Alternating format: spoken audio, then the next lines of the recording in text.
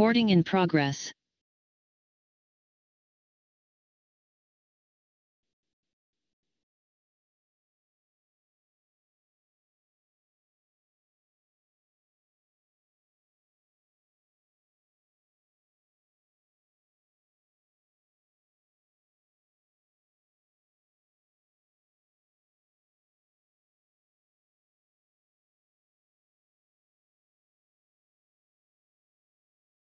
Recording stopped.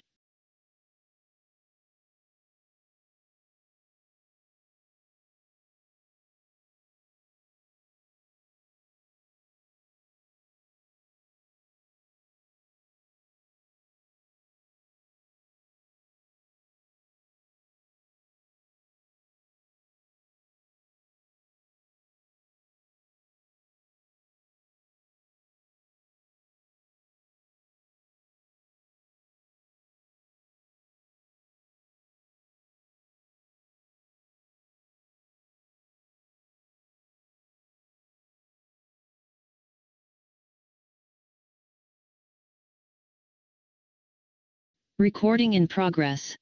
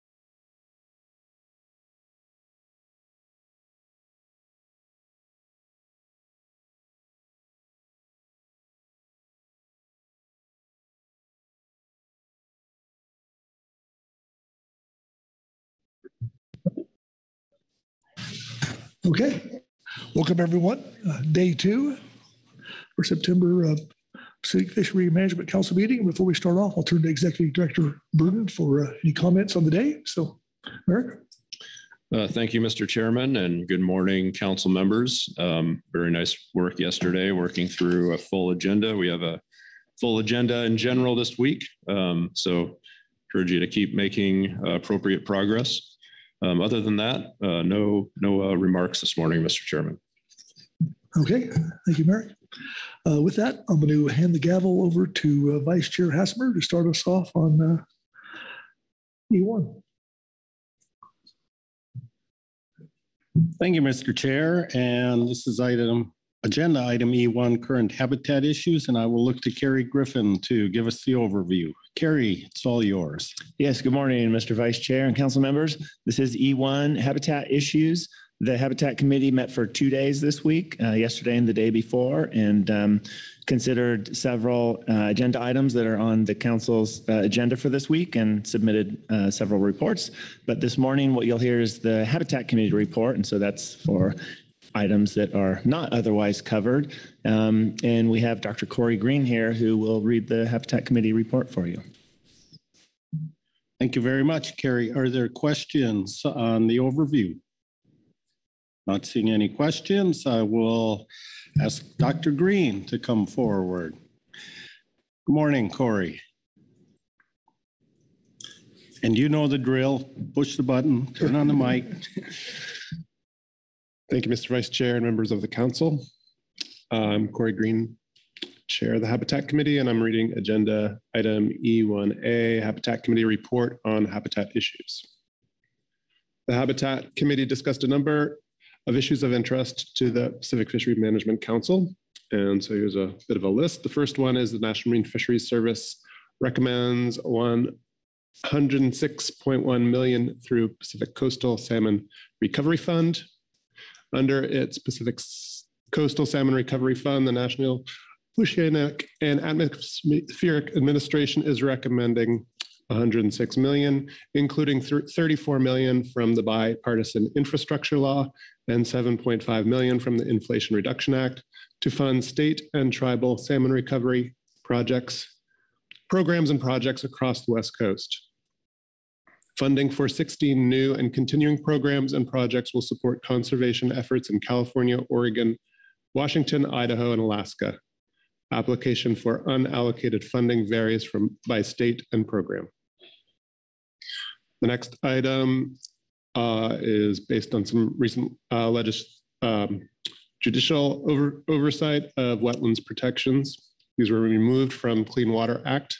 The Environmental Protection Agency and Department of the Army issued a final rule on August 29th, amending the definition of protected waters of the United States in response to the Supreme Court's May 2023 decision, which narrowly which narrowed the scope of the Clean Water Act and the agency's ability to regulate waterways and wetlands. The Supreme Court's decision reversed its 2006 decision that set the standard for wetland protection that a wetland has a significant nexus with a major waterway, such as subsurface connectivity or waters separated by dikes and levees. The decision removes the significant nex- nexus test from consideration when identifying tributaries and other waters as federally protected. The EPA has amended the definition of protected waters to include only streams, oceans, rivers, and lakes, and wetlands with a continuous surface connection to major waterways. Effective immediately, more than half of previously regulated wetland acreage and thousands of miles of small streams are no longer regulated under the Clean Water Act. Of note, state regulations related to wetland protection remain in place. Regardless, the implications for habitat protection for salmon are of special concern. The EPA and the Corps of Engineers will host a series of public webinars in September 2023 to provide updates on the definition of waters of the United States. While the webinars have reached registration capacity, the agencies will post a recording of the webinar to the EPA's website. The agency also plans to host listening sessions this fall with co-regulators and stakeholders focused on identifying issues that may arise outside this limited rule to conform the definition of waters of the United States with the Sackett versus EPA decision. And there's more information on the listed website.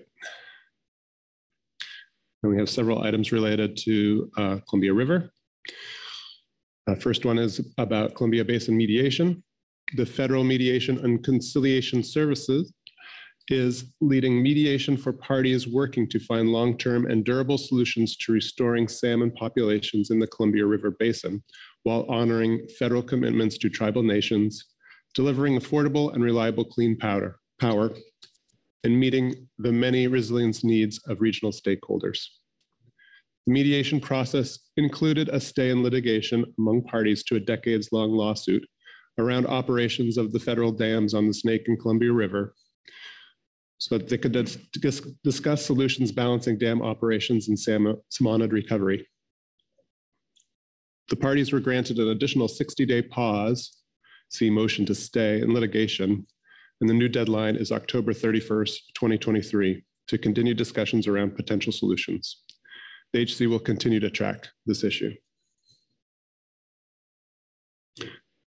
Next item is Lower Columbia River Dredge Material Management Plan, 20-year update.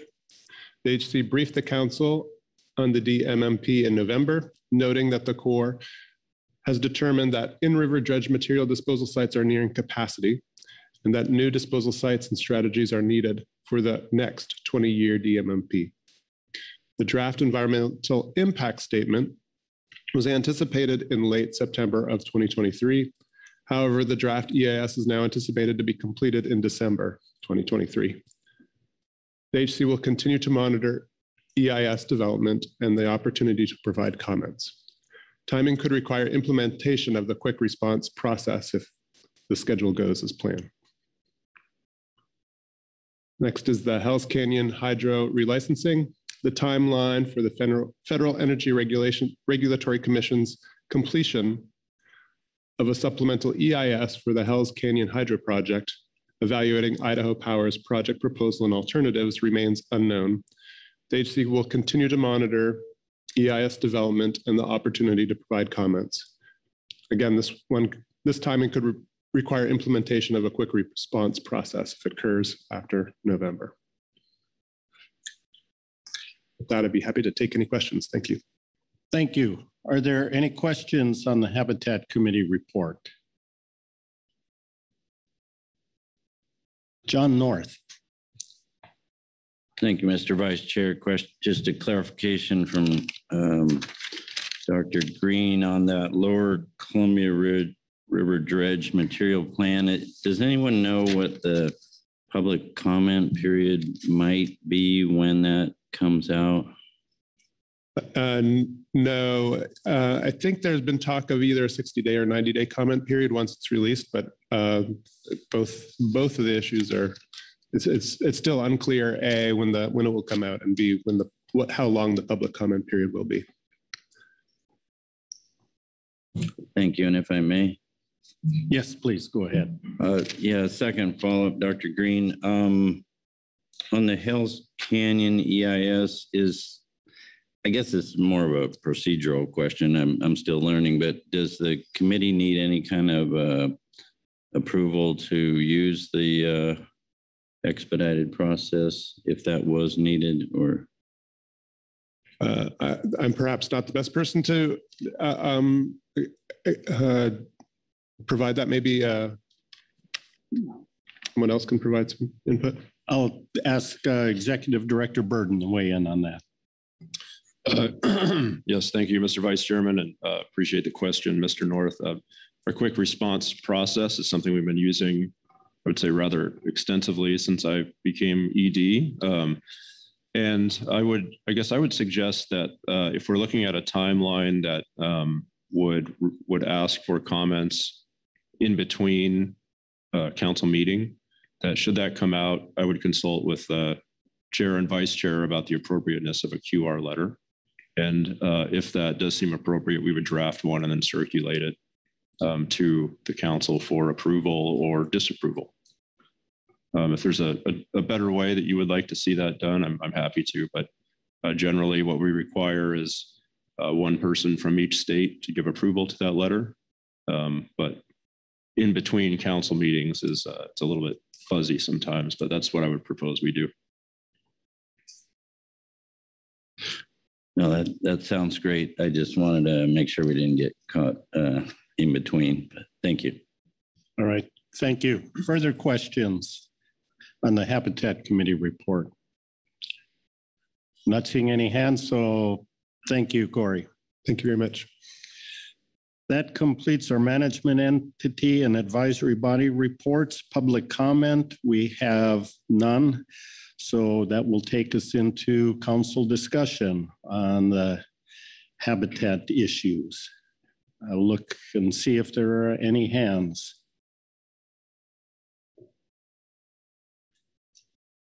Yes, as we heard in the report, there are just uh, two places where there's a potential quick response needed. and You heard the process there. And I'm not seeing any other hands. So Kerry, anything else we should do here? Well, uh, there's no requested action, and uh, if your discussion is finished, then I think that concludes this agenda item. Thank you very much. So we'll close out this agenda item. And that will move us into agenda item F1, ecosystem management, the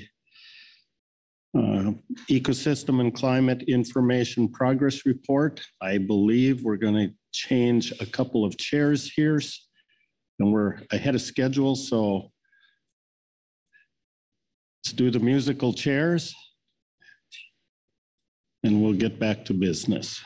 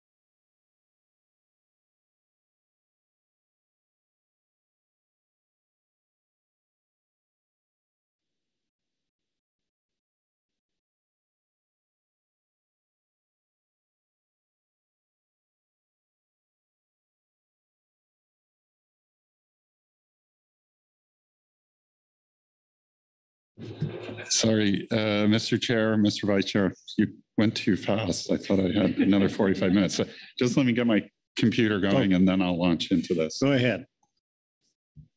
Just get set up so you, so you are ready.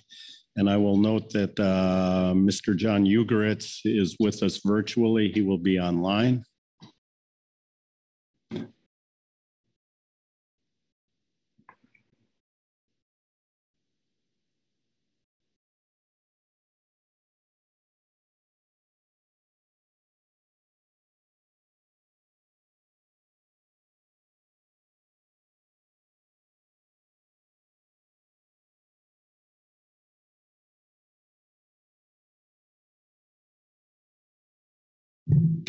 Okay, thank you for your forbearance. Um, So I'll just read from the situation summary. It's brief uh, and uh, give you a rundown of the reports and so on that you have under this agenda item. So this is Initiative 4, Ecosystem and Climate Information. It's a progress report. The EWG presented a work plan for this initiative in March of this year, reference to that report. The purpose of this initiative is to develop on-ramps for integrating ecosystem and climate information into council fishery management plan decision-making with a focus on harvest specifications processes. The EWG provided a short update on its work at your June meeting. Again, a reference to that report. Agenda item F1A, EWG Report 1, re- reports on work completed to date it describes a process for choosing species to receive climate information, FMP, FMP specific ecosystem and climate information on ramps for harvest setting, and species specific ecosystem information products. To demonstrate the species selection methodology, uh, that's the first item I mentioned. The EWG provides a proposed process, draft set of criteria, an example application to seven previously identified species. It requests the council to circulate the proposed processing criteria for public review in support of, uh, this is, I think, not quite right. In sort of, it says in support of council adoption in March 2024, but I think actually the EWG is proposing um, formal adoption of that process in September of next year. Uh, to demonstrate potential ecosystem information products, that's the third thing I mentioned. The report includes a risk assessment matrix uh, or I think the EWGS started calling it a rubric. And it uh, has a demonstration application to two groundfish species, petrale sole and sablefish. Um, and, and those, I, I'll just say in an aside, those uh, applications in the form of risk assessment tables are in uh, the EWG supplemental report two. The council should decide whether to use these evaluations as part of finalizing harvest specifications for these two species at the November council meeting. Uh, in its report, the EWG also provides additional recommendations on topics for workshops uh, the, the Nature Conservancy has offered to sponsor with the council. Um, and it also lays out an updated schedule for initiative completion. And I guess I'll just extemporize in terms of that second to last thing, in terms of the, uh, I guess we're, they're jointly sponsored by the Nature Conservancy and the, and you, the council, um, that uh, the Ms. Gway Kirchner uh, with the Nature Conservancy organized a steering committee. Uh, we met a couple times, um, made some progress on coming up with some logistical and um, substantive aspects of potential workshops. There's a, um, a letter in your public comment under this agenda item from the Nature Conservancy that that outlines uh, some of the ideas in terms of timing and location of the workshops and uh, potential topics, a sort of very preliminary conceptual agenda for for those workshops. So um, just to let you know, and I also was asked the um, EWG took a look at that letter and that proposal, and there they had a webinar meeting um, last week on Tuesday, and they just want to let you know they um, endorse the ideas that are presented in that letter from the Nature Conservancy. So that's that. Um, I guess running down, you have a number of advisory body reports. Um, and uh, I, I, don't know if I can recite them from memory, but um, I will try to work through them. So you have a report from your ecosystem advisory subpanel, and uh, there is are reports from both of your two CPS advisory bodies, both of your groundfish advisory bodies, and the um, Habitat, Habitat Committee um, as well. And if I missed anybody, I'm sure you will correct me. Um, I guess uh, I'd also mention, since I mentioned one of the public comment letters, there's also a second public comment letter in there just to, for the good of the order, just to mention that. That's a, a letter from a group of NGOs with some uh, recommendations and ideas around this initiative. So with that, just the council action here, uh, such as it is, is council discussion and guidance as appropriate. So that concludes my overview. Thank you. Are there questions for Dr. Dahl on the overview for this agenda item? And I'm not seeing any questions. So we will first turn to the two ecosystem work group reports, and we have a presentation from Yvonne de here. Good morning, Yvonne. When your presentation comes up, you can go ahead and start. There it is.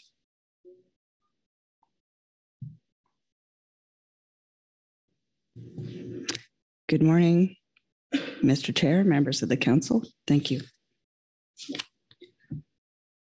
So uh, as you can see on the screen, we'll be working on agenda item F1. This is initiative four. It's got a rather long formal name, ecosystem and climate information for fish stocks, fisheries, and fishery management plans. So we tend to just call it an initiative four.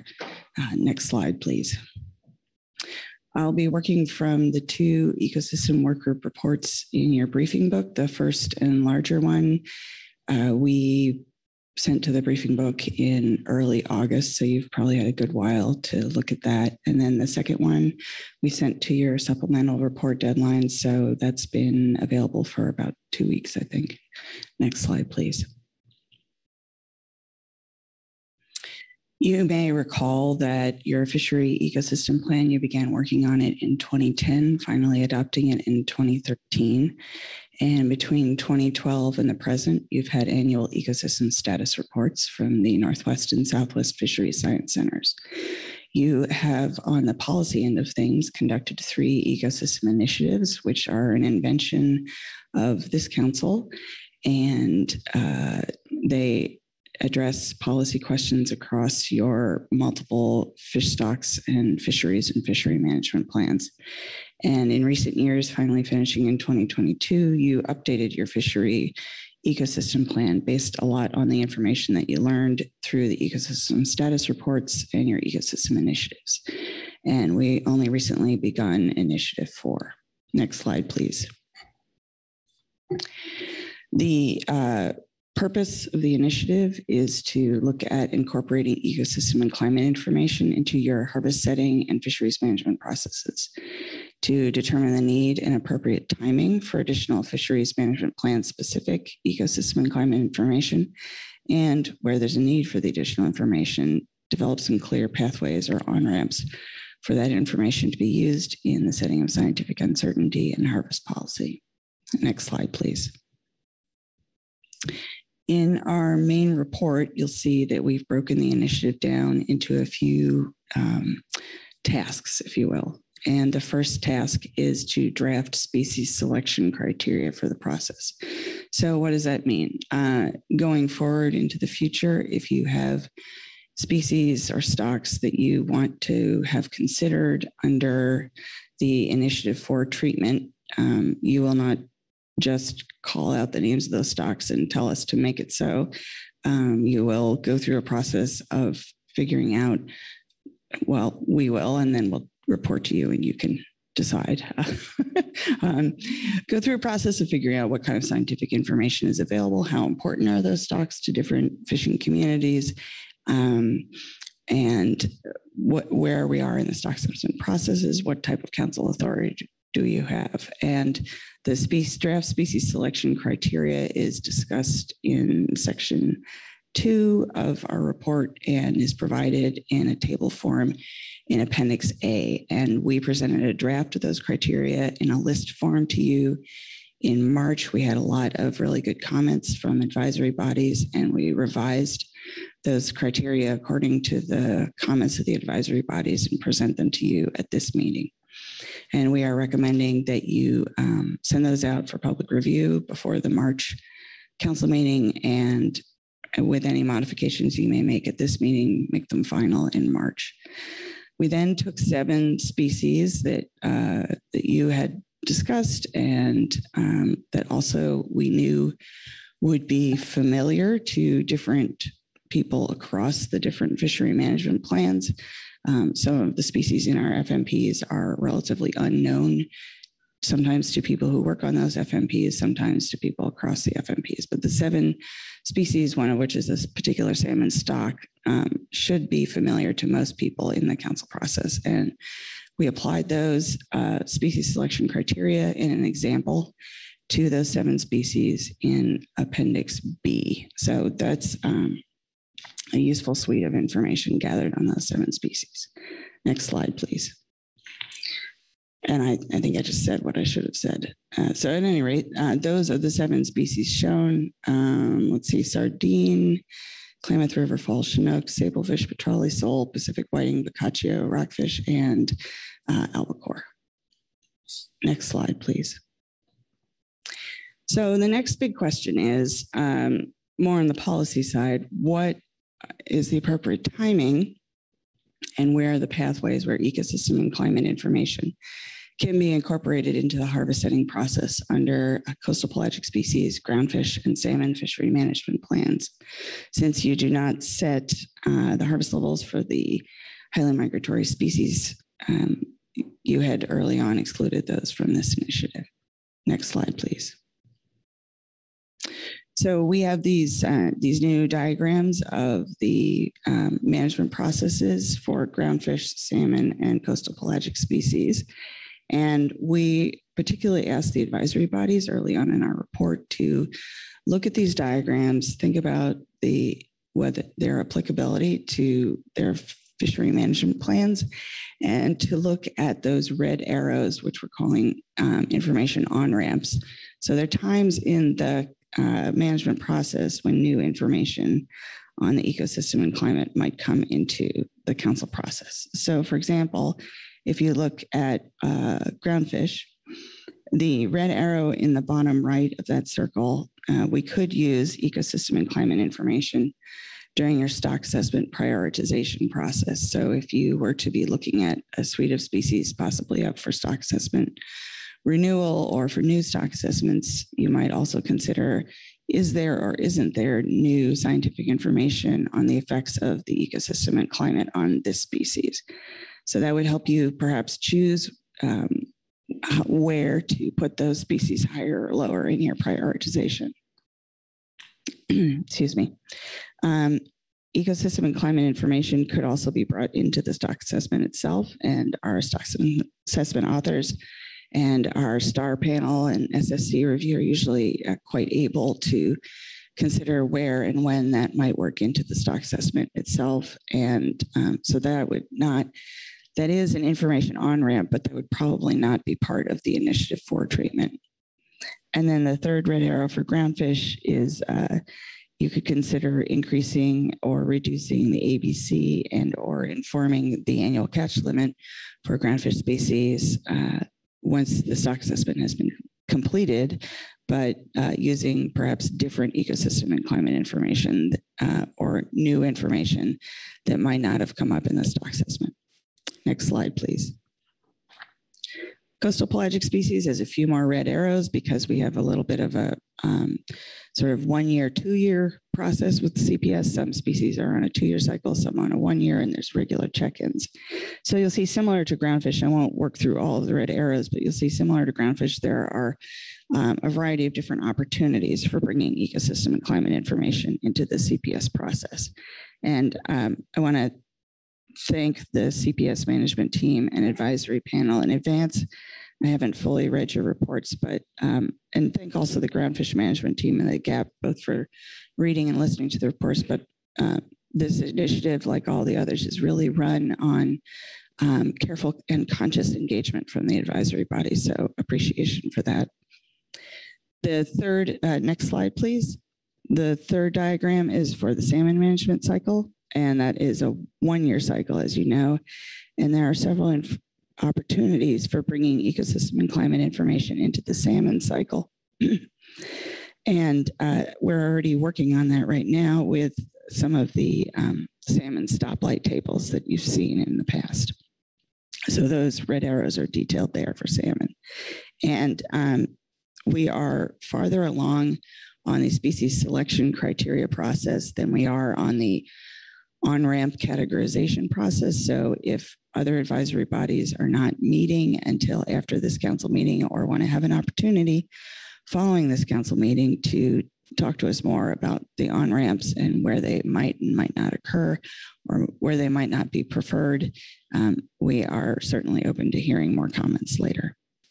Next slide, please. so then our uh, first report concludes on page 28 with Appendix C, which is a risk classification table or risk classification rubric to uh, that we're drafting across all species.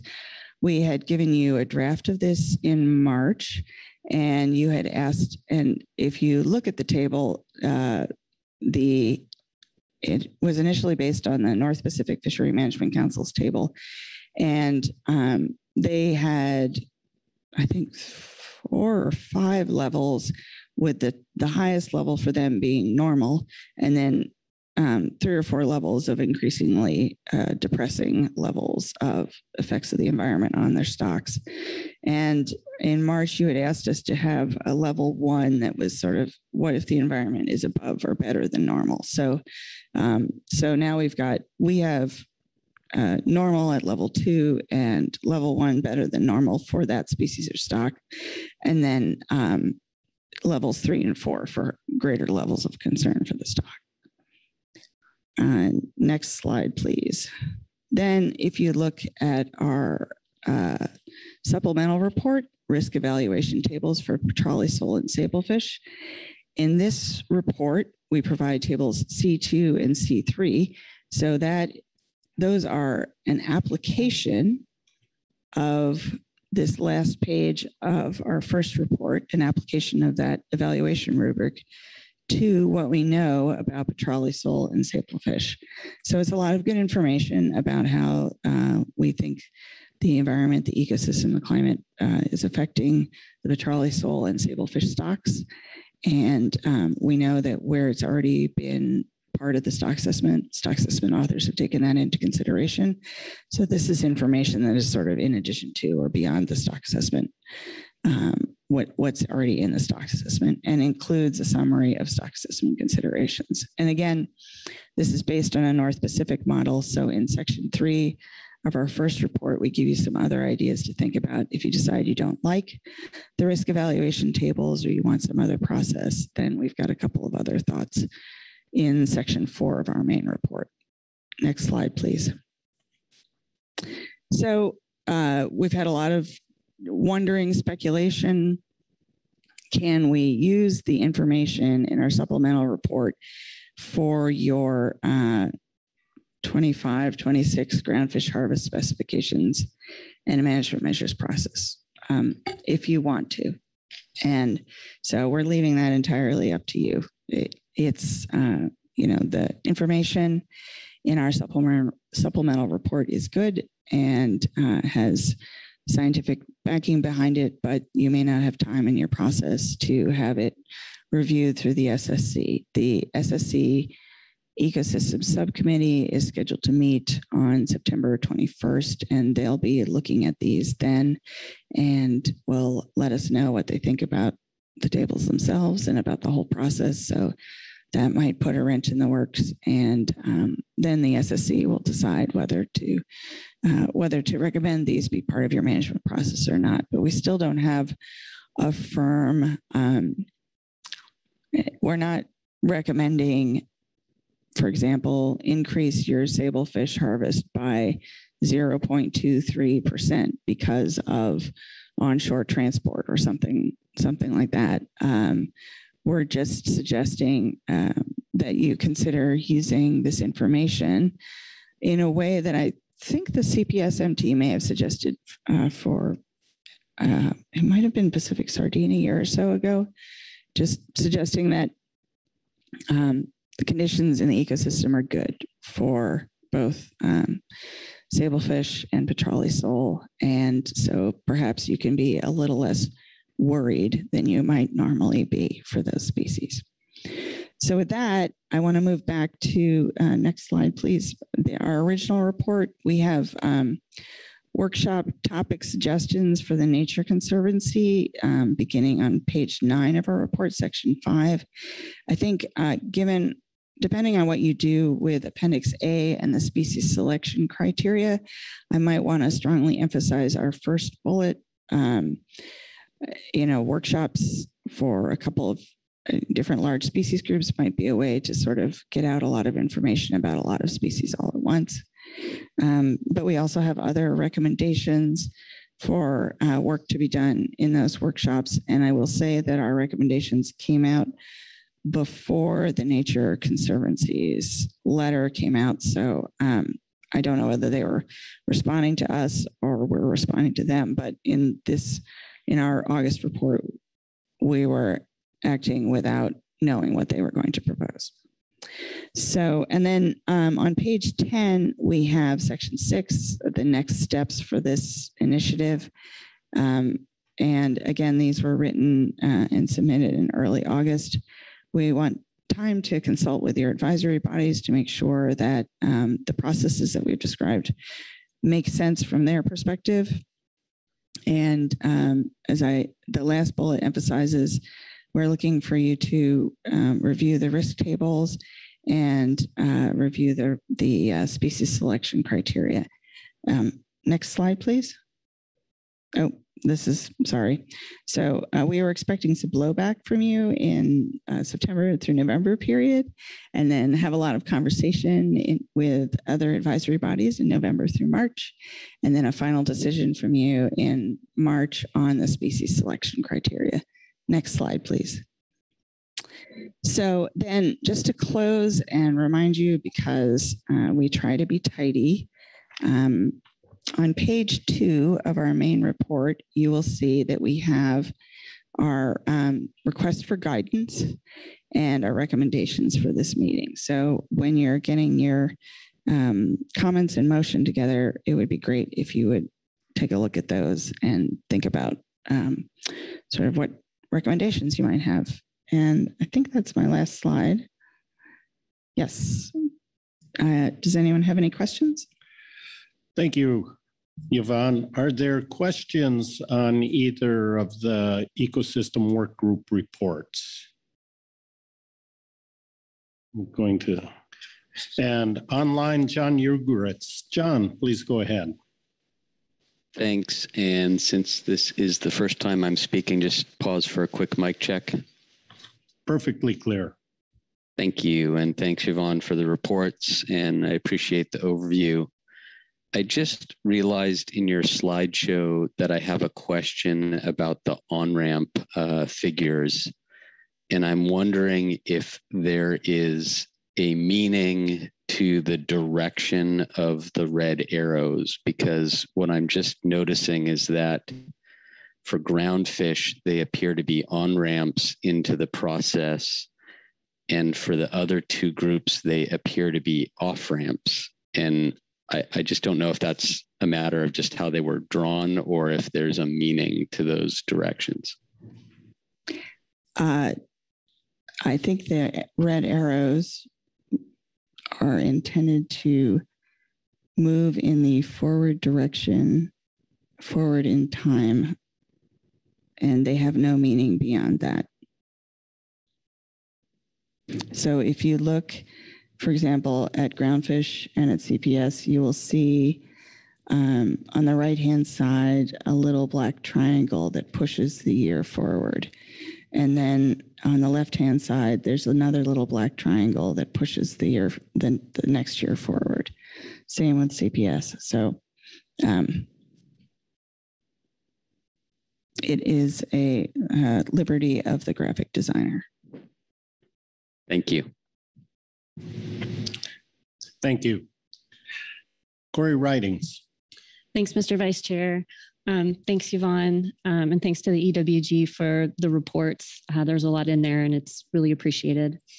Um, one question I had when thinking through this and what we're trying to do here, the species selection criteria, think about how that comes together. And um, I was wondering if you could explain to me its relationship with like climate vulnerability assessments. I'm thinking about how we're not reinventing the wheel here. And I saw that the CVAs were cited in that. So clearly you thought about them. But I'm just looking for a little bit more information about how we can put those two things together. Um, and then also a little bit more background if you have it. I know in the past, the climate vulnerability assessments um, were talked about by NMFS as something that could be used specifically for this. Uh, it took quite a bit of time um, to get those to the point where the recently published one um, may have limited applicability and use by the council, which is a whole nother problem. Um, so as we think about this, is this helping solve that timing problem there? Um, hopefully that was clear. Thanks. Thank you. Uh, so let's see. So in uh, Appendix A, we have the species selection criteria, and uh, I think it was under ecological considerations, or was it? I'm sorry for not remembering. Um, oh, yes. So under so under ecological considerations, we have the question of what was the species rank under the climate vulnerability assessments. So we have these uh, recently published climate vulnerability assessments for all these different council managed species. Um, and we've had for several years, the Crozier et al. on uh, salmon vulnerability assessments. And so this is just a quick check-in um, as one of many considerations under ecological considerations. Where does this species rank under the climate vulnerability assessment? And you'll see um, in the ecological considerations portion of Appendix B, which appears on pages 20 and 21, that each species, there's a note as to its uh, climate vulnerability. So that should just be shorthand for you so that you don't necessarily have to go back to the CVA to find that species. You'll just know, is this um, highly uh, exposed and highly vulnerable, or medium level of exposure and vulner- vulnerability low. So so I think it's a it's a good quick use of the climate vulnerability assessment. Thank you. Further questions? Phil Anderson. Thanks, Mr. Vice Chair. Morning, Juan. Good to see you. Thanks to the EWG for the great report.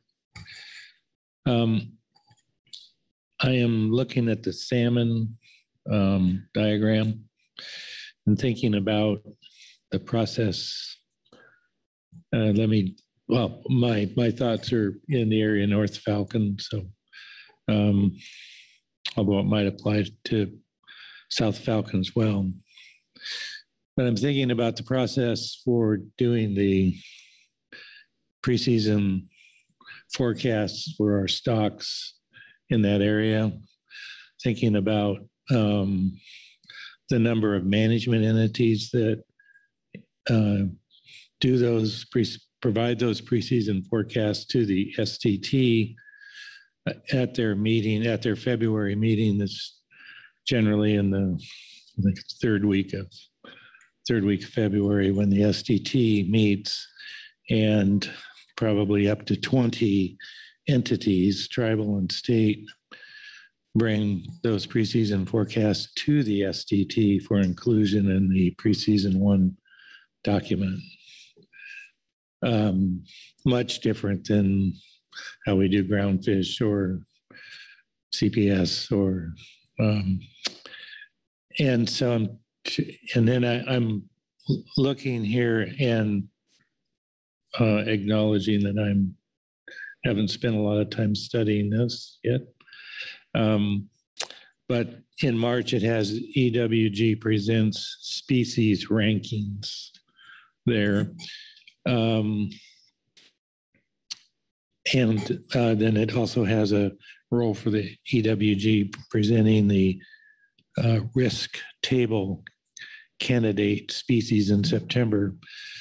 So I'm, I'm just trying to figure out how, given the number of independent and um, well, entities, management entities that do the preseason forecasts for the various salmon stocks that are contained in the FMP, where, how we, how the EWG integrates and does, performs at least those two activities, uh, uh, given the, com- say, complexity of, in terms of the management entities that bring preseason salmon forecasts into the council process. So I think there's a question in there, um, but I'm just trying to think about salmon and how how all this fits together. Thank you, Mr. Anderson, um, through the chair. So uh, I think I can speak for the whole EWG and say that we do not wish to become deeply enmeshed in the salmon management cycle. And uh, nor do we wish to become one of the 20 entities, 20 plus entities who are um, presenting the STT with information. Our preference would be to um, the species rankings uh, refers to um, the species selection criteria. So at, in March, you would choose whether you want to have a new salmon stock uh, be subject to the initiative four treatment. So that's just a council decision for going forward. Do you want to think more about this stock and have it receive the initiative four treatment? And then in September, we would start to talk with the STT and the SSC about what kind of information is available and, and uh, either um, for salmon, since we have been working with the stoplight tables for several years now, um, they may or may not want to use risk evaluation tables. They may want to continue with the stoplight tables and and uh, the stoplight tables could lead into risk evaluation tables, but that may not be what the salmon management process is interested in. And then ultimately, hopefully, we would be able to um, work with the science centers to have some sort of automated report on ecosystem conditions available to all of the salmon management process early in the calendar year so that as these 20 plus entities are thinking about their recommendations, they would also have that information available to think about. And something like that, I think, goes on in an informal way right now. The um, salmon information from the ecosystem status report goes out to uh, salmon managers and salmon scientists in that sort of January, February period, and sort of a preview of the March ecosystem status report. So um, I think we would just want to, for salmon, perhaps um, make the informal process that now occurs um, more formal and apparent. Phil? I do think um, that there's a lot of value to be to be had uh, from the work that's being done, particularly in the various categories that make up the stoplight table, or if there's some other format to bring that information forward, make it available to those entities that are doing the forecasts, um, and maybe formalizing that or or making something that's more explicit about how they can gain access to that information when they're doing their preseason forecast would be would be valuable. So, all right, at least an initial discussion about how all that might work. Thanks. Thank you. Further questions on the EWG reports? No hands? Thank you, Yvonne.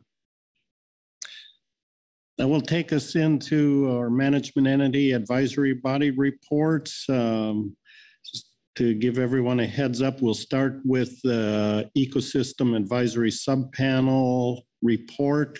Gway Kirchner is here for that.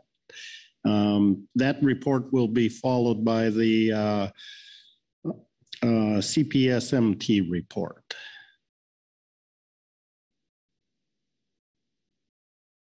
Good morning, Gway.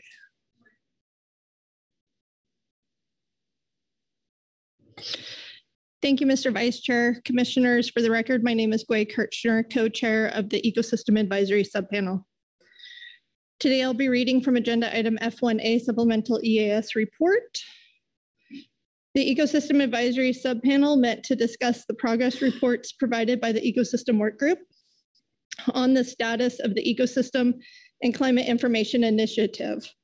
We commend the EWG for providing a path forward to better link environmental drivers and the socioeconomic success of our coastal fishing communities, including climate sensitive species, and would like to offer the following comments.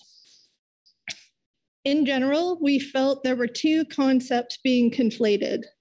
One, setting informed harvest limits based on environmental drivers, and two, identifying those stocks where nimble management could increase fish stock and fishery success. These two points have different response timeframes, with one being part of the normal cycle of stock assessments, and two being on a shorter time scale than the current ass uh, assessment cycle. Inclusion of risk tables via the proposed framework may be too slow to adapt to rapid environmental change. Overall, the EAS felt that a key outcome of Initiative 4 should be using the California Current Ecosystem Science to inform Pacific Fishery Management Council fishery management decisions for the species stocks, species complexes that are more vulnerable or more likely to be impacted by oceanographic forecasts.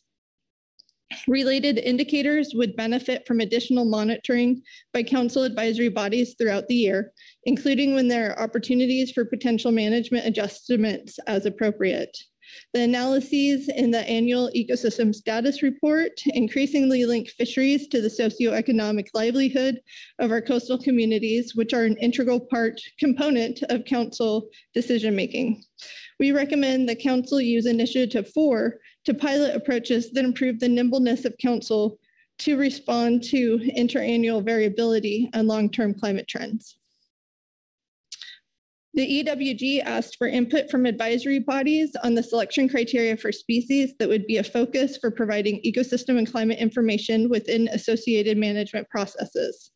The EAS felt that the two key driving criteria in the selection methodology are the ecological considerations and social and economic considerations. Council authority seems like a prerequisite for choosing any species rather than a selection criterion for choosing a particular species. We also noted the following concerns.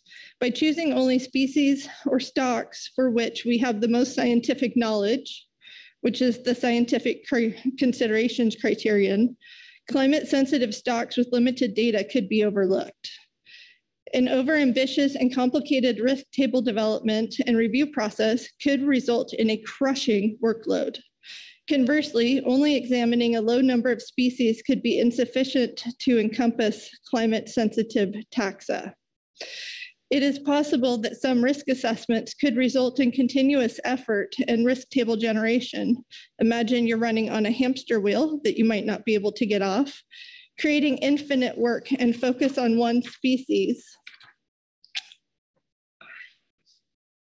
It is our understanding that risk tables are intended to inform harvest setting or management measures with relevant and timely species or stock-specific environmental trend information. However, there are trade-offs associated with the inclusion of additional data or information that in introduces or increases uncertainty. And it should be noted that including climate and ecosystem information is no exception. The EAS also emphasizes the value of fishermen's on the water information and experience and the possible role of risk tables as an opportunity to incorporate that firsthand knowledge or other qualitative information into this process. Describing how the use of risk tables could influence socioeconomic outcomes within the actual risk tables could help the council understand the trade-offs of using those risk tables. The annual ESR presents a number of fishing community related metrics that could support a more proactive approach in the risk assessment context and inform the equitable distribution of positive and negative outcomes across communities and stakeholders. Recognizing there is inherent risk associated with employing the methodology, the EAS suggests the council use of SSC endorsed petrale and sablefish risk tables as a pilot process as part of the 2025 to 2026 harvest specifications. The idea is to test the use of risk tables through the existing process to facilitate a discussion about how they could be used and maybe modified or improved and identify the kinds of information that would be most helpful for council decision making. The intent is that the tables would be informative, but not affect harvest setting or management measures unless and until the council decides whether and how they would like to use them in future management cycles. Additionally, using historical or hindcast approaches to identify when a risk table action would have occurred would allow the council to evaluate how such tools can support climate robust fishery management. With the availability of IRA funding, there is a significant opportunity to develop this initiative and increase dedicated capacity. In particular, funding could be used to develop a council operating procedure in terms of reference and third-party review. Additional funding could build and convene a multidisciplinary team required and outlined in the EWG F1A supplemental report composed of ecologic, ecologists, survey scientists, ecosystem modelers, stock assessors, and physiologists. To address the concerns expressed in this report, we propose that number one, taxa could be grouped by niche or and or climate oceanographic sensitivities as part of an initial evaluation to identify on-ramps for multiple species in one analysis and reduce the number of risk assessments needed. Two, the EWG's proposed groundfish and coastal pelagic species selection process could be made more efficient by integrating it into the existing stock assessment prioritization process rather than creating a new process. Three, risk tables could be considered intermediaries that lead to A, inclusion in stock assessments if appropriate, and B, used to identify what environmental drivers would be considered triggers to evaluate whether mid-year management modifications may be necessary. Four, IRA funds are sought and leveraged to A, develop a council operating procedure focused on increasing the climate resilience of council managed species or stocks, and B, convening and building an interdisciplinary team dedicated to the risk assessment process. Five, Petrale sole and sablefish are used as test cases to evaluate the efficacy of the risk tables potentially coupled with hindcast analysis of these or other species or stocks. And six, a risk reward approach is embraced to explicitly link risk table approaches to socioeconomic impacts, including benefits to coastal economies and people. The above suggestions could be an outcome of a risk assessment, existing stock assessment, part of the on-ramping approach, and or a topic for the Nature Conservancy workshops. This Integration would reduce the workload while generating a product that will eventually link all stocks evaluated to variables within the ESR. Finally, the EAS is encouraged that the council is leading the effort to increasingly incorporate environmental drivers into management and improving our nimbleness and responsiveness to climate change. This provides the mechanism to take the amazing work presented in the annual ESR into more healthy and resilient fishing stocks, fishing communities, and coastal economies.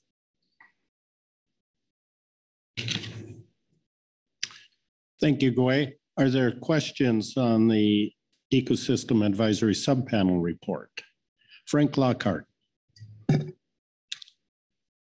Thank you, Gway and the EAS for the for the report. You packed a lot into three uh, pages. Um, on the first page in the first section, just before you get on to species selection criteria and risk tables, you say, we recommend the council use initiative four to pilot approaches that improve the nimbleness of the council to respond to interannual variability and long-term climate trends. Um, I'm wondering, did, did, you guys talk about an example?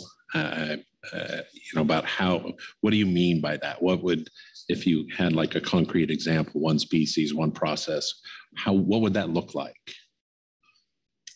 Thank you, Mr. Vice Chair, Mr. Lockhart. So I don't think we really developed like an example that was very species focused, but what we looked at is um, with the idea of becoming more nimble to respond to changes if you're monitoring um, indicators throughout the year and you see a, a, something happening with an indicator, it's looking better, it's looking not as good, that you could use that information to inform um, actions throughout the year. For example, in season, right? It could be uh, something that could help inform an in season action. Um, if you see like like I said, an indicator looking better or an indicator looking not as good as you had anticipated. All right, thank you. Thank you. Further questions? Lynn Mattis. Thank you, Vice Chair. Uh, Ms. Kirchner, in the uh, risk table application piece, the discussion about um, this being a, the risk tables could be a pilot project to test um, how they could be improved, all that stuff. Was there any indication of who would be doing that work? I know the GMT is already overprescribed when it comes to harvest specifications and management measures. Um, and it says the council use, um, the people around this table aren't the ones who do the analysis. Uh, so I was just wondering if you had an idea of who would be doing that work. Thank you, Vice Chair Hassemer, um. Mattis. We did not discuss like who the actual appropriate people are to do that work. I think that um, probably discussion needed by more than just the, the EAS to figure that out. Go ahead, Lynn.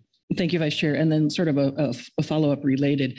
Um, I know ODFW staff, and I suspect the GMT have already been given guidance by NMFS about being very um, strategic and narrow focused on this current specs, um, 25, 26 spec cycle in terms of not adding a bunch of new things, very much focusing on the harvest specifications. Has there been any any feedback from that part of NMFS on how this might be incorporated and affect that process that you know of? Thank you, Mr. Vice Chair. Um, Ms. Mattis, um, we, we certainly did not talk, talk with NMFS um, about it. And really, I think I would say we're, we're responding to uh, the idea that these risk tables potentially be used fully in management in 2025 and 2026. And um, I, I would say it was the feeling of the group that they're not ready for that, but that this could be a good opportunity to see how a risk table could respond in a man in a management cycle. Um, and kind of put it through a test, but not not fully implement it and impact fisheries with it. Okay. Thank you. I appreciate that clarification and I really appreciate the reference to a hamster wheel just for you. Thank you. Further questions? Corey Ridings. Thank you, Mr. Vice Chair. Thanks, Gway. Thanks to the EAS for this report. Um, at the in your conclusions, conclusion number two, uh, the EW's proposed groundfish and CPS selection process could be made more efficient by integrating into the existing stock assessment prioritization process rather than creating a new process um, staying on the theme of not reinventing wheels. Um, could you provide a little bit more background uh, if the EAS had a discussion or ideas about how that could be done? Thank you, Mr. Vice Chair. Ms. Ridings, um, yeah, wheels were a constant theme in our discussion. Um, but uh, I I think what we were thinking there is that we already have this um, pretty involved process to pick stocks for stock assessment. And this could be one more piece of information, one more maybe column in the giant spreadsheet. Maybe it takes more than, you know, maybe a couple of columns in the giant spreadsheet that could go in to help inform that process. Um, so you're looking at the kind of the bigger picture of stock assessment prioritization. Thank you. Uh, Executive Director Burden. Thank you, Mr. Vice Chairman, and good morning, Gway. Um, I'm looking at a section of the EAS report. There's a paragraph right before Inflation Reduction Act funding. And uh, the concept in that paragraph, uh, I guess, resonates with me a bit. The idea of taking a process, in this case, uh, key, you're keying in on the 25, 26 harvest specifications and then testing and saying, how would it look if we integrated the risk tables into that process? What would it look like?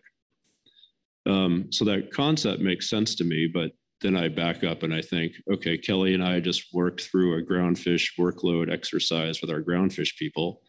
And as we go through our stock assessment process and our specs process, those folks are somewhere on the order of 160% of their time.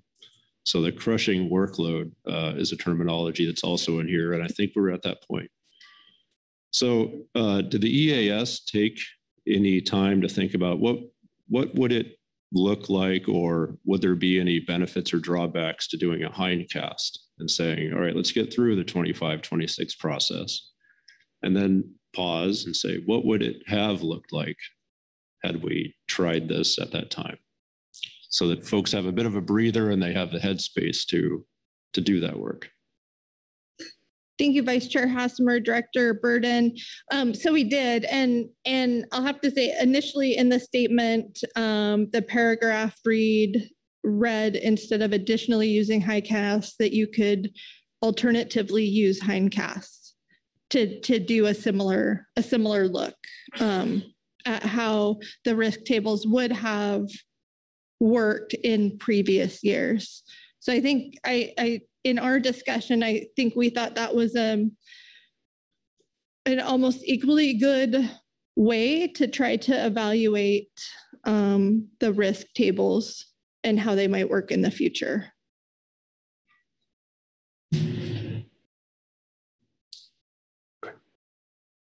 All right, thank you. Further questions? Not seeing any hands, so thank you, Gway.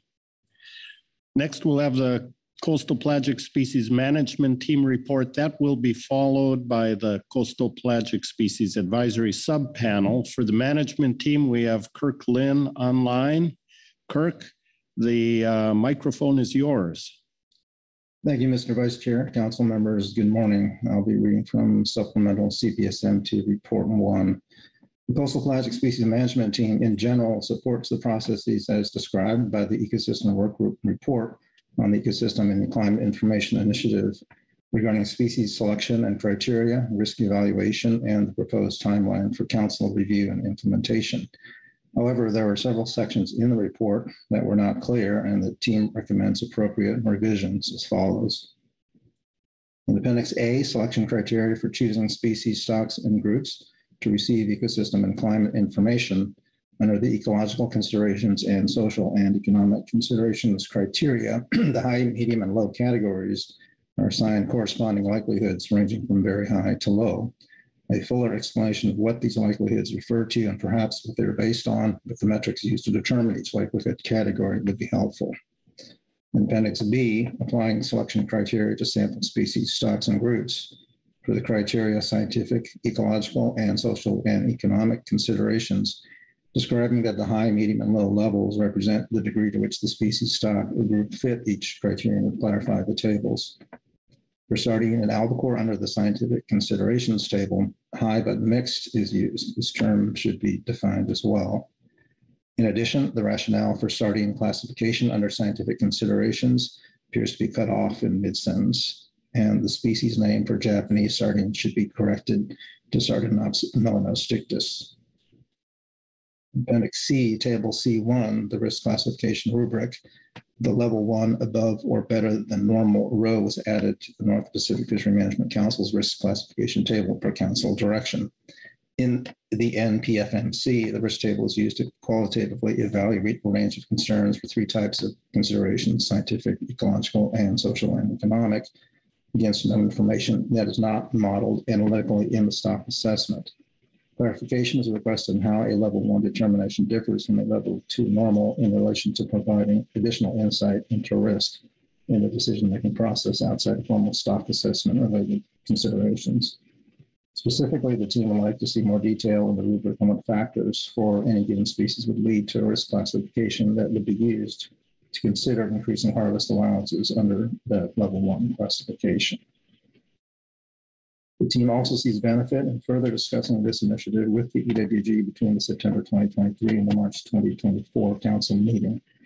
The focus of this future meeting would be the CPS ecosystem and climate information on ramps used in harvest setting as depicted in the schematic for potential process in figure two of the EWG report.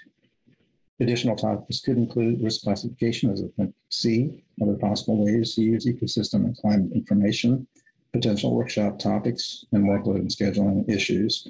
These topics could also be taken up as part of the proposed workshops that may be jointly supported by the council and the Nature Conservancy. That concludes our report. Thank you, Kirk. Are there questions for Mr. Lynn on the management team report? And I don't see any hands, so thank you again. You're welcome. You. Next, we'll have the Coastal Pelagic Species Advisory Subpanel report. That will be followed by the GMT report for the CPSAS report. Anna Weinstein is online. Anna, the microphone is yours. Good morning. Good morning, Mr. Vice Chair. Good morning, council members.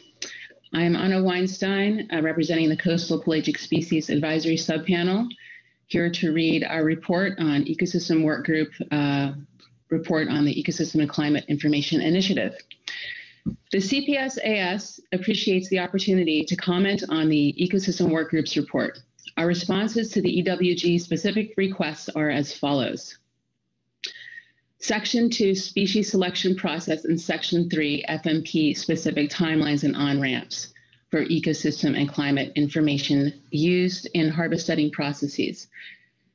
Our comment is the species selection process in section two looks sound, including the schedule for public review in the coming months and final adoption in March 2024. Section three, figure two, showing FMP specific entry points for information is a good start on a complex CPS FMP with different management schedules for different species. Figure two needs inclusion of the central sub- subpopulation of northern anchovy according to the schedule in Council Operating Procedure 9. We also note we have questions about how the risk tables would complement or improve opportunities for introducing ecosystem information to the harvest specifications process for CPS that, that already exists in CPS specifications. We wish to ensure existing FMP specifications processes and the proposed risk tables are properly reconciled and avoid duplication in the use of ecosystem and climate information. In sum, CPSAS is ready to work with, with the management team and the EWG after this council meeting to discuss FMP specific timelines and on ramps for ecosystem and climate specific information and the appropriate incorporation of uncertainty and risk into existing harvest setting processes for CPS. Appendix A, selection criteria for choosing species, stocks, and groups to receive ecosystem and climate information. We support Appendix A and appreciate the inclusion of ecological considerations as a key criteria for the Council in priori- prioritizing species and groups of species as we requested in our prior reports on this initiative. Appendix B, selection criteria apply to seven species. We recommend the EWG and Council consider if and how climate rain, climate-driven range shifts should be added to the ecological as well as social and economic considerations criteria. For ecological considerations, the climate vulnerability assessment, um, McClure et al. 2023, cited in EWG Report 1, found that CPS is one of the two species groups, along with HMS, most likely to change distribution in response to climate change. Many seabird and marine mammal species are central place foragers tied to Channel Islands and Farallon Islands in breeding season. We expect CPS range shifts in response to changed ocean temperature and productivity to affect the productivity and population trajectory of these predators. For social and economic considerations, we note the sardine live bait fishery centered in Southern California and the major CPS ports and processing operations are in Central and Southern California. The dramatic range shifts uh, for CPS predicted in the uh, 2023 Climate Vulnerability Assessment refer- reference in the EWG Report 1 will impact fishers and dependent economies. This is an example where fisher and industry knowledge should be more explicitly integrated into this initiative to identify areas of risk and flexibility to better preserve the well being of ecological and socioeconomic values and endpoints that's that concludes my report. I'd be our report. I'd be happy to take any questions. Thank you. Thank you, Anna. Are there any questions? Frank Lockhart. Thanks, Anna, for the report and the uh, work of the um, CPSAS. Uh, my question is in the middle of your section, uh, your report on section two, right up at the front. I, I'm not quite sure what the, the middle sentence means in the middle there. We know we have questions about how the risk tables would complement or improve opportunities for introducing ecosystem information to the harvest specs process. And here's the part where that I don't understand. For CPS that may already exist in CPS specifications, I'm not quite sure what you're trying to tease out there. Could you explain a little bit more about what that is getting at?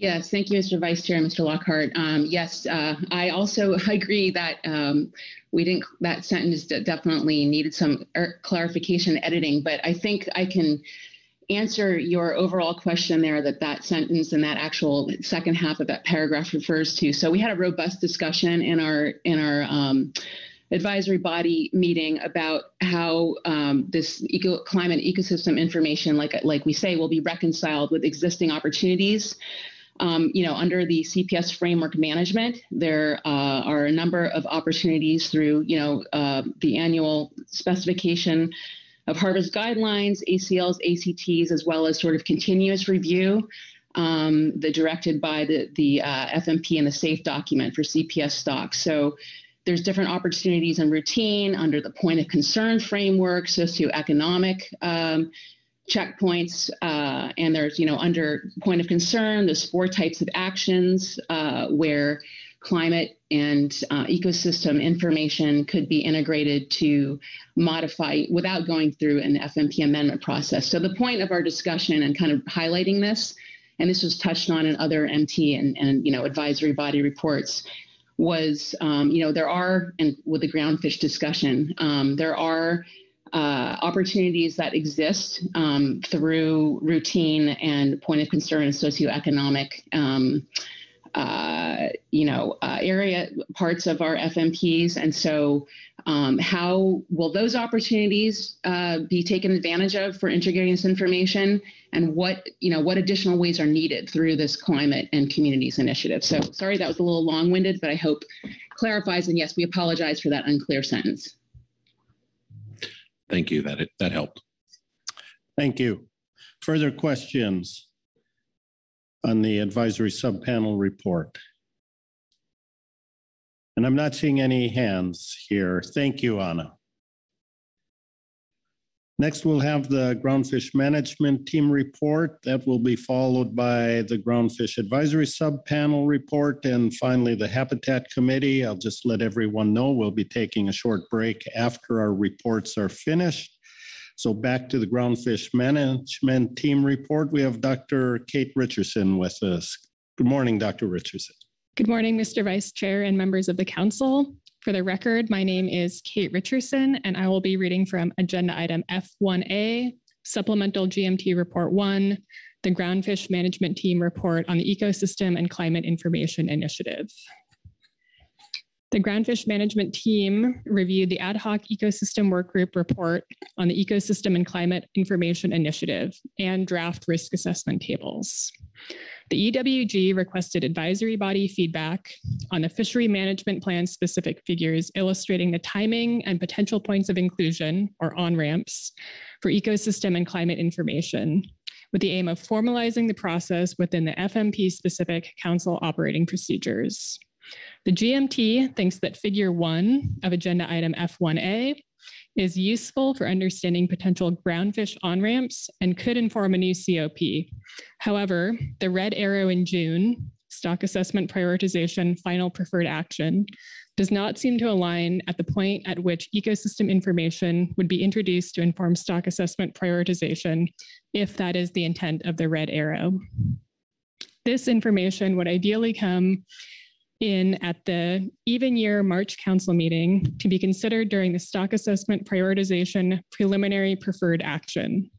The GMT also notes that the figure may not include all entry points and does not currently evaluate the relative challenges with each. The GMT anticipates that as we gain experience with incorporating ecosystem and climate information into the groundfish harvest setting process, the COP may require additional modification. The GMT appreciates the EWG request to meet before the November 2023 council meeting. The GMT thinks that meeting with the EWG and the Groundfish Advisory Subpanel before November is essential to provide critical feedback and to have questions answered, which would be better addressed during a meeting versus in multiple advisory body reports. This timing is necessary for the GMT to consider whether and how the pilot risk tables for Petrale sole and sablefish could be used to inform management, given that the risk tables will be reviewed by the full SSC in November 2023.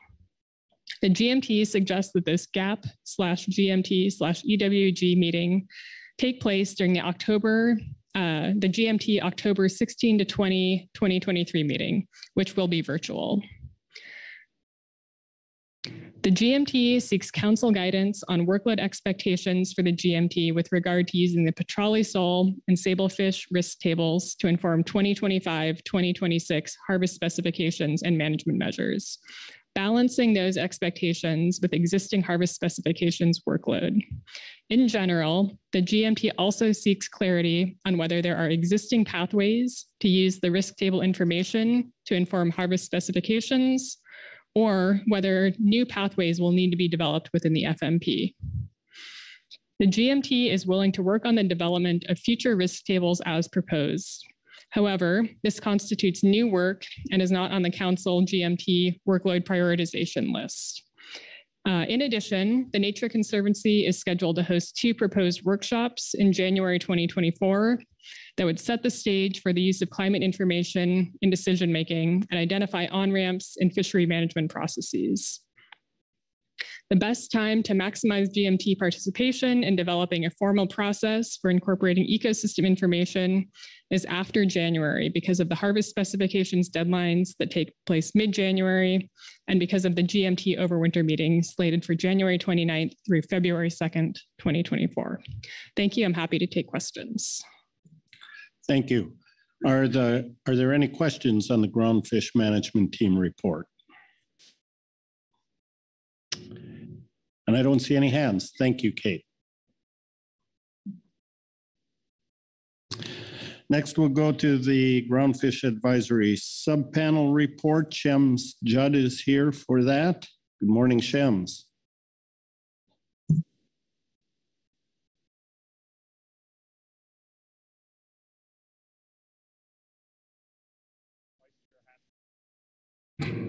How about now? All right. Uh, good morning, Vice Chair Hassemer, uh, members of the council. For the record, my name is Shems Jud. I'll be reading from agenda item F1A, Groundfish Advisory Subpanel Report on Initiative 4, Ecosystem and Climate Information Progress Report. The GAP thanks Kit Dahl, uh, Pacific Fishery Management Council staff, and the Ecosystem Work Group for their thinking on these issues and offers the following guidance and recommendations. Before offering guidance on the topics up for discussion at this meeting, uh, the GAP offers the following comments for consideration. In a world with perfect science, a structured process like that being developed by the EWG that provides actionable information for decision making based on the state of the ecosystem would be a tremendous asset to fishermen and the management process. Unfortunately, we don't live in that world. The GAP is concerned that we may not have enough information to reliably apply ecosystem information in the setting of catch limits and other management measures, and that moving forward with this process before we have reliable and widely agreed upon information could result in negative, unexpected consequences. The GAP recommends a retrospective analysis to assess whether the process is ready for use in management. Alternatively, the council could compare EWG recommendations, for example, high, medium, low, for select stocks to assessments and fishery results for a cycle or two in order to assess how well the process will in fact inform management. Process for choosing species, stocks, groups to receive ecosystem and climate information. The GAP recommends inclusion of advisory body members on the multidisciplinary risk assessment teams being contemplated by the EWG. Given timeline constraints, the proliferation of other important issues, uh, for example, wind energy, and challenges working through longstanding issues on the council agenda, the GAP is concerned about the workload implications of the process outlined by the EWG. While the GAP doesn't have specific input on the proposed meeting timelines, the GAP does recommend that the EWG schedule standalone meetings with advisory bodies outside of regular council meetings to provide adequate opportunity for input. Specifically, if the March September meeting cycle stands, the GAP recommends a standalone meeting after the September council meeting that would focus on how the information might be used in harvest setting. Appendix A. Uh, with regard to Appendix A, the GAP agrees with the Coastal Pelagic Species Management Report, recommending additional clarity on what the high, medium, low likelihoods refer to and further explanation of what they are based on. And that ends our report. Thank you, Shems. Are there questions? Frank Lockhart. Um, I appear to be having problems with the first paragraphs of all reports. So anyway, I have a question on that one as well. Uh, it just it's it's just a maybe if you could expand. The GAP uh, recommends a retrospective analysis for this retrospective. Were you talking about the process or whether or not climate information was incorporated? Could you explain? Just maybe expand on that a little bit. Yeah, thanks, Mr. Lockhart. Good good question. So basically.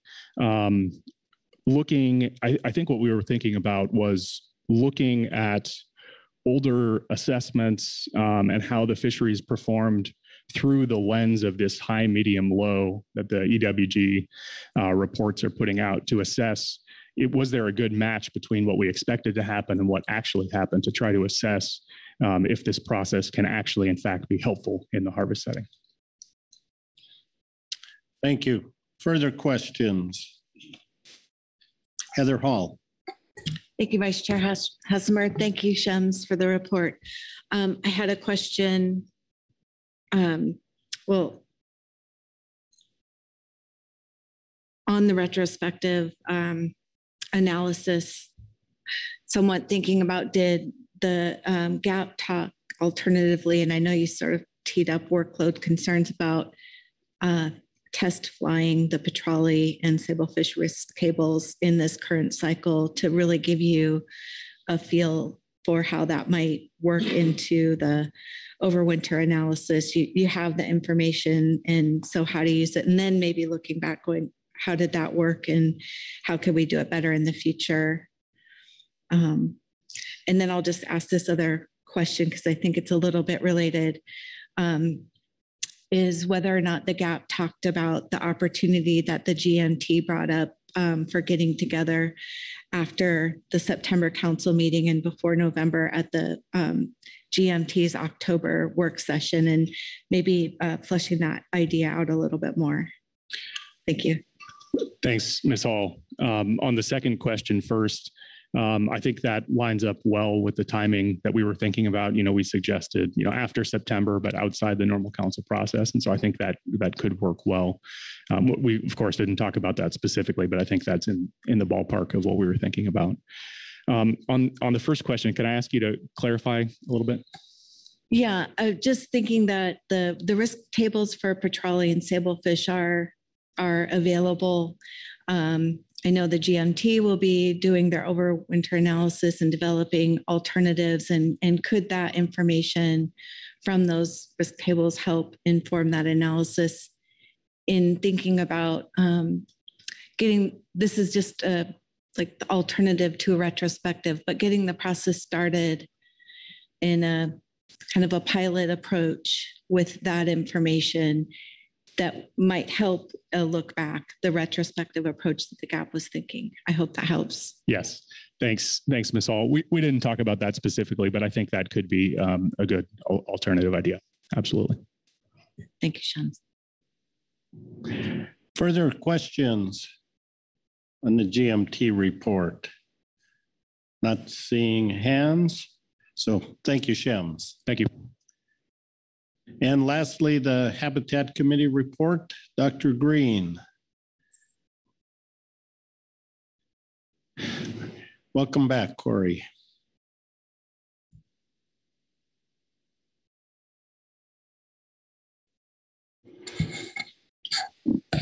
Thank you, Mr. Vice Chair, members of the council. I'm going to be reading agenda item F1A, Habitat Committee Report on Initiative 4, the Ecosystem and Climate Information Progress Report. The Habitat Committee received a progress report from the Ecosystem Work Group on their work towards integration of ecosystem and climate information into the management and assessment process. There are some connections between the Ecosystem and Climate Information Initiative and Habitat, and the HC supports these efforts. The HC recommends that Klamath Fall Chinook salmon, a species currently on the EWG candidate list, and Sacramento Fall Chinook salmon are given priority in the next round of analysis. Klamath Fall Chinook salmon are recommended because of substantial impending changes to freshwater habitat and ecosystem due to dam removal, combined with data streams that will include pre, during, and post dam removal periods. Sacramento Fall Chinook are recommended because of their overall vulnerability to changing climate conditions in both freshwater and, I would say, ocean. Per our recommendation in March 2023, the HC also recommends that within the stock dynamics category, the addition of a criterion for indicator response to identify how well habitat and other ecosystem indicators might help explain stock dynamics. Thanks. Thank you, Correigh. Questions on the Habitat Committee report? No hands? Thank you very much. Thank you. That concludes the management entity advisory body reports. We've got two public comment signups. We will come to those after our uh, first morning break. So let's take 15 minutes and be back here.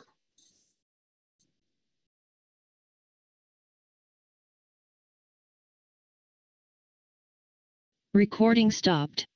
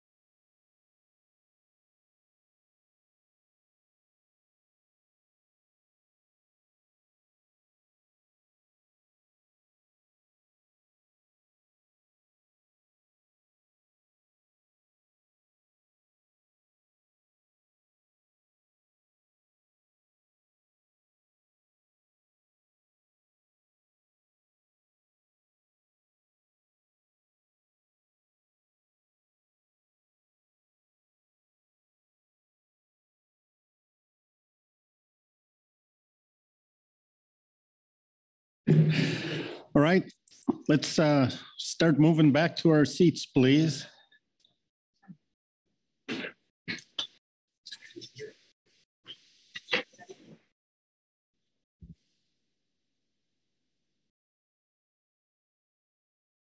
Recording in progress.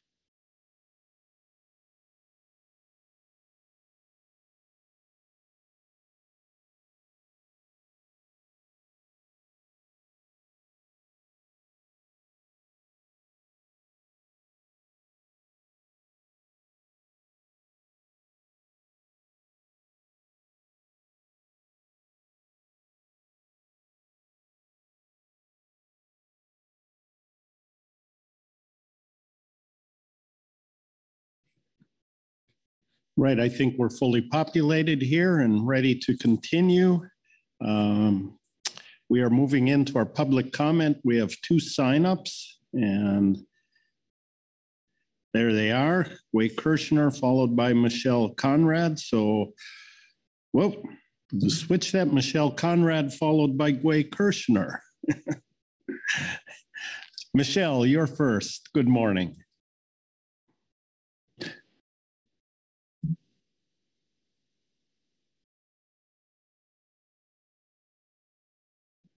Good morning, Vice Chair Hassemer and council members. My name is Michelle Conrad, and I'm presenting comments on behalf of Ocean Conservancy, the Nature Conservancy, Environmental Defense Fund, and Wild Oceans. We sincerely appreciate the work of the council, the EWG and EAS, and the advisory bodies and the scientists that have been working on Initiative 4. With increasing climate variability and changing ocean conditions affecting West Coast fisheries and communities, it is critical the Council take action now to factor ecosystem considerations into your decision making to better prepare for the future. We remind the Council of the primary objective of Initiative 4, which is to develop clear pathways for ecosystem and climate information to be used in the setting of scientific uncertainty and harvest policy. Given the wide range of council managed stocks across its four FMPs, with differences in stock biology, data robustness, and species specific environmental relationships, as well as FMP specific processes, there are likely different tools and methods by which to use the ecosystem and climate information that's provided to you to set scientific uncertainty and harvest policy for council managed stocks. While we appreciate the EWG's proposal to develop and use a risk assessment table as its preferred pathway, we want to ensure there is sufficient exploration and consideration of a variety of tools and methods to use ecosystem and climate information in council fisheries management, including for stocks that are not considered data rich, and to test those through Initiative 4. In other words, we wouldn't want the council to deem Initiative 4 to be complete once the species selection criteria for future risk table candidates is adopted, since risk tables would be limited in scope to Category 1 stocks. To that end, we recommend the council request the SSC and EWG identify comprehensive and efficient methods to use climate and ecosystem information to set scientific uncertainty and harvest policy. We also recommend the council keep moving forward with considering the risk table approach for data rich stocks. Task the EWG with exploring methods for stocks in other information categories and to de- develop pathways that will work for all FMPs and stocks. And request the EWG identify and explore more efficient implementation mechanisms, such as through a comprehensive amendment for all or for multiple FMPs. With regard to the proposed species selection criteria, Uh, and process, we agree with the EWG that the council should not wait for the production and delivery of risk tables to consider fishery performance, and that further work is needed on how these products can be integrated into the groundfish harvest specification process and other FMP related processes such as stock assessment prioritization. We also agree with the EWG's observation that applying the Appendix A draft selection criteria to different species, stocks, or groups is time consuming and requires familiarity with species and fishery specific literature and data. On that note, we think that much of the work needed to complete the EWG's proposed species selection process would actually be duplicative of the Council's lengthy stock assessment prioritization process with the exception of considering climate vulnerability.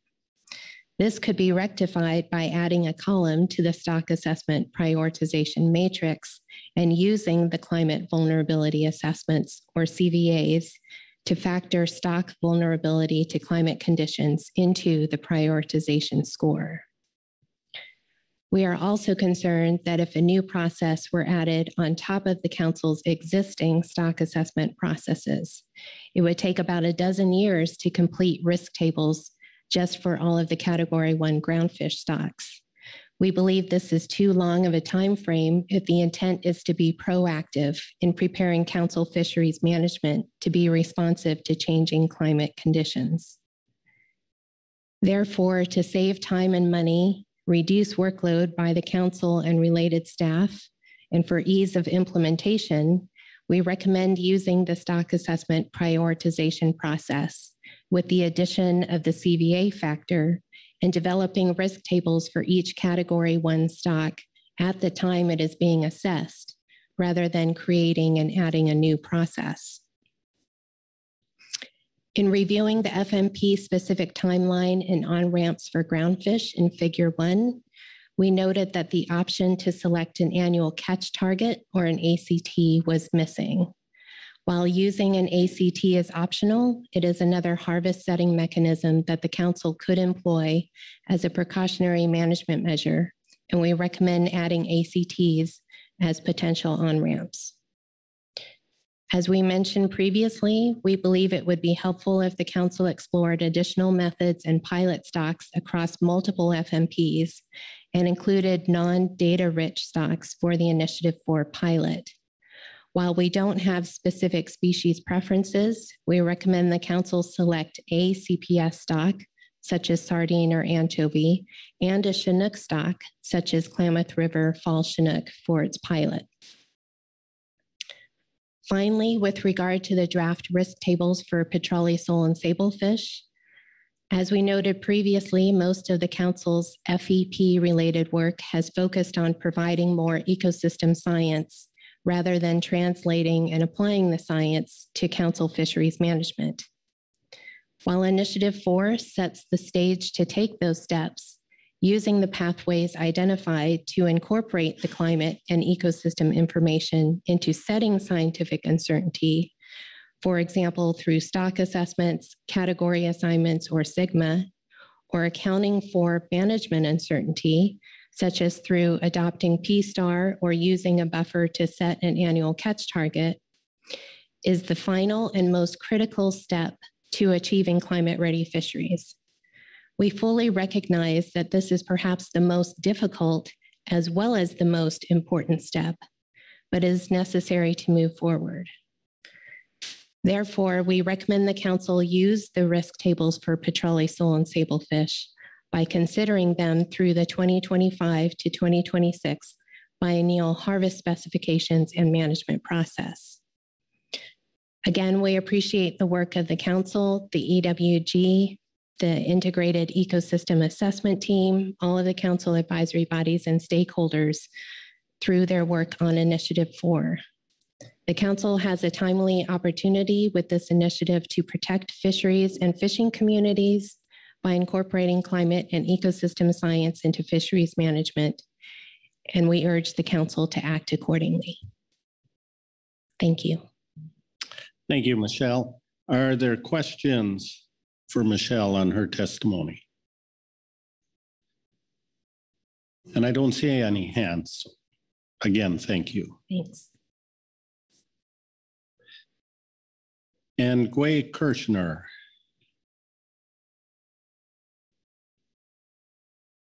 Welcome back to the table, Gway.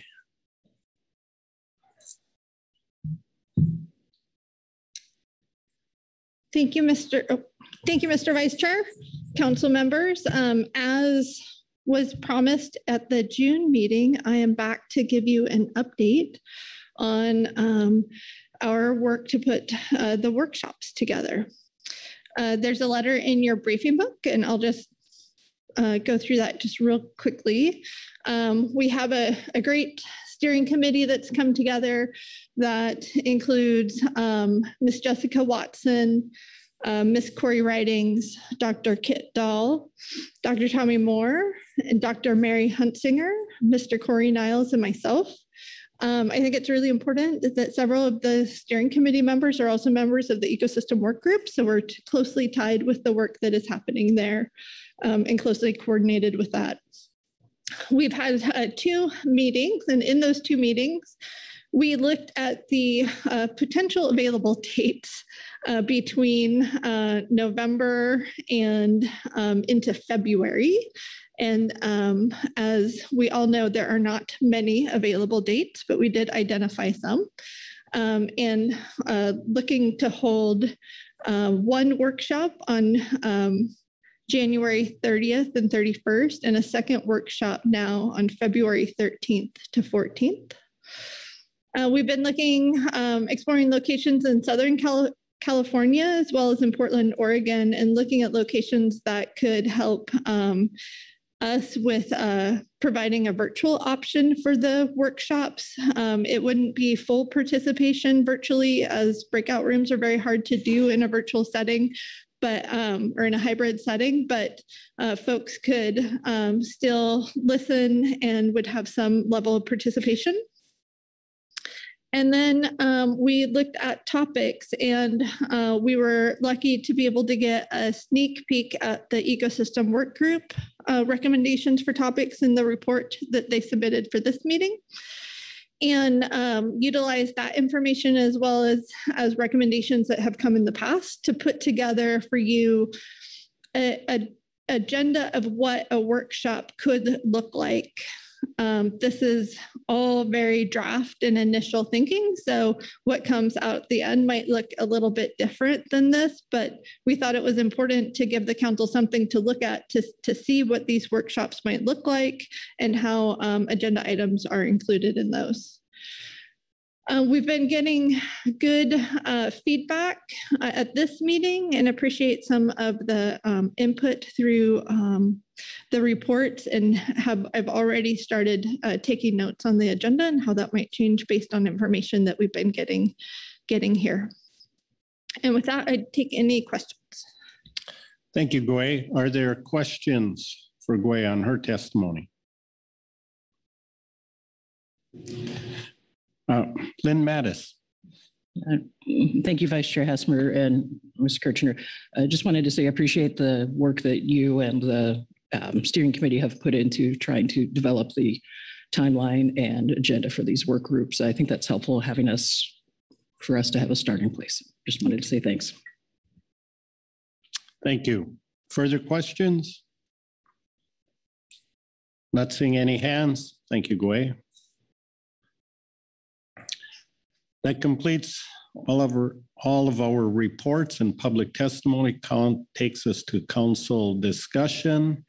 Um, As you can see, uh, action is provide council discussion and guidance as appropriate, maybe not to direct you, but just uh, some reminders.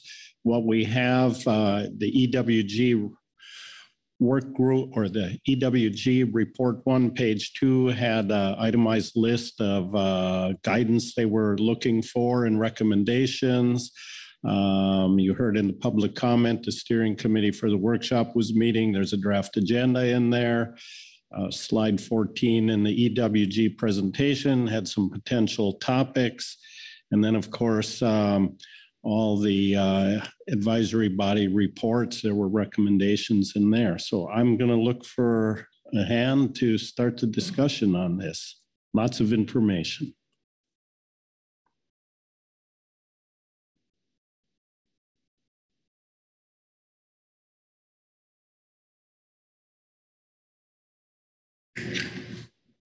Oh, sorry, John Ugoretz. Thanks. And yes, there's a lot of information here in front of us. Um, I definitely appreciate the work that the ecosystem work group and everyone else has put in to date. I think Mr. Anderson's question regarding salmon uh, back when the ecosystem work group was speaking sort of expresses my concern with where we are right now. And that is the ecosystem work group has a lot of really good information on a starting point of when to insert ecosystem and climate information into our processes, but really not any of the details on how or what would come in. And that's where I see the need for work rather than focusing on broad FMP group discussions to flesh out details. Um, I really think that the the near term work should continue to focus on example species like petrale and sablefish and better flesh out what it is we're actually providing and how it's provided and bring that back to the council prior to considering the details of annual council process and when we discuss certain things. Um, so, for example, I think much of section two of, of the EWG report could be put on hold until we have a better feeling for, for where we're going with things. Um, I think some of the advisory panel groups essentially provide that same sort of guidance um, where you know the eas report uh, talks about using petrale sole and sablefish and to look at them as looking at the efficacy of the risk tables. I agree that we're not ready to actually use that in the 2025-26 process but rather uh, i think as executive director burden mentioned, um, you know, maybe using it as a as a look back um, and seeing how it would have worked. Um, I think the coastal pelagic species management team report points out some of the specific ways that the risk table process could be further developed, and we could use those example species to do that. Uh, the CPS advisory subpanel talks about how climate range shifts could be included in this process, and that could be looked at with the example groups. I think the groundfish management team brings some of those same ideas of using the petrale and sablefish to further develop the on-ramp process. Um, the risk tables themselves, I think, need some work. I think, in particular, that uh, there's something missing there with regard to fishing pressure that if if the council is going to focus on a species it should be a species where the fishing pressure is great enough that our efforts could affect uh, the the species as a whole in the face of climate change so summing up i i think that the timelines in the ecosystem work group report are aggressive I think there's a lot of work to be done before we get there. And I'd rather see it focus on the example species rather than getting into FMP groups at this point. Thank you, John. Further discussion. Frank Lockhart. Um, um, to me, I, I, it seems to me that we have been uh, well served by kind of, uh, kind of uh, reminding ourselves of the specific asks of the EWG in the past, and and kind of going through that, and and I'm wondering um, if it would be possible to put up on the screen the the, the EWG asks for guidance to maybe guide our discussion a little bit. I don't want to presume, but uh, for me, that would be useful to me. So I don't know if that's possible.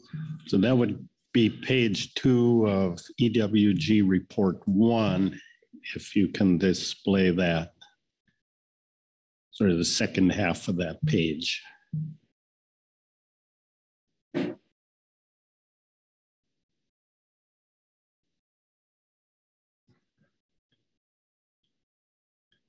I can tell the computer's working on it.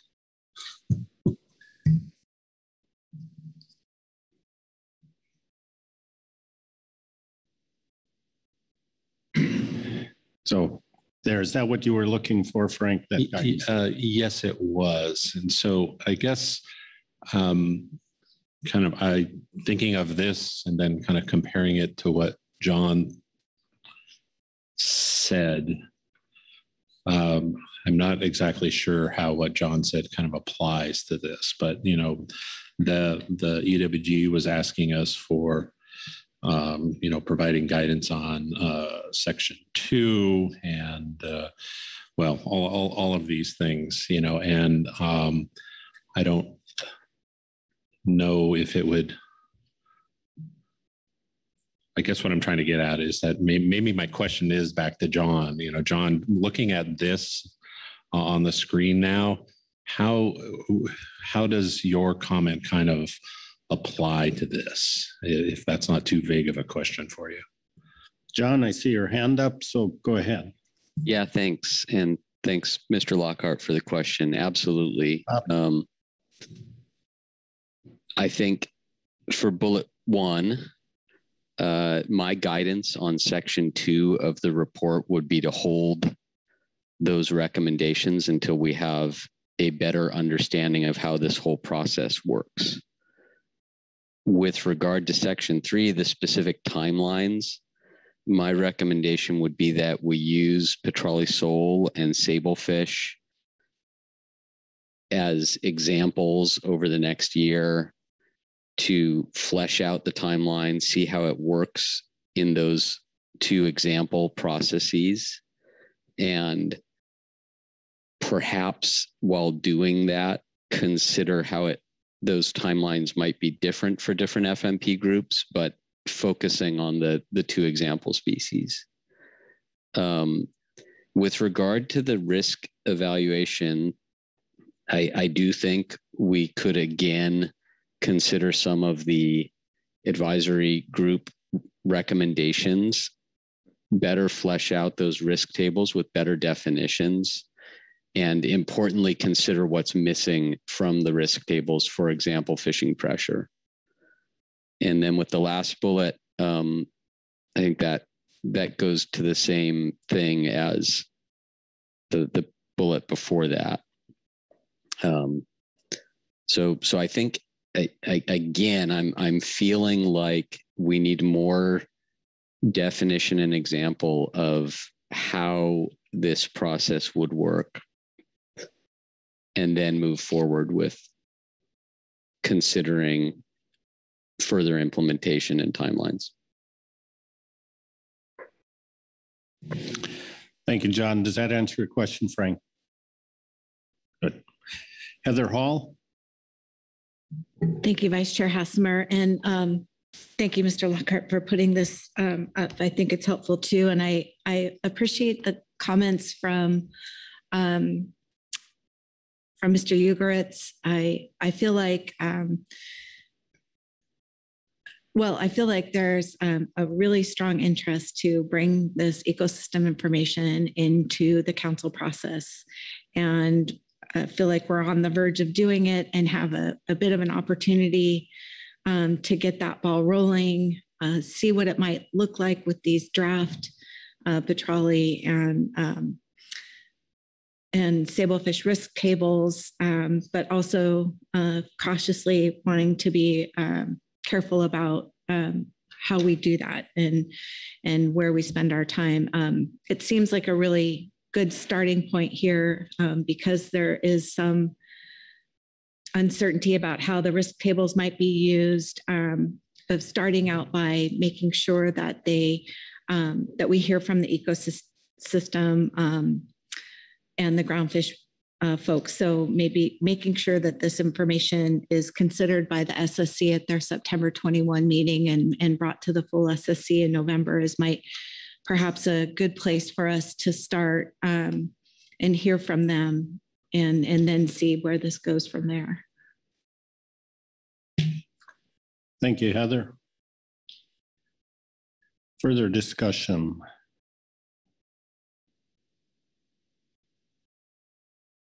Corey Ridings. Thank you, Mr. Vice Chair. Um, thanks, John and Heather, for that. Heather, I just wanted to quickly um, support that idea. Um, I had it in my notes when thinking about the risk tables portion of this larger discussion to have that go to the SSC um, and reconsider this in November uh, when we have the ecosystem subcommittee and the full SSC's um, thoughts on this.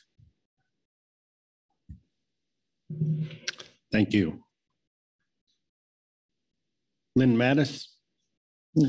Thank you, Vice Chair. And I'm on similar thinking to Ms. Ridings about review by the Groundfish Subcommittee of the SSC and come back, come back in November with more information.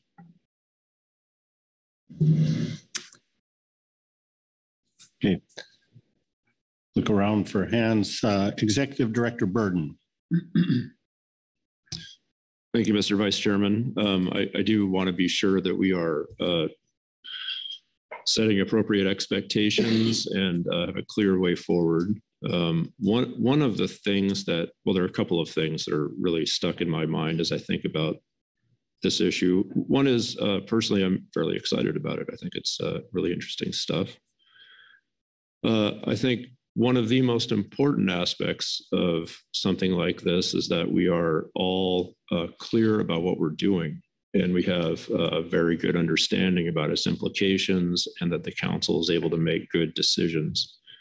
Um, it's hard for me to imagine uh, fitting this into the current specs process and making decisions that everyone is comfortable with and knows what's going on um, when we get through the spring and our June meeting. Um, maybe there's a way. Uh, it's hard for me to see that from where I sit at the moment. Um, what I would propose is that, yes, let's have the SSC um, consider this at their upcoming meeting, provide some more feedback. I, I have a lot of reluctance in setting the expectation that we try to fold this into the current specs process. I think there are some workload considerations. That's a big consideration on my mind. It's probably not the biggest one. The biggest one is that everyone around this table knows what we're doing when a decision is made.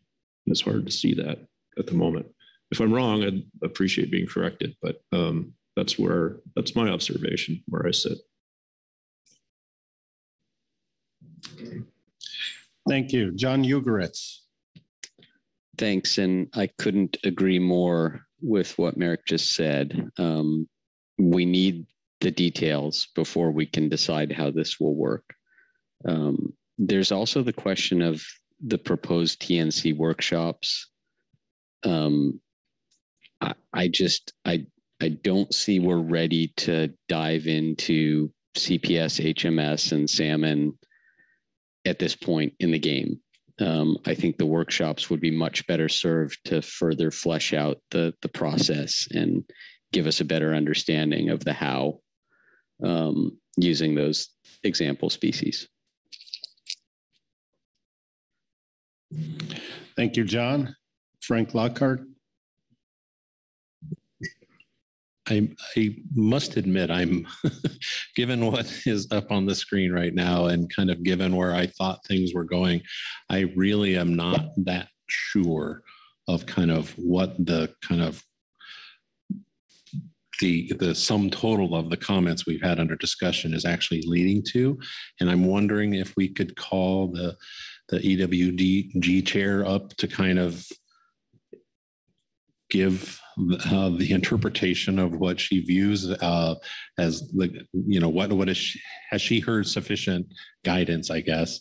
And then maybe point out if we're missing anything and some important things going forward. So if i, I don't if with the chair vice chair's um, permission maybe invite yvonne up Thank you, Frank. I think what I would like to do first is ask Dr. Dahl what he's heard in terms of uh, a workload, a process moving forward and some of these recommendations, and, and we can look for clarification too. So Kit, can, can you summarize where you think you, we are? Um, yes, I can try. Thank you, Mr. Vice Chair. So what I've, I've heard so far is it, it seems at least uh, uh, Mr. Ugoretz expressed a strong opinion to hold off on, so the EWG in their report has laid out this species selection process. It's both a method and a, and a process. To, to hold off on that, um, the EWG had some recommendations, as you can see, around putting out that methodology for public review and having the council adopt it as an ongoing thing um, in March. And but that not to move forward with that right now and and um, instead really focus on some specific examples around um, the methodologies uh, like the risk tables. So um, uh, doing more work on those uh, specific applications to get gain a better understanding of how this might uh, these types of things might work in uh, different FMP processes. Um, and then I also heard a, uh, some comments. Um, maybe there isn't total consensus here, but about asking the so the SSC ecosystem subcommittee is already queued up to take a look at those risk assessment tables uh, for the two species. Uh, that they have a meeting scheduled for that, and then there was a suggestion that that move on to the um, full SSC in November, and then where things I don't think there's consensus is. Would that then be brought forward in some form in November, presumably through the harvest specifications agenda item, or is that too much to ask at this stage? So um, that's what I've heard. I don't know that I captured every comment, but uh, it's kind of my attempt at summarization. Uh, Executive Director Burden. Yes, thank you, Mr. Vice Chairman. Um, to add a bit to what Kit is uh, saying in response to Mr. Lockhart's question, uh, what I'm hearing, Frank, are uh, we're essentially we're having, or, well, there are two ways to think about the discussion that's happening.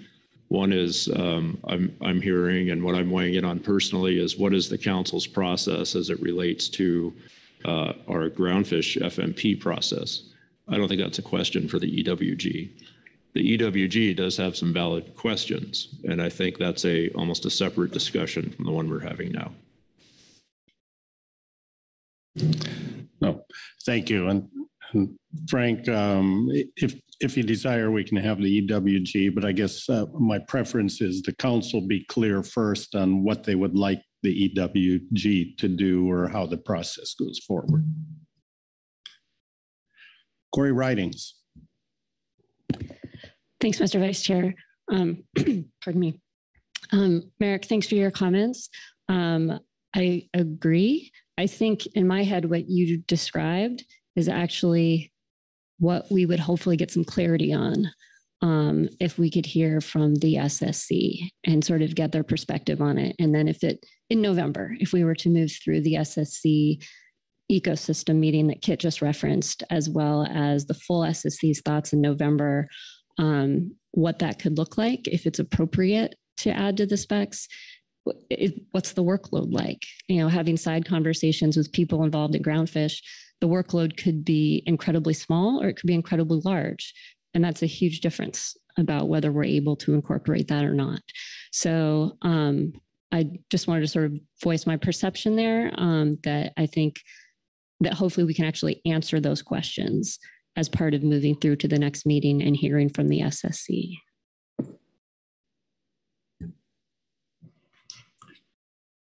Thank you.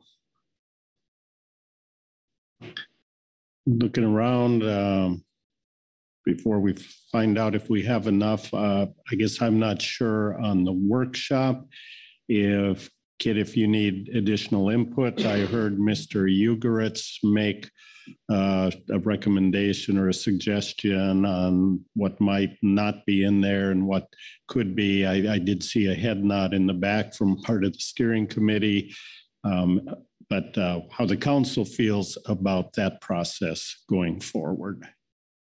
If there's any suggestion or comment on that, or will the steering committee continue to work? So Kit, I'm going to ask you again to summarize. Um, Thank you, Mr. Vice Chair. Yes, so we had uh, the comment from Mr. Ugoretz about um, having those, rather than those workshops, kind of really z- uh, zero in on specific applications of the N- FMPs, again, to take a step back and and uh, take a, a broader look at our processes. So that's the one comment I heard. I hope I characterized it correctly. And certainly uh, the Nature Conservancy and the steering committee can take that on board and kind of rethink, you know, what the substance of the workshops uh, would be. And I think we've heard also some comments. Well, we heard a comment from the uh, GMT about the timing of the workshops and in regard to their their workload. So so that's another very specific comment that uh, the steering committee can take on board and and you know look at you know, alternative dates, I guess, um, that might work better for the for that for that group. So yeah, that's what I've heard so far as far as as recommendations on those proposed work workshops. All right, thank you. So our task was to provide guidance as necessary. Look around and see if everybody's comfortable. And I, again, I'll ask you, Kit, if uh, you've heard enough here from our discussions on this one. This was a process update. Corey Ridings? Thanks, Mr. Vice Chair. I'm sorry, I'm a little bit confused. Are we talking about the workshops and closing out that discussion or about this entire agenda item? Um, I'm thinking about the entire agenda item. We've gone through a lot. But uh, if there are, I don't want to cut off discussions here. May I? Yes. Okay, thanks. Sorry, apparently I'm a little slow this morning. Um, I I just wanted to thinking about what I think I heard John say, um, and John, please correct me if I'm wrong. Just trying to work through this. Um, the EWG prevented uh, presented us with some species selection process and criteria, um, and I and asked that we consider putting that out for public review. Um, I, I think it would be beneficial to put that out for public review um, get more information on that, see if it resonates with people. Um, I personally, looking at a couple of the advisory bodies and public comment, think about that as uh, could we consider thinking more about that in the context of the stock assessment prioritization? Um, so I would like to see that work move forward as envisioned by the EWG. All right, thank you. John Ugoretz, I see your hand up. Thanks. And um, I think maybe to clarify, I am not ready at this point. I'd rather see and hear what the SSC has to say. Perhaps after November, we'll be ready. Um, but uh, no, I'm not ready at this point to put this out for public review.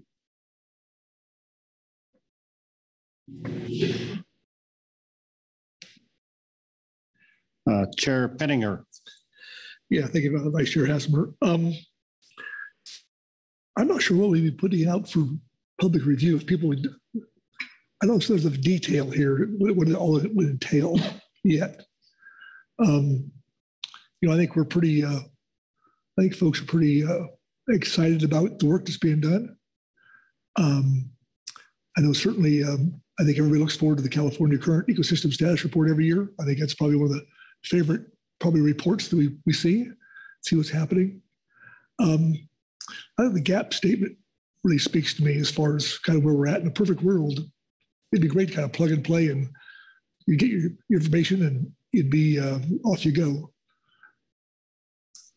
A friend of mine who got a risk uh, um, discussion, I guess, or a, a seminar, um, worked for a towboat company, and the um, think Digital, Digital said that um, it's not what you don't know that gets you in trouble. It's what you think you know that ain't so, which gets you into trouble. And with that, I think that I'd like to have more work needs to be done here, and I'd hate to have a to incorporate go too far down this path until we know what we got and how accurate it is. Um, I think there's just too much. I mean, we have. I look at the uh, the tables on the um, for salmon and groundfish and uh, CPS. I don't think there's no, huge rush here. I mean, uh, we only have one fishery that's really uh, potentially is the anchovies and CPS, and that's I think we set the quota far lower than what it should have, it could, could have been. I think about one percent I think is the ACL from what the biomass is.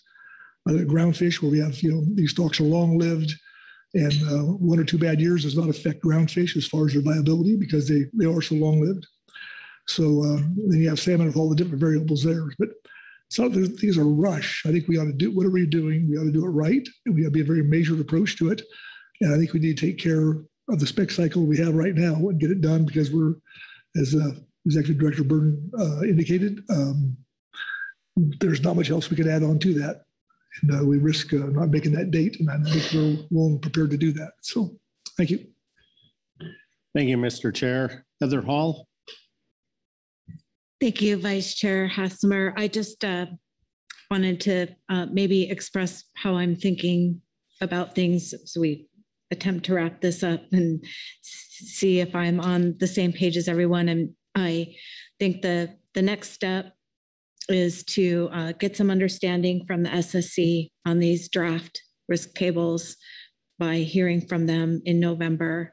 And then um, in looking back at the ecosystem working groups report number two, um, where they describe that there um, is more work to be done on the process. They have suggested coming back to the council in March of 2024 with more detailed proposal and that the information from the SSC, the information provided in the really helpful advisory body and management team reports at this meeting, I think um, can help the, TNC workshop in January can all help bring that all to the next phase. I'm not sure if I'm missing anything. Maybe that's a question for Kit, um, but that feels like the, the path forward. Thank you, Heather.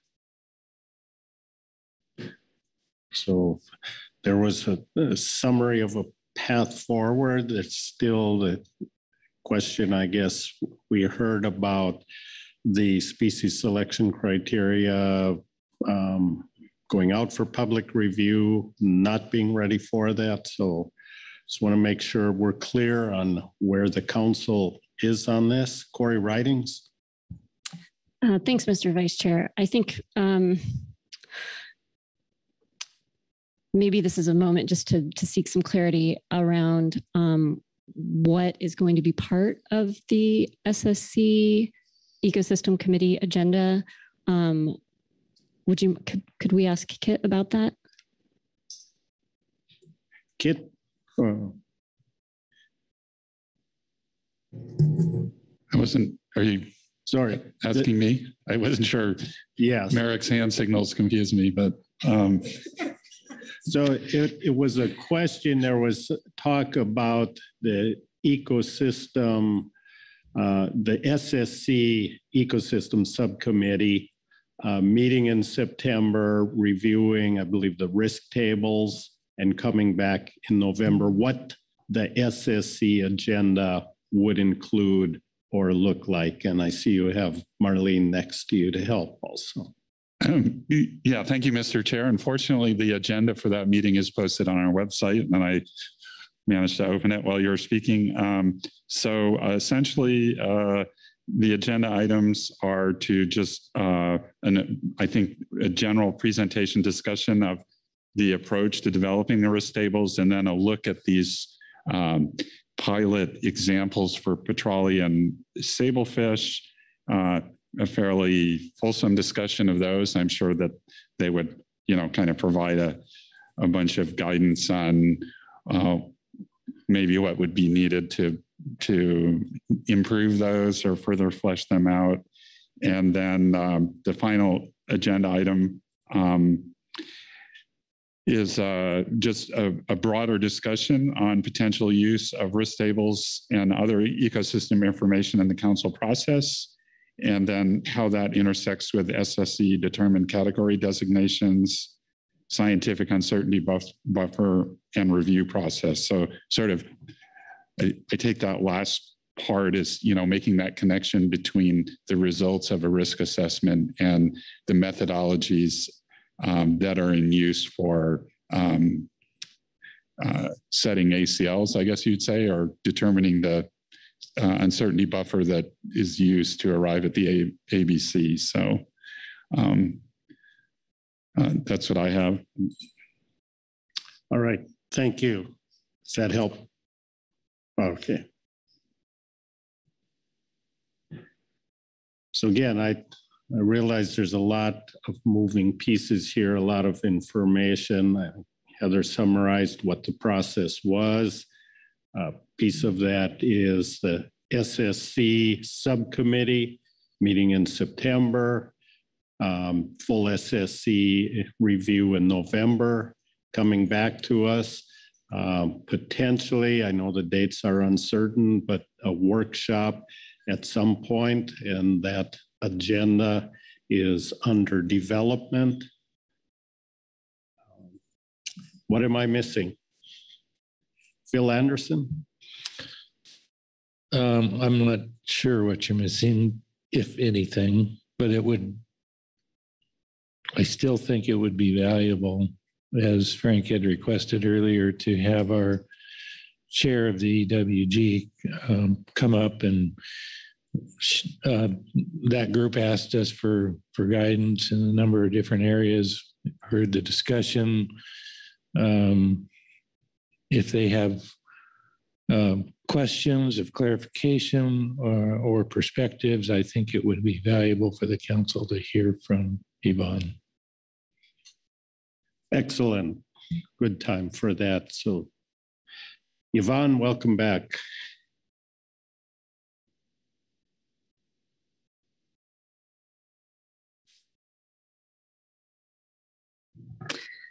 Thank you, Mr. Chair, Mr. Anderson, members of the council. So I will first say that um, it is my practice, and I assume the practice of a lot of other advisory bodies to re-listen to the council conversation after it's happened through the uh, wonderful council staff and contractor recordings. Um, so sometimes I don't understand what you guys are telling us and need to re figure that out later. I think um, looking at our page two, um, you are declining to provide guidance on section two and appendix A and leaving that to the SSCES and SSC to perhaps comment on whether those are ready to go out for public review. Uh, you are asking as far as timelines and on ramps for more specifics for when those might come into the management processes and um, how they might work in the management processes.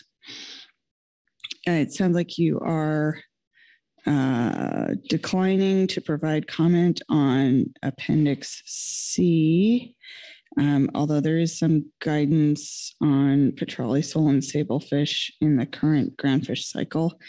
Uh, um, and let's see. So, and then in, in our recommendations, uh, it looks like we have been given the opportunity to um, have meeting times with other advisory bodies that you will not be sending out the species selection criteria unless we hear from the SSCES and SSC that that's doable. Um, that you're not assigning us any additional species under the species selection criteria. And uh, I didn't hear whether you were going to consider any of the climate and communities initiative tasks as potential um, task for the TNC workshop, but I thought perhaps not. So that's our list and how it sounded like it jived with your list. All right, thank you, Yvonne. So does that help everyone?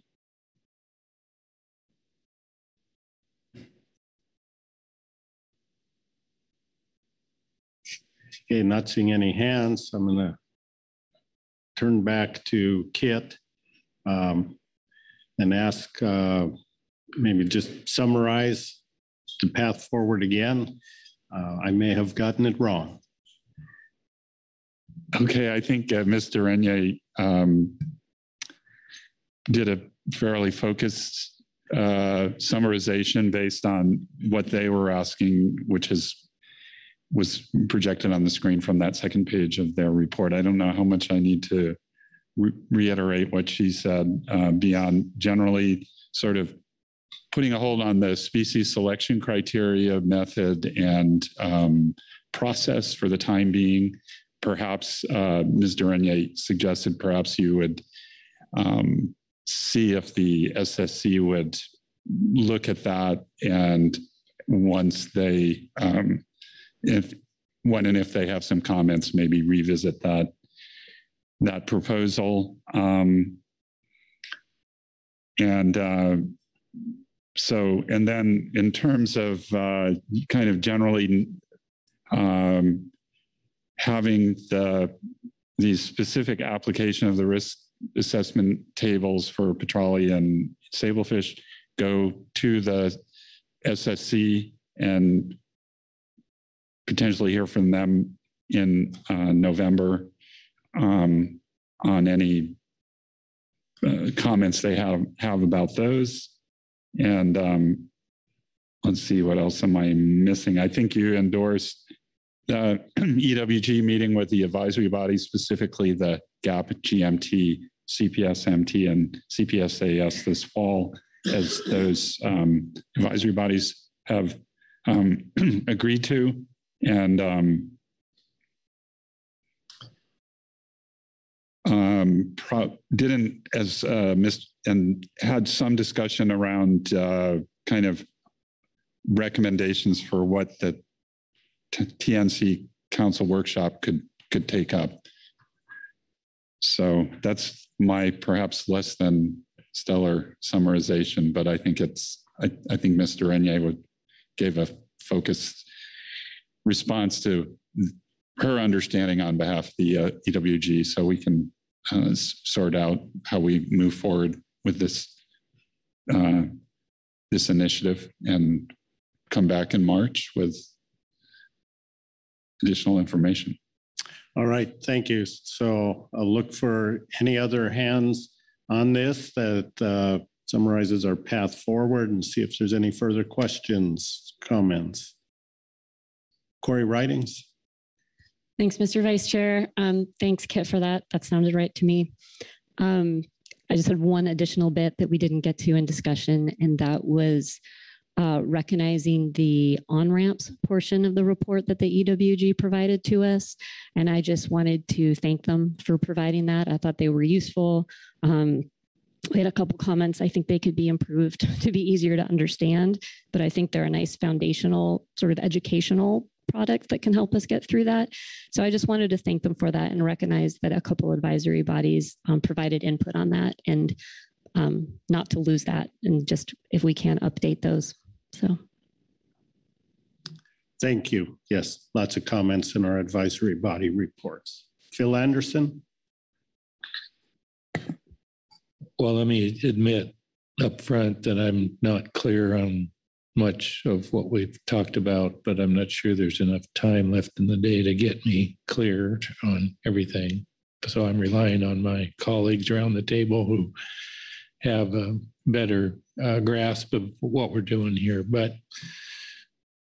what one of the of the um, components here of this that I thought we were making progress on, and I'm not clear if we are, is um, trying to look at moving forward with these two with with uh, these two species, petrale sole and sablefish, and doing a trial. We looked at 25 and 20, uh, for 25 and 26, we looked at, we talked about both doing it proactively and reactively in the, in the, looking at it and trying to incorporate our um, ecosystem information into those two species and into that process for 25, 26.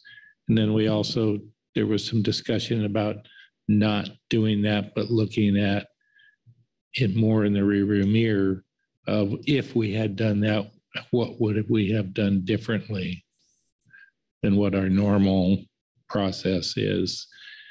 And what I'm not, and and that was a piece that I uh, was feeling pretty good about that we were we were moving we were moving forward and doing a test case here uh, so that uh, and we would learn about um, maybe have some more refinements about where the on ramps were in our process for these two species so that we would kind of test drive this and then uh, over time build in bring in additional species assuming that we had some success with those two uh, and m- most likely would learn as we go and the next time around maybe do some additional things or not do some things. And that it's that piece that that i'm not sure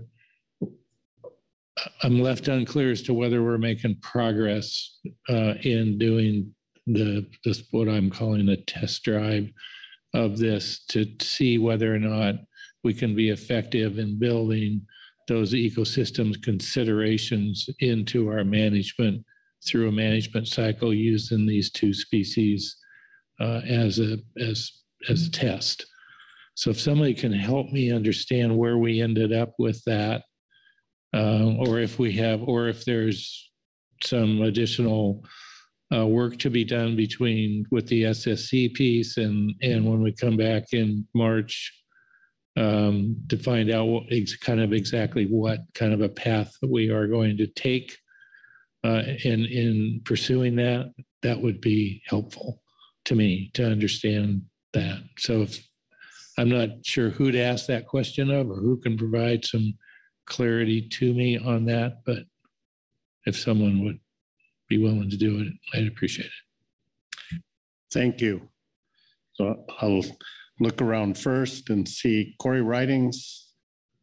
You want to respond? Thanks, Mr. Vice Chair. Thanks, Phil, for that. It sounds like you actually do have a pretty good handle on this. Um, I'll, I'll do my best shot to respond to that. Uh, my understanding is that we want the petrale sole and sablefish example risk tables to go to the SSC ecosystem subcommittee, which I believe is happening next week or the week after. That just I didn't get scheduled ahead of this meeting, unfortunately, but is what it is. To have them take a look at it, and then they can provide their examples or their recommendations to the full SSC in November. And from there, be able to take that advice and hopefully also hear from the GMT and potentially the GAP, if they can do that as well, about how that might look moving forward. And Phil, I thought you just said it well is that proactively, I mean, if it ends up being in a great case, you know, maybe we can use it, maybe we can't. Um, if we can't, can we do a dry run or do a test case and see how that would have worked through if we had used it in 25, 26? And to me, you know, that could elucidate for us where do we need more information? You know, what's not working? You know, again, maybe the workload is huge, maybe it's not. And so we can gain information from that to use it down the road um, for what you suggested is in my mind as well, which is depending how this goes, you know, can we use this process in other species? Can we use risk tables as a tool on other species? Um, in this case, we are just looking at petrale and sablefish, data rich, both groundfish. Um, it'd be nice if we could use this to figure out does that work for other FMPs? Does it work for data poor stocks? Um, and that's kind of that's kind of the long road I'm looking at and how this connects to it. Thank you, Corey. Phil is. That was very helpful. Thank you. Okay. All right.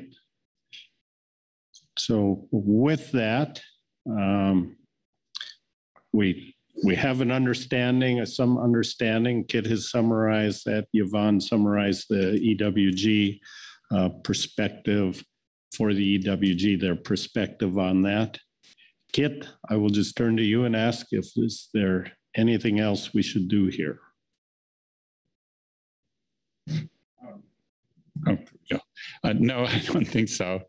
Uh, we'll move forward. I think in the the near term, uh, we've heard about you do want to have this taken up through the SSC, and um, at least here in November, presumably as a component of the harvest specifications agenda item um, from the SSC, perhaps some input to the degree they have the capacity to do so from the GMT and the GAP um, uh, on their perspectives about the the use or potential use of this, these methods and the specific application, and then um, you know that could lead to further consideration down the road. Um, you know, and maybe uh, if they say we just don't have the capacity to think about this right now, then there's the other concept that was discussed of a sort of uh, retrospective evaluation or assessment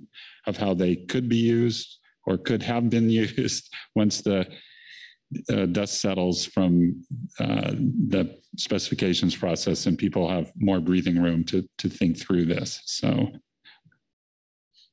that's the short term. There are a number of other things I don't need. I don't feel the need to kind of try and summarize and repeat them for a third time. So, um, but just to be clear on that most proximate aspect of what your discussion was about. All right, thank you. And we'll be hearing back likely in November on some of this then. So with that, not seeing any other hands, final comments, I will go ahead and close out this agenda item and return the gavel to our chair.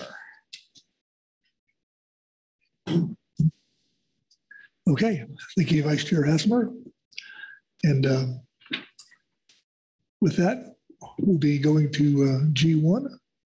Wait for people to get uh, situated here. I would like to, uh, I missed it yesterday morning, but I'd like to thank Bob Dooley for the, uh, the donuts yesterday morning and, uh, and Andrew Torres for this morning. Um, and also we're looking forward to more delights for our uh, waistline tomorrow from uh, Chris German. So it's so far it's been a good week for donuts here at the, the council. So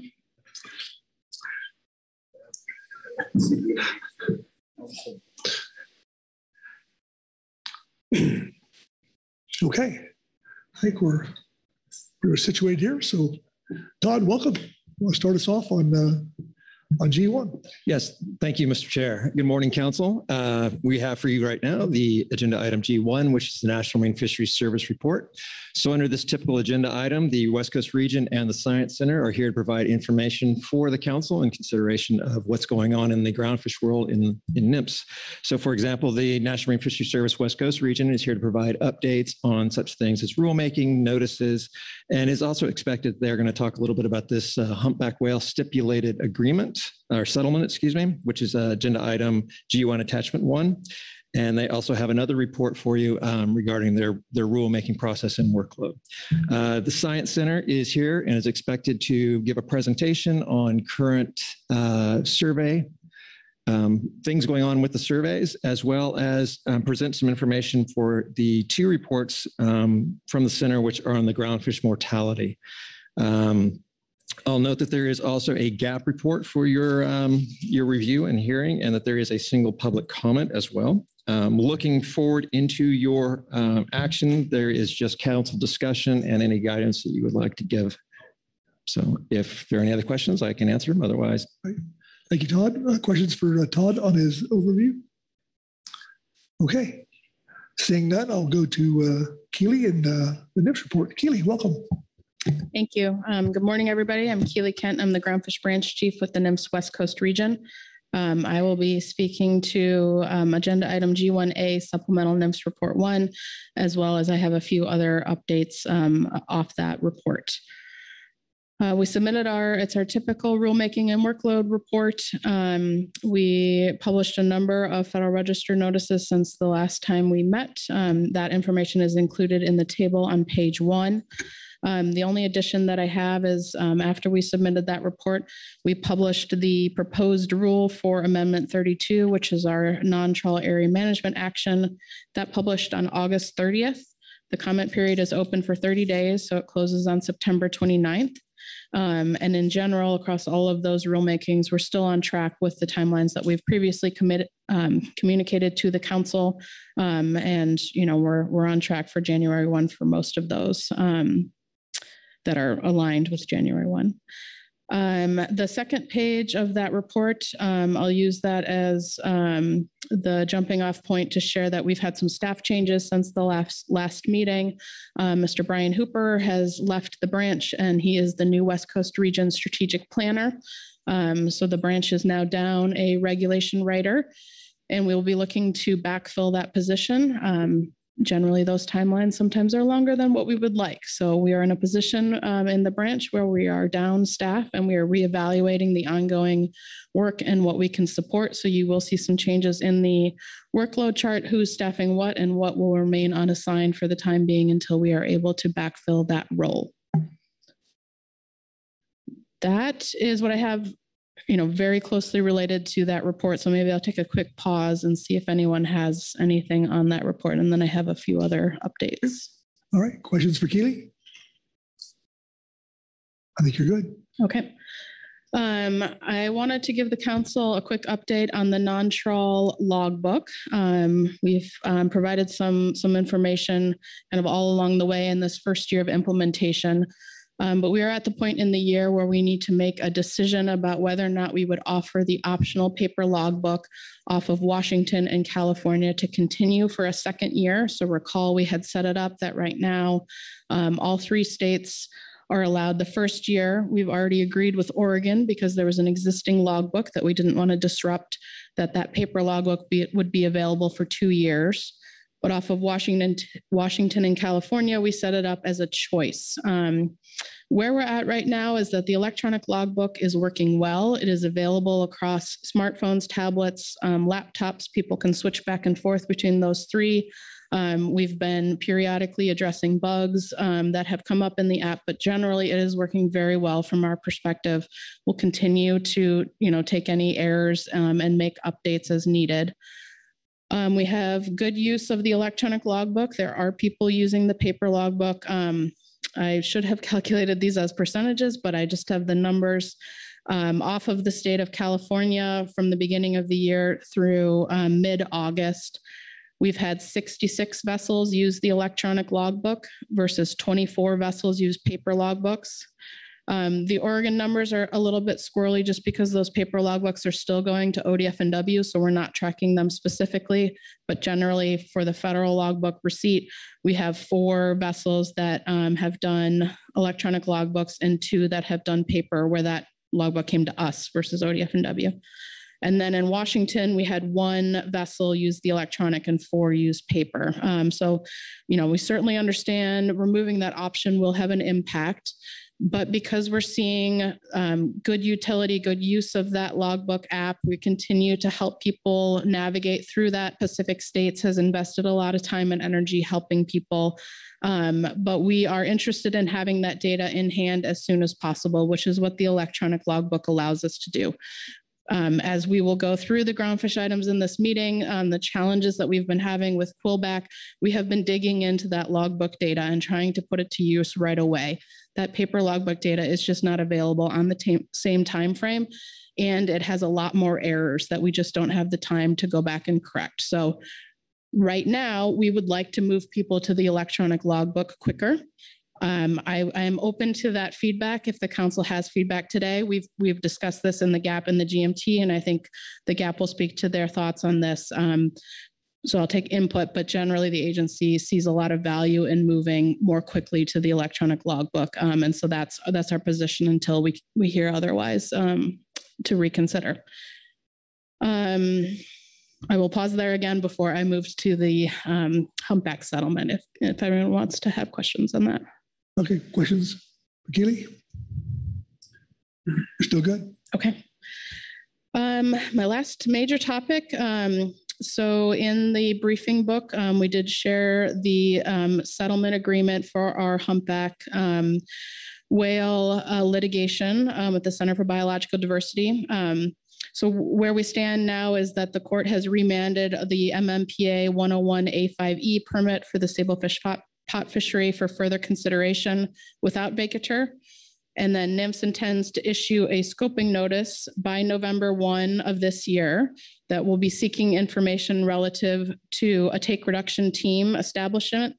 And at a minimum, we'd be considering setting that up for the sablefish pot fisheries. But as part of that scoping, we would consider expanding to other fisheries that interact with um, our two humpback whale stocks off the west coast. That scoping notice will be open for 30 days, so there'll be an opportunity um, to share feedback on that. That will also be an opportunity um, to start thinking about uh, who should be on these team on this team. Generally, um, we'll issue the scoping notice, but then it'll be about a two-year period. So we are planning on establishing the take reduction team by October 31st, 2025.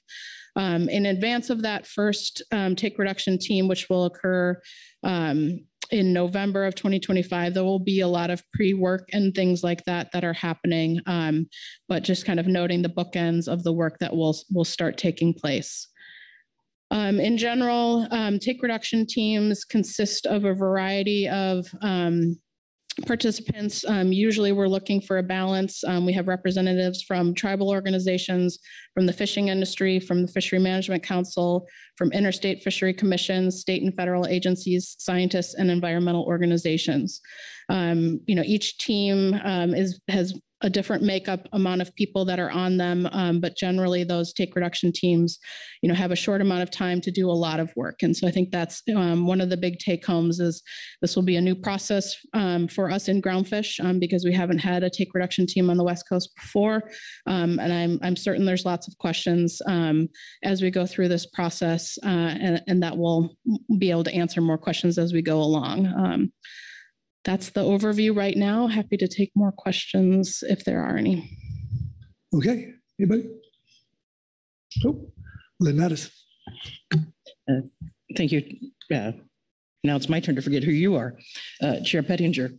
Um, Keely, I know I asked you this uh, in our, in a chat, in a call we had before, but thought it might benefit the entire group about how does this relate to, um, I think it's G4 later today with the gear marking item. I'm sure there's some interplay. Um, Does this play into that or should that play into this? Just some guidance about how the two interact would be helpful. Thank you. That's a great question. Um, there is overlap in terms of um, the considerations where we are looking to better understand the fishery impact um, on humpback whales um, relative to gear marking, and then also um, look for ways to reduce our entanglement risk. As I noted, the timeline for the take reduction team, that team would start its work in the fall um, of 2025. We see, we see no reason to wait on the work that we are doing right now. I think that will only benefit us as we go into the take reduction team, that here are the measures that we've taken thus far in sablefish pot gear. Um, and, and that will certainly be acknowledged as part of that process. It- it's possible, maybe even likely that that the work that we do in this council related to sablefish pot, you know, that that would be um, mirrored in the take reduction team. It would be reflected that, you know, depending on how far we've gotten, either the council has made its decision or possibly we're even in the rulemaking process that in the 660 regs, you know, we've taken these actions and that is helpful and useful in terms of our impact on humpbacks for the take reduction team. So those regs could be mirrored in the new plan and regs that come out of a take reduction team. So I think they're they're related, but I see no reason for us to pause or slow down the work that we're already doing under G4, um, and it will be taken into consideration as we walk into that take reduction team process. Thank you. That was really helpful for me and hopefully for some others. Thank you, Lynn. That was all I had. Okay. I guess, Marcy. Yeah, thank you, Mr. Chair. Um, thank you for that update, Keely. You mentioned the public comment period and the release of the um, what is it, a proposed note, or it's a notice, right? Um, if the council were to provide a comment to NMFS on this topic in that comment period, um, what content might it include?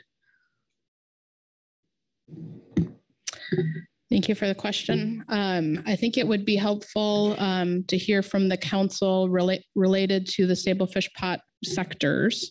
So early information, you know, something that we are thinking about is this, the, there is no one sablefish pot fishery. We have several different sectors that operate differently and um, they operate differently in different parts of the coast.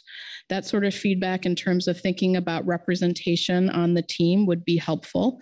Um, that is something that I have raised with the GAP is trying to understand um, you know, with all of the different representation on these teams, there will be limited numbers of each seat. And so, how do you think about these sectors and who can represent what segment of the fishery? Um, if there is a limited number of seats that we have for sablefish pot, um, I think that's helpful for the council as a whole. Um, as I mentioned, you know, there is a seat um, for the council um, in most take reduction teams, I understand that to be a council staff person. I, I recognize that is not always the case, and I believe in the Pacific offshore, it was a council member, but that is something for the council to think about in terms of that particular seat as well, and whether that's a council or an executive director type guidance. Um, you know, NMFS will be looking for that information and feedback. Okay, thank you, Marcy. Anyone else? All right, thank you, Keely. With that, we'll go to um, my, Craig Russell and the Science Center report. Welcome, Craig.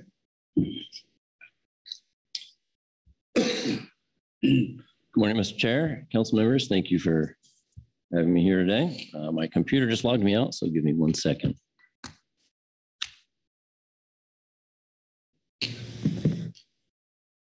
I will be speaking today on uh, two items. Uh, one is our ground groundfish survey, and the other is, was mentioned by Todd, the uh, mortality and bycatch reports. And I want to thank Sandra, who will be advancing slides for me.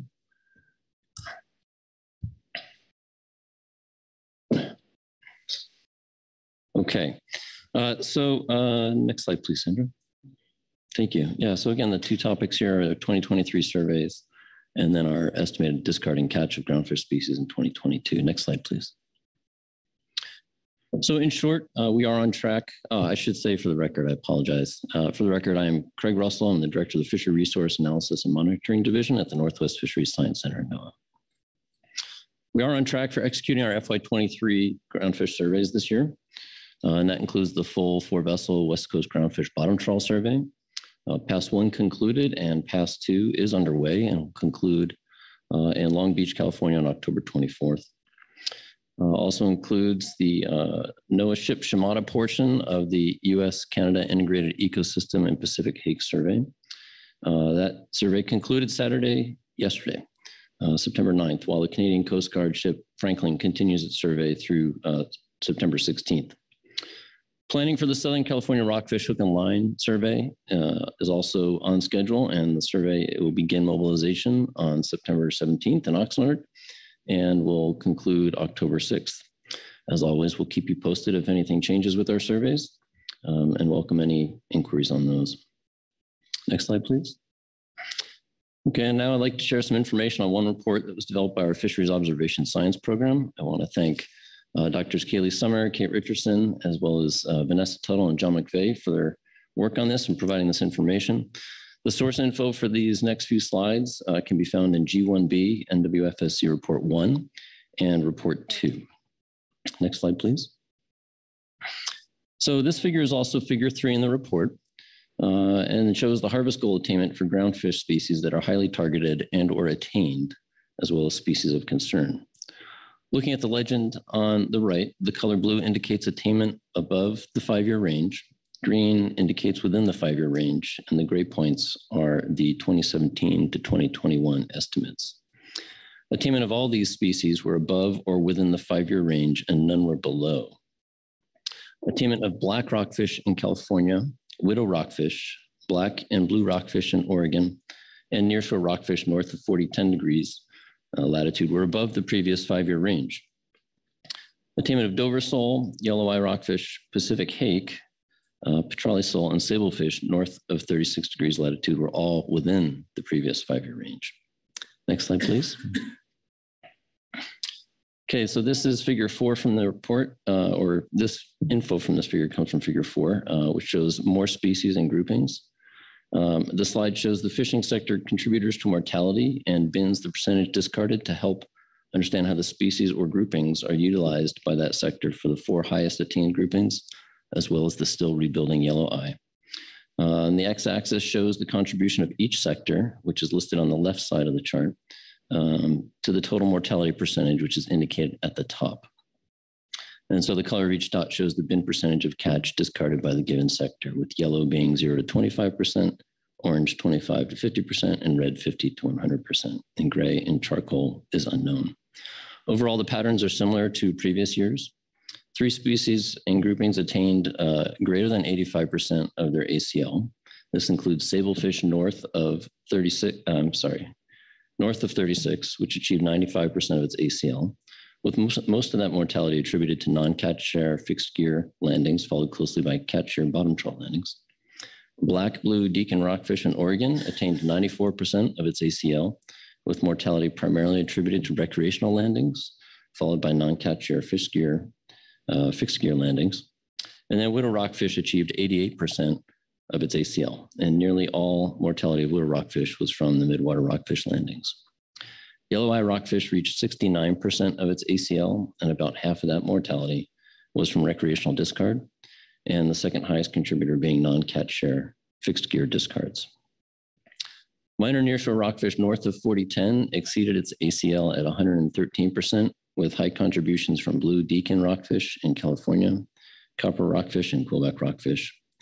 I wanted to note that the Observer program has been engaged with the GMT and others on this issue and has done further investigation into these estimates um, and are confident that these observed encounters and discard rates uh, are representative and do not indicate any lightning strikes or results in any inflated estimates.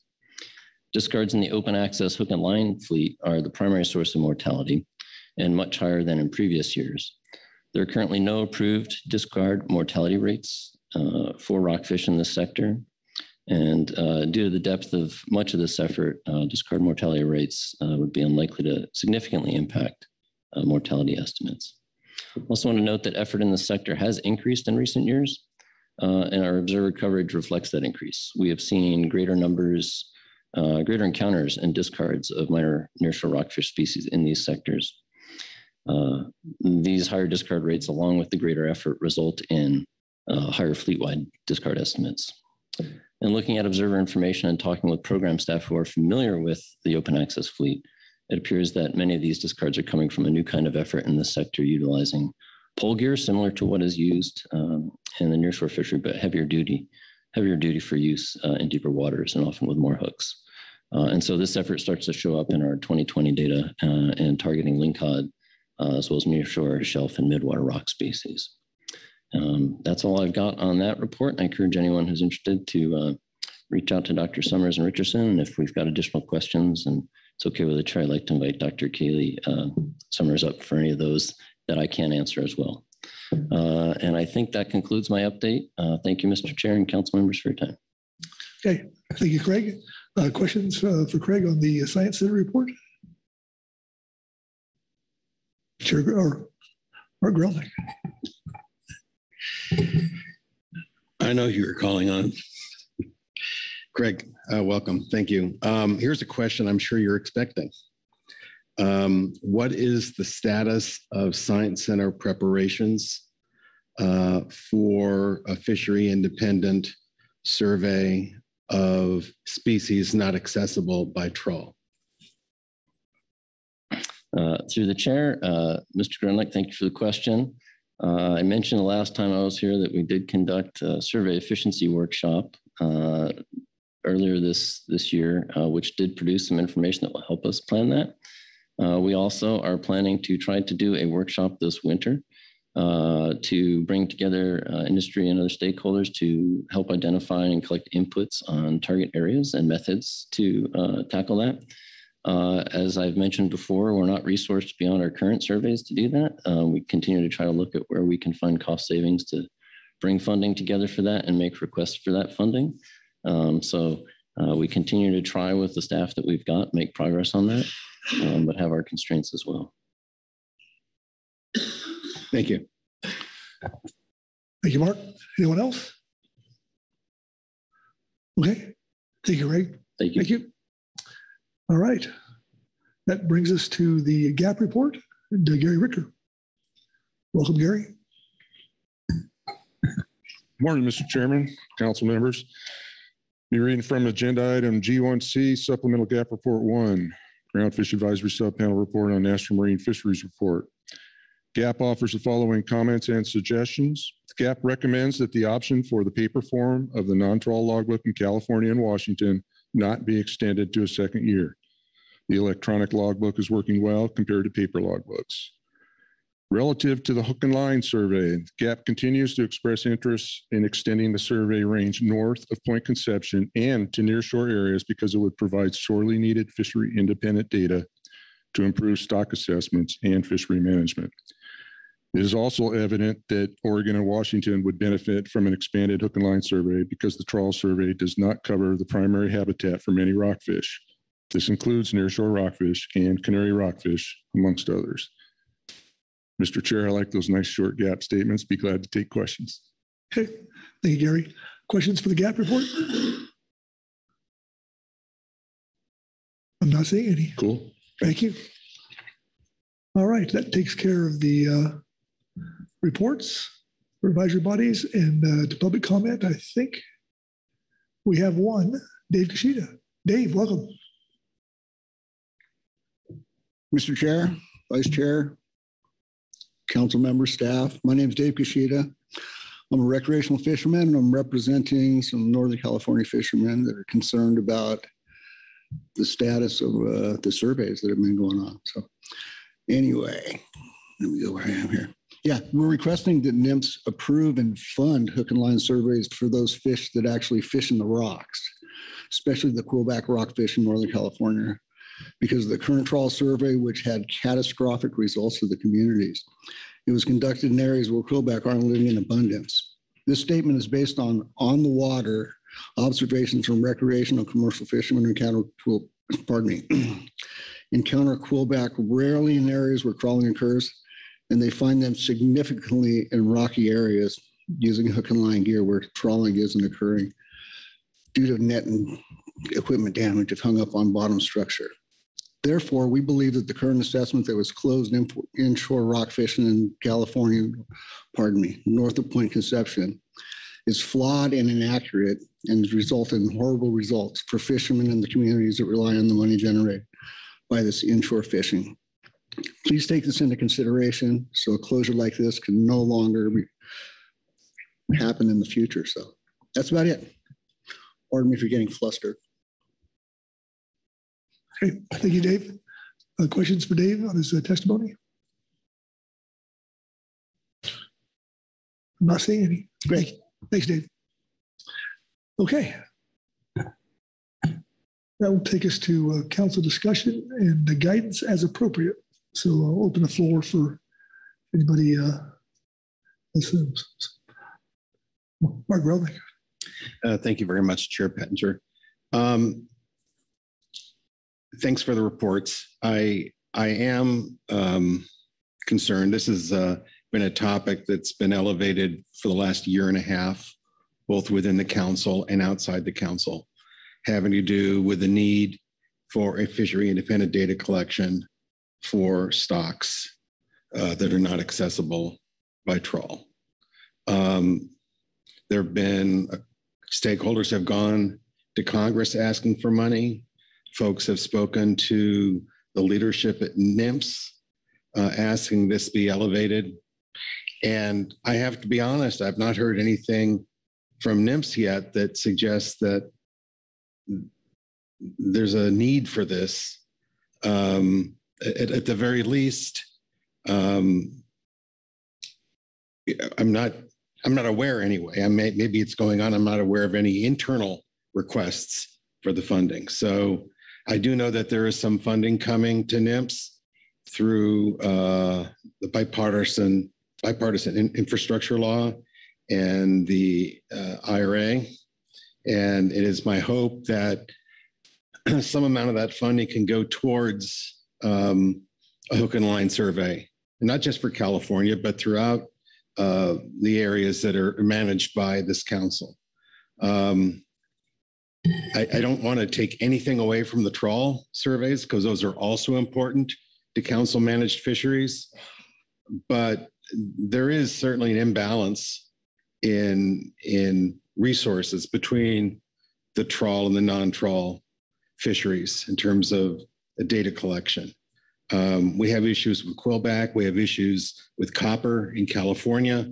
There's issues with canary in other parts of the coast. I think Oregon and Washington, um, having to do, frankly, with how the uh, mature females are distributed. Are they distributed in areas accessible to trawl or not?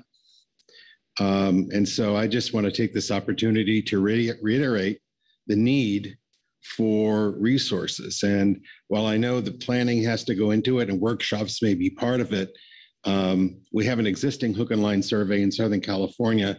I don't think this is, I don't think this needs to be, it needs to be analyzed. It doesn't need to be overanalyzed. And I think that the sooner we can get this started, the better. And I'm hopeful with funding that's now in place, some of that can be dedicated to that purpose. Thank you. Thank you, Mark. Well said. Anyone else? Executive Director Burden. Yes, thank you, Mr. Chairman. Um, This is, uh, I guess, a question back to Keeley about the take reduction team and uh, that process. Um, As I'm sure you're aware, we have uh, the policy directive, the integration of the ESA with Section 7, uh, Section 7 with the Magnuson-Stevens Act process signed by our uh, formerly esteemed uh, Assistant Regional Administrator for Fisheries. Um, And the, the process that you described moving forward just leaves some questions in my mind about how we would integrate the council in with the ESA work and the take reduction team. It sounds like a very fast process once the agency starts rolling.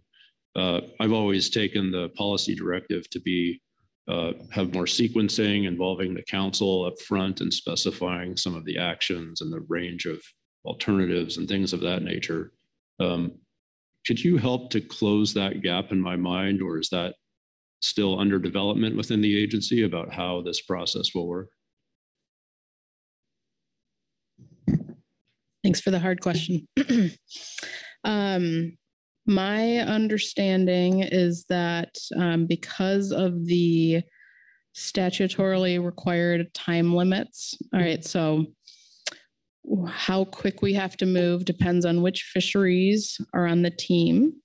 Um, if it is sablefish pot only, then there is uh, more time because the fishery impacts um, aren't as severe. If we are pulling in the other category one and two um, fisheries, which are the state fisheries that interact with humpbacks, there is less time to develop that plan. Then we move into the, we only have six months. Um, I think the timing of that is not flexible. And so that won't leave a lot of options in terms of ongoing council processes.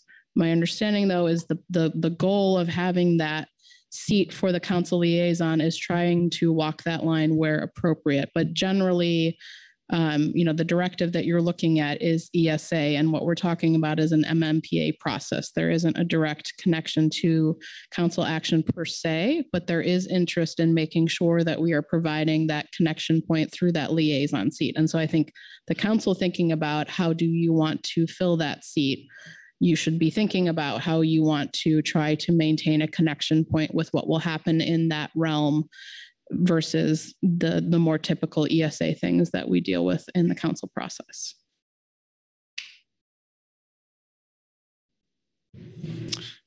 Uh, thank you. I might follow up some more later, but appreciate the answer. Okay. Thank you, Keely. Um, then Mattes? Sorry, that discussion just brought up another question for me, and you may not be the one to be able to answer it. But who, how, and when is it going to be decided which other fisheries, if any, need to be brought into this process? That's still very unclear to me. Who's going to make that decision? How, um, et cetera? Thanks for the question. Um, it is a NMFS decision. We are taking input through that scoping notice process. Um, we are interested in input from the states as the other possible fisheries are all state fisheries. Um, but it is ultimately an agency determination which fisheries are involved in the team. Um, that uh, decision, I don't know the exact time frame beyond. You know, we'll go through scoping, evaluate the the feedback that we've received. Um, that will play into that two year period between the scoping notice and then when the team starts its work um, you know there's a long period of time of prep work. So I, it'll be on the earlier end that that, that decision is made because it will um, totally drive how we develop that team. And then there is a pretty extensive process of vetting everyone that will go on that team.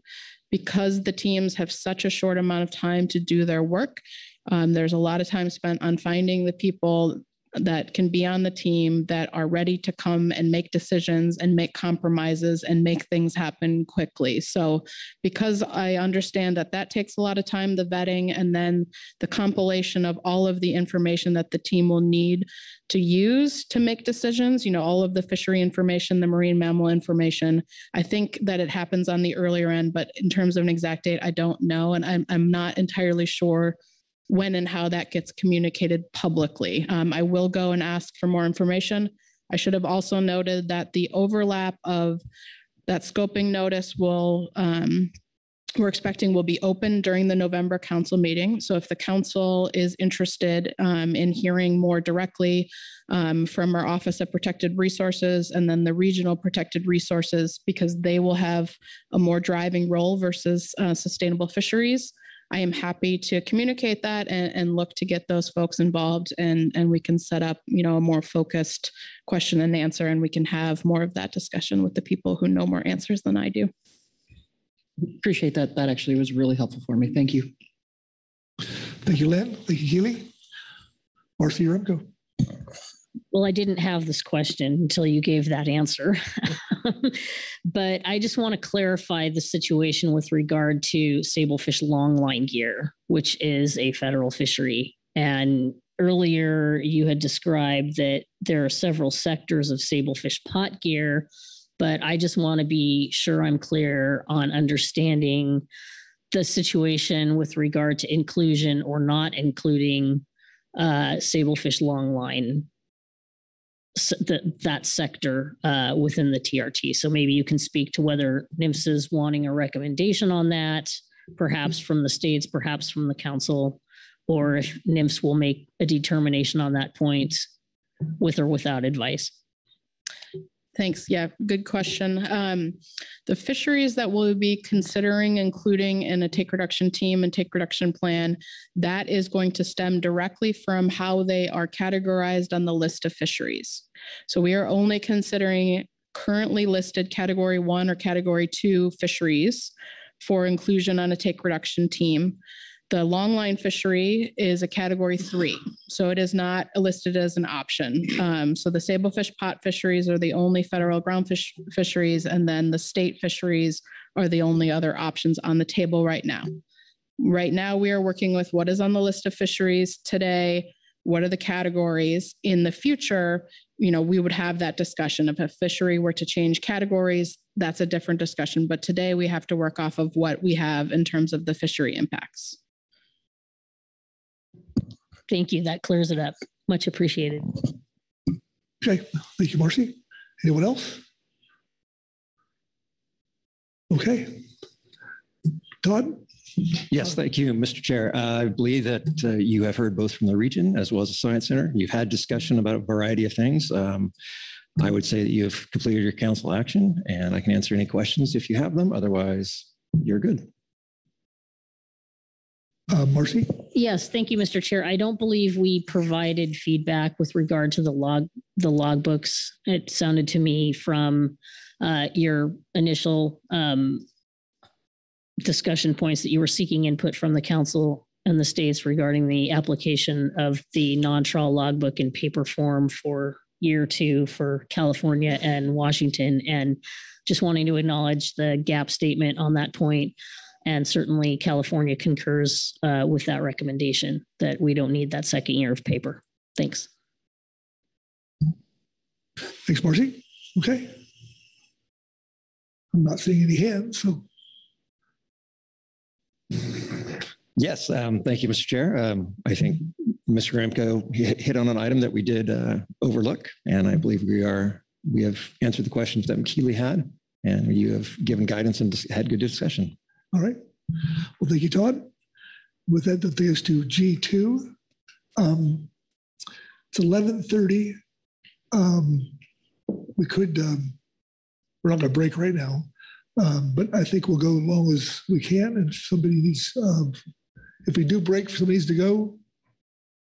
to- Oh, okay. Well, let's do a short break then. 10, 10 minutes because it is a long walk, okay? And then uh, we'll come back at uh, 1040, 1140 and uh, go from there and we'll go till noon and we'll break at the right time. So, okay, very good.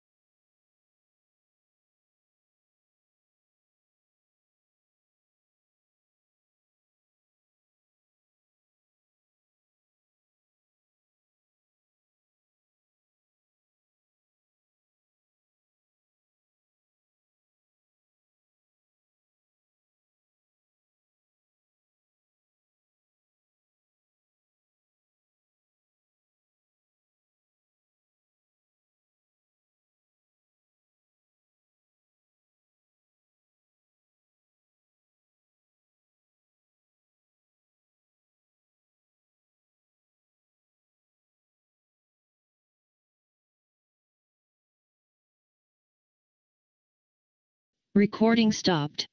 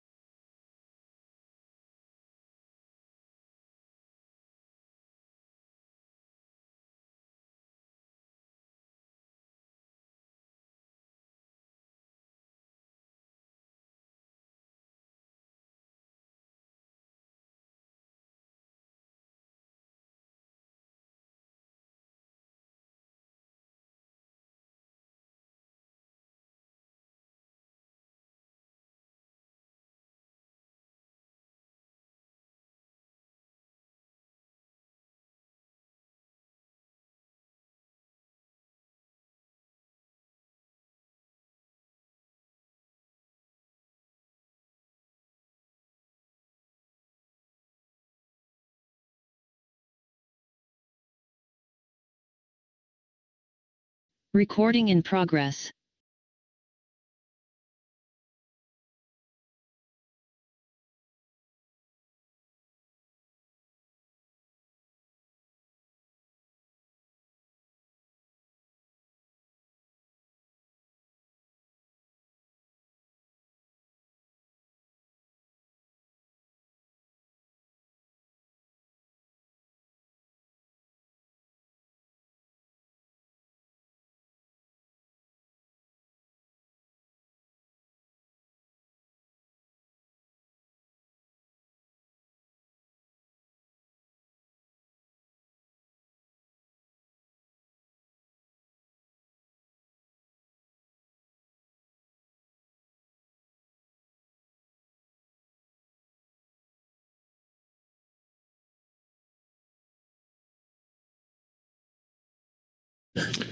All right, back in session.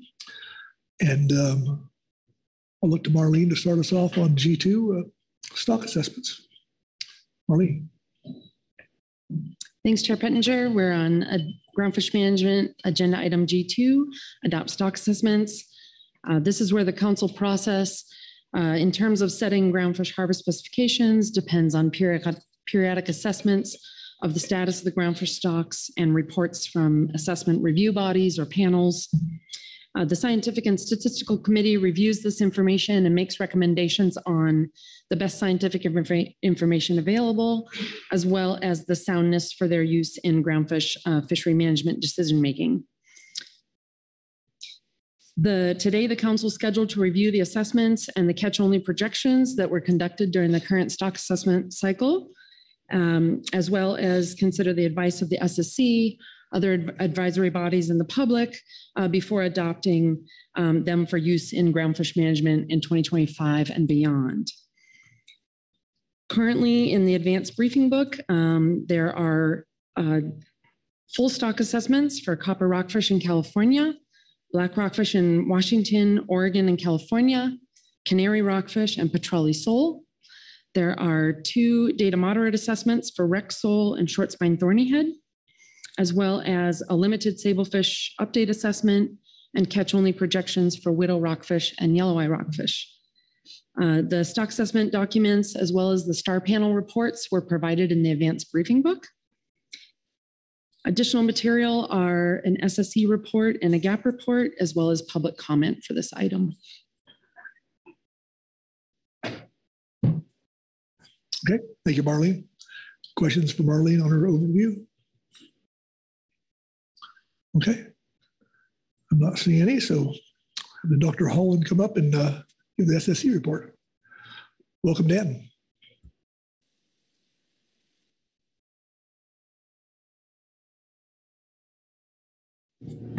Uh, Thank you, Chair Pettinger. Um, Before I get started, um, I'll just note a couple of things. One, um, this report is a little longer than the typical SSC report. Um, So ask for your patience as we get through it. Um, And um, the second thing is to, to note that uh, I do have uh, a couple of groundfish subcommittee uh, members uh, and star panel chairs uh, online, hopefully. Um, John Field and uh, Jason Schaffler should both be available online to help with questions that I might not be able to answer.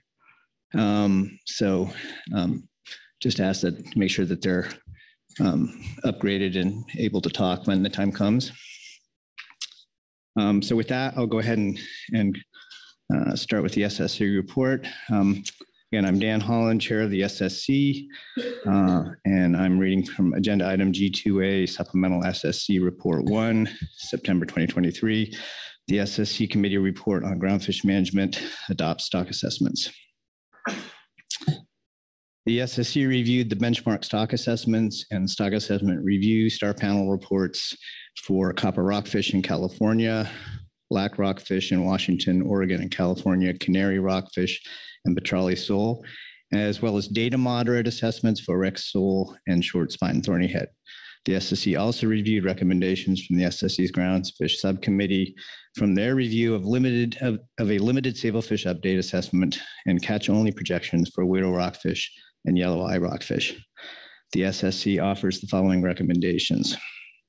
First on copper rockfish in California, north and south, uh, assessment and the STAR report. STAR panel report. Uh, The 2023 benchmark assessment of copper rockfish in California included two sub-area models split at Point, Point Conception, California, with similar structure but additional sources of information relative to the two data moderate assessments developed in 2021. Uh, Both models were well-developed and well-documented, and the model results were robust to a fairly broad range of alternative model structures. The results of both models were also consistent with the results of the 2021 data moderate assessments.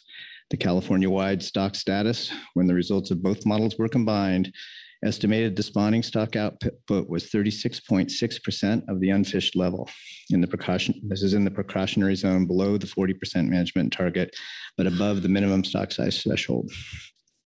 However, relative spawning output in the southern model was considerably less than in the north. The SSC recommends that efforts to keep catches proportional to regional biomass would be appropriate to avoid worsening localized depletion. The SSC endorses the 2023 full benchmark assessments of copper rockfish in California north and south of Point Conception as providing the best available science, BSIA, and suitable for informing management decisions. The SSC endorses both sub-area assessments as BSIA. The SSC recommends that both assessments be assigned to category one with a sigma of 0.5. The SSC recommends that the next copper rockfish assessment in California be an update unless new data or research is available. On to Rex sole. The 2023 Rex sole assessment was a length-based data moderate assessment. Rex sole was last assessed in 2015 using an index-based data moderate approach. The current assessment was structured into a single area with two fleets and used fishery independent data from the Triennial Survey and West Coast Groundfish Bottom Trawl Survey. The survey assessment estimates the stock at 76.1% of unfished spawning output in 2023, which is above the 25% management target, consistent with the results of the 2013 assessment. Major uncertainties included natural mortality, growth, uh, the bottom trawl survey catchability uh, research and data needs include additional age data to inform growth and longevity, along with aging error. There's also a need to better understand catchability from the bottom trawl survey uh, and update maturity, fecundity, and other biological information. The SSC endorses the 2023 assessment as BSIA and recommends a category two designation with the default sigma of 1.0. The SSC recommends that the next assessment be a full assessment, assuming additional age data is available to inform growth and improved methods are developed for estimating uh, the western, the, the uh, bottom trawl survey Q. Uh, onto short spine thorny head. The 2023 short spine thorny head assessment was a length-based data moderate assessment. It covered the entire US West Coast and uses fishery-dependent length compositions and discard data, as well as length compositions and indices of abundance from the Triennial Survey uh, and the West Coast Bottom Trawl Survey. Changes from the most recent assessment in 2013 include reducing the number of fishing fleets to three, including linked data from the fisheries, from the survey and the fishery, updating estimates of catchability, growth, maturity, fecundity, and natural mortality. The current assessment estimates that the relative spawning output of the stock is in the precautionary zone below the management target of 40% of unfished level at 39.4% uh, in 2023. Although recruitment has been relatively stable, spawning output declined considerably from the 1970s to the late 2010s. Major uncertainties include insuf- insufficient age composition data and the lack of reliable aging methods, both of which reduce confidence in estimates of growth, maturity, and natural mortality. There was also a lack of concurrence among model-based and design-based indices in the latter portion of the time series, 2021, 2022.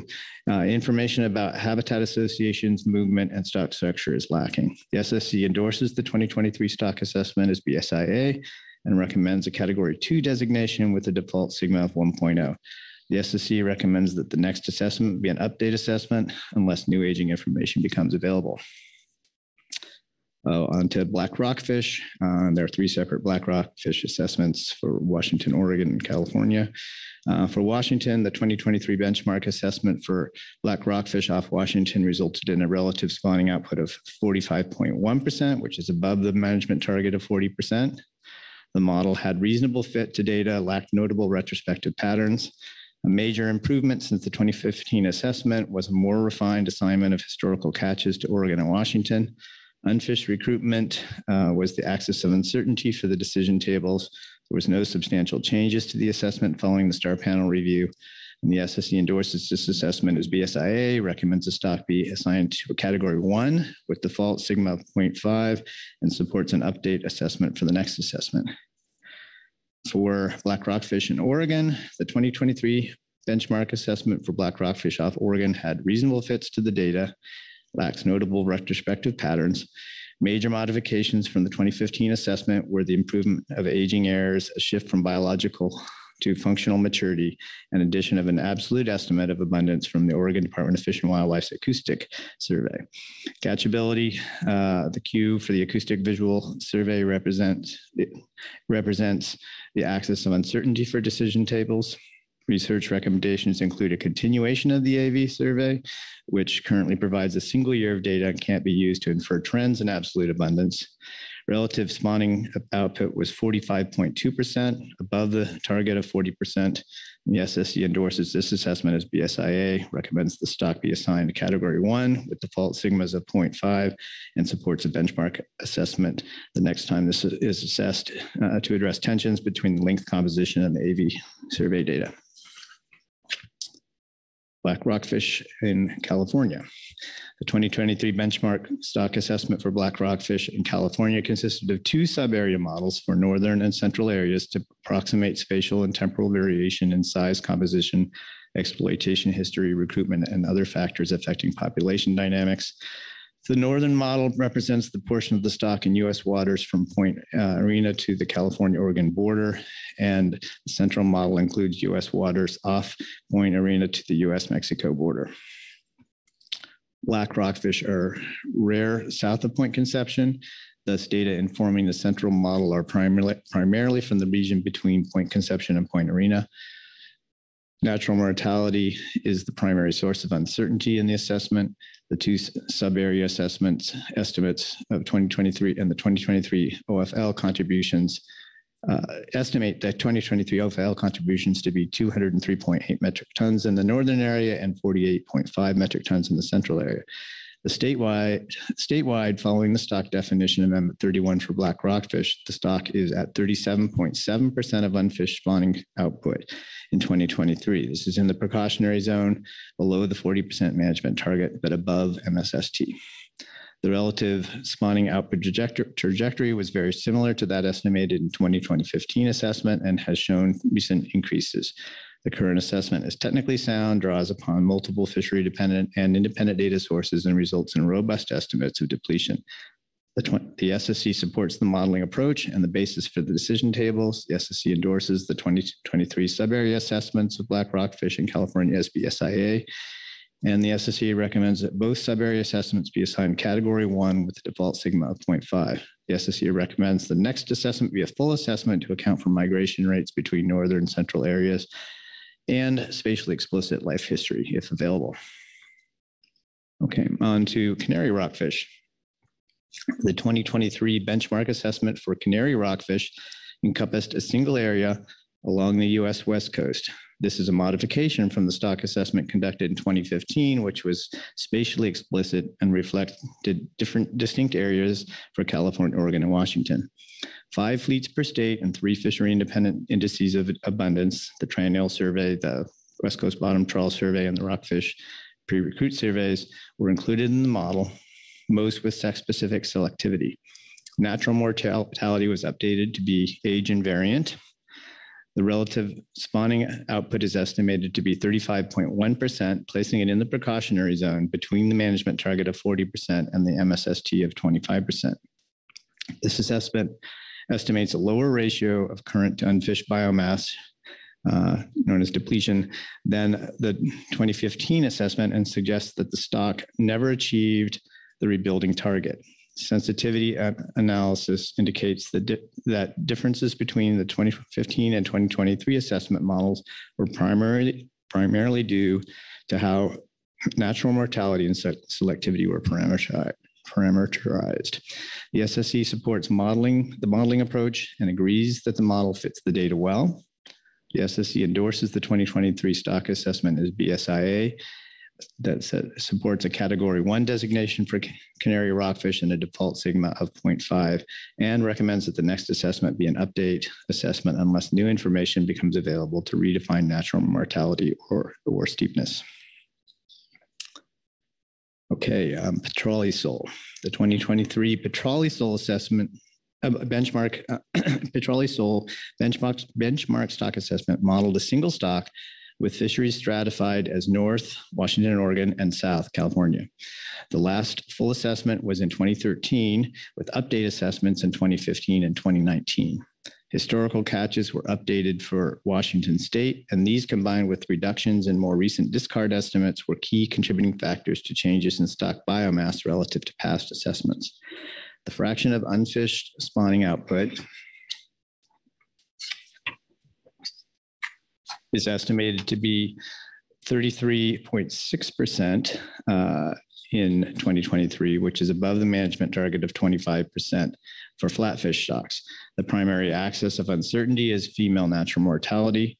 Spawning output is projected to decline in the future, but remains uh, above the MSST under all projections from the high and low states of nature. This decline is due to poor recruitment in recent years, which contrasts with high recruitment events in 2006 and 2008 that resulted in rebuilding of the stock from overfished conditions. An environmental index of recruitment for Petrale sole was developed but required additional review and was not included in the base model. The SSC supports the modeling approach, agrees that the model fits the data well, and agrees that with the conclusions of the 2023 Petrale sole assessment. The SSC endorses the 23 assessment uh, of, of Sol as BSIA and recommends the stock assessment be designated as category one with the default sigma of 0.5 and suggests the next assessment be an update assessment. Okay, on to sablefish. Um, the 2023 stock assessment update for sablefish was motivated by observations of higher recruitment in 2020 and 2021 in the West Coast uh, Groundfish Bottom Trawl Survey. Uh, which observes age zero and age one sablefish. The update was limited in scope and includes ages from the bottom trawl survey, but not from the commercial fishery. The assessment incorporates an environmental index for recruitment, which was also updated. The assessment estimates the stock is 63% of unfished biomass in 2023, above the 40% management target. Fishery information and anecdotal accounts regarding high bycatch of small sablefish support the existence of one or more strong cohorts entering the population. However, there is greater uncertainty in the strength of these recent year classes than for older year classes with more years of observations to verify the year class strength. The SSC endorses the 2023 Sablefish Update Assessment as BSIA. SSC recommends the stock assessment be designated as a Category 1 assessment with the default sigma of 0.5 and the SSC recommends the next sablefish assessment be a full assessment given the uncertainty and limited observations of recent cohorts, additional age data from the fishery, and the potential effects of density dependence at high abundance. Uh, we also have two catch-only projections for widow rockfish and yellow eye rockfish. The SSC discussed the catch-only projections for widow rockfish and yellow eye rockfish and had no technical concerns. The widow rockfish catch only projection was based on the 2019 update assessment. Given the small differences in actual versus assumed catch, the percent of unfished spawning biomass in 2025 only increased slightly from 75.6% to 81.1% with the updated values and the acceptable biological, catch, ABC, increased from uh, 10,533 metric tons to 11,237 metric tons. The yellow eye rockfish catch only projection was based on the 2017 rebuilding analysis. Differences between actual versus assumed catch were small, and there was a correspondingly small increase in the 2025 projected acceptable biological catch from 76.5 to 87.2 metric tons.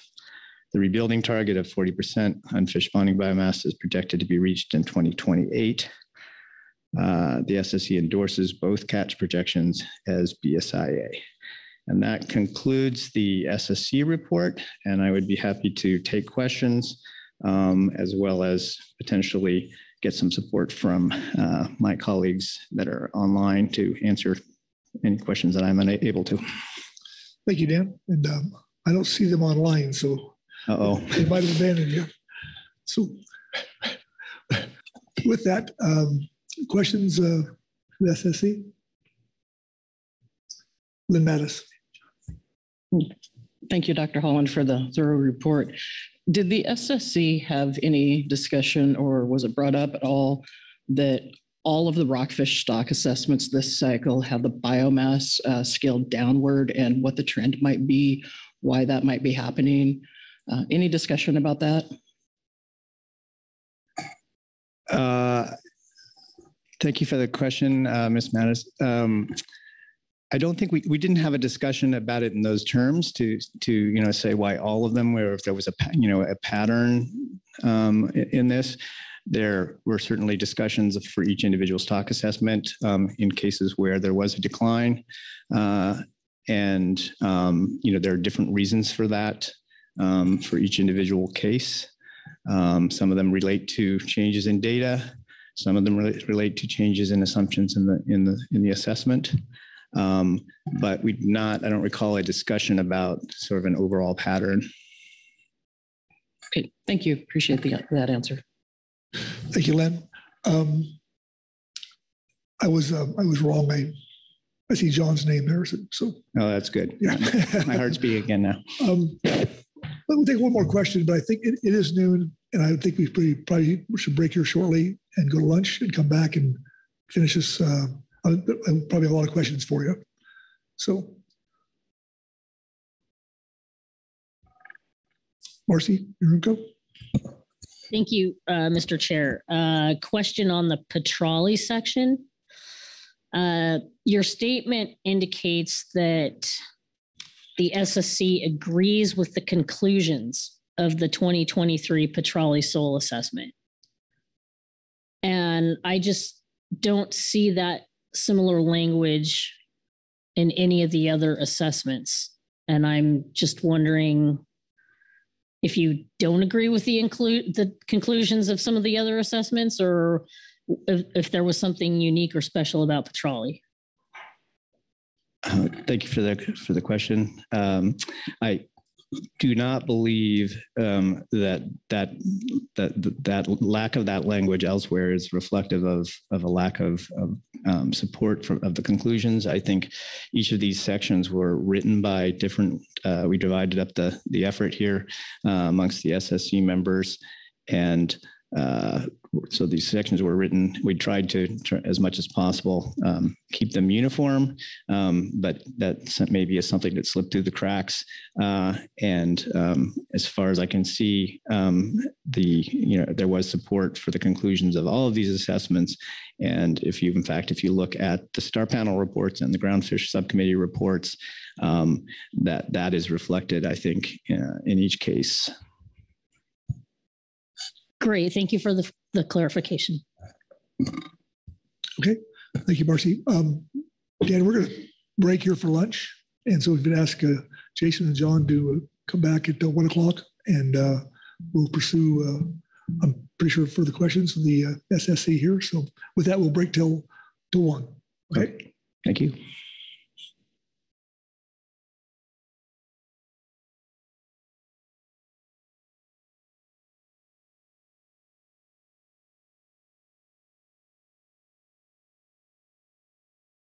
Recording stopped.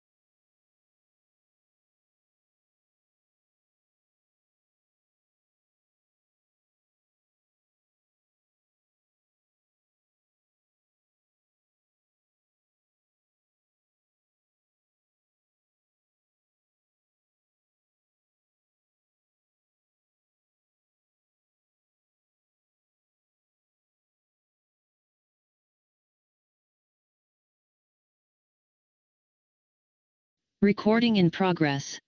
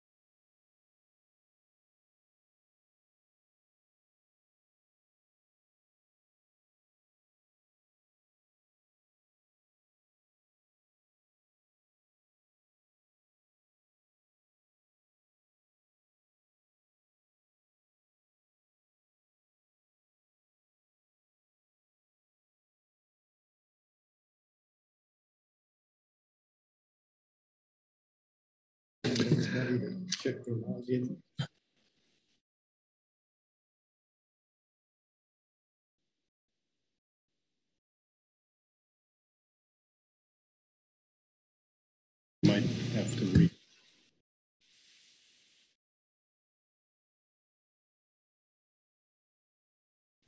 Okay, and we're back, and uh, I've been notified that everybody should check their internet connection because um, the system was rebooted and to make sure you're you're hooked up appropriately. So, okay, with that, we were in the middle of the SSC um, report, I guess, to on the uh, dealing with the questions to the SSC, and so uh, with that, um, we'll open up the questions for uh, Dr. Holland and uh, SSC report. So, Corey Niles. Thanks, Mr. Chair. Um, thanks, Dan. I, I have a couple questions, and the first one on Petrale, more of a process question, and uh, on the on the matter of the environmental index. Um, you know, I think the uh, had the chance to listen to the in on the star panel and um, understand the issue was main was mainly there wasn't wasn't as much time as hoped. Uh, looked at that given some changes in, in the oceanographic models or, or, or some such thing.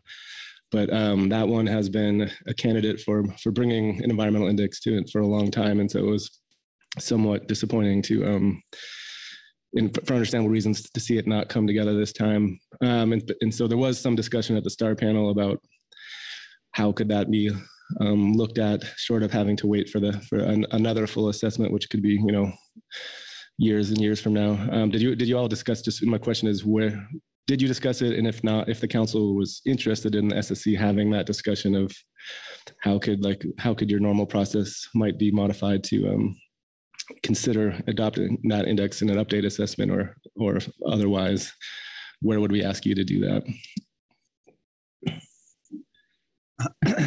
Uh, Thank you, Mr. Niles, for that question to the chair. Um, We did not, we, I mean, we did discuss that, the absence of that index um, and, you know, why it wasn't used, um, which as you noted, was due to the fact that there's, there's this discontinuity in the ROMS model that was needed for that. Um, which we didn't have for the sablefish one because that is, didn't rely on a, on, on that uh, oceanographic model. Um, I believe my understanding was looking at from my review of the, of the um, Petrale assessment was that they were, they did use uh, an index. Um, I'm not sure exactly how it was parameterized, given that discontinuity in the oceanographic model.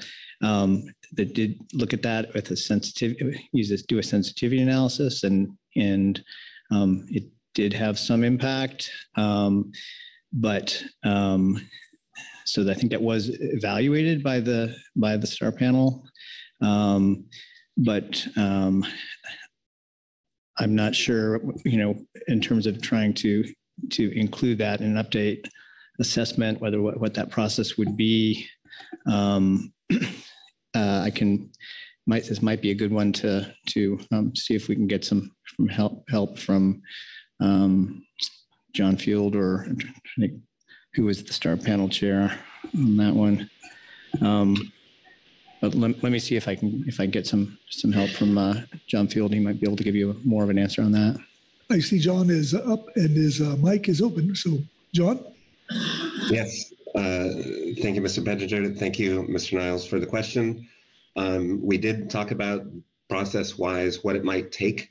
Currently, within the terms of reference, it would, in theory, require benchmark uh, assessment and review to fold in an environmental index, but we write the terms of reference, so it's not entirely impossible to consider that we could um, find a way to perhaps have a groundfish subcommittee uh, more in-depth review of an updated assessment that in- included the potential for an index like this to be included uh, in a future assessment. So I think we had discussed perhaps considering this more at the um, process review, formerly known as postmortem, that we do following every assessment cycle to discuss whether or not an option like that might make sense in light of the fact that you know, people were feeling fairly good about the index to a point, but not quite to the point between the, the stat and the panel that they were ready to include it in the base model. So hopefully that helps to address your question. I can uh, try and elaborate if not. Great. Yeah, thanks, Dan. Thanks, John. Perfect. Sounds like you're um, slated to discuss it already. So you're definitely interested in hearing the um, outcome of that. Okay. Further questions for the SSC? Corey? Yeah, thanks, uh, Mr. Chair. I'll try to get this one out. And I guess I'm looking at the, the um, Canary, the paragraph on Canary. And one of the things we heard this morning and, and in discussions coming into this meeting is just, um, you know, despite having, you know, the uh, top stock assessment scientists in the world and, and uh, you know, thorough peer review process, these these assessments jump jump around, and as I think Lynn got to in her question, um, lot, the trend this time was um, down, and at least in scale for a lot of the stocks, and you know the you know it's from the I think I think I remember hearing Steve Ralston say back when working on the, the Sigma question that the biggest source of change between assessments is changing assessors. Um, so, and you have a sentence here in in the, in the canary paragraph again, and I guess the I'll try to ask the question here more succinctly, but how much of that change is because of new things we learned in collecting data from from 2015 versus um, I think you highlight here the changes in, in uh, selectivity and maybe natural mortality. Yeah, and Dan, I made this one one's for John, but and maybe it's not a fair question, but you probably get what I'm going at and um, if any getting at and any thoughts just on on, on these change assumptions and how much they affect the result versus the new information coming in. Uh, thank you for the question, Mr. Niles. Um, I will uh, go ahead and um, and uh, ask John Field to weigh in on that um, question. Um, I think he can do probably a better job than I could, uh, and he was the star panel chair for that. So, John, are you still there? Uh, absolutely. Thank you, Mr. Niles, for the question. Uh, it, it's a good question. Uh, it's definitely hard to say exactly. Uh, a lot of things have changed between 2015 and now, but I, I would say that the 2015 assessment, as noted, was a, a spatially explicit assessment. This one is not. And the 2015 assessment dealt with female natural mortality in a very different way um, than this assessment did. This assessment assumed that natural mortality was age invariant.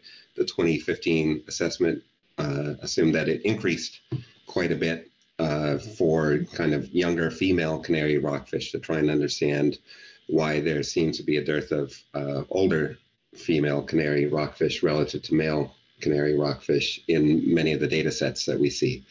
So I would say that probably uh, changes in the modeling uh, a bit more than changes in the data contributed to that change in perception. But that said, uh, in 2015, uh, the West Coast Groundfish Bottom Trawl Survey kind of suggested a bit of an increase in biomass that didn't kind of continue. If you look at the fits to the survey data, there is not an indication of a sharp increase. Um, in some sensitivity analyses we did during the star panel week, that survey was not terribly influential. There's two ways of looking at that. It, it, it's not terribly influential, or it's consistent with the structure of the model. Um, so what I would say is that there's no information coming in that suggests that the, the trend is off or that we're underfitting an increase uh, that's inferred from the best survey data that we have, recognizing that that survey is not ideal, as we've discussed many times for um, species like canary that um, are mostly associated with untrawlable habitat. So you know, a long-winded way of saying that it, it, it's definitely a bit of both.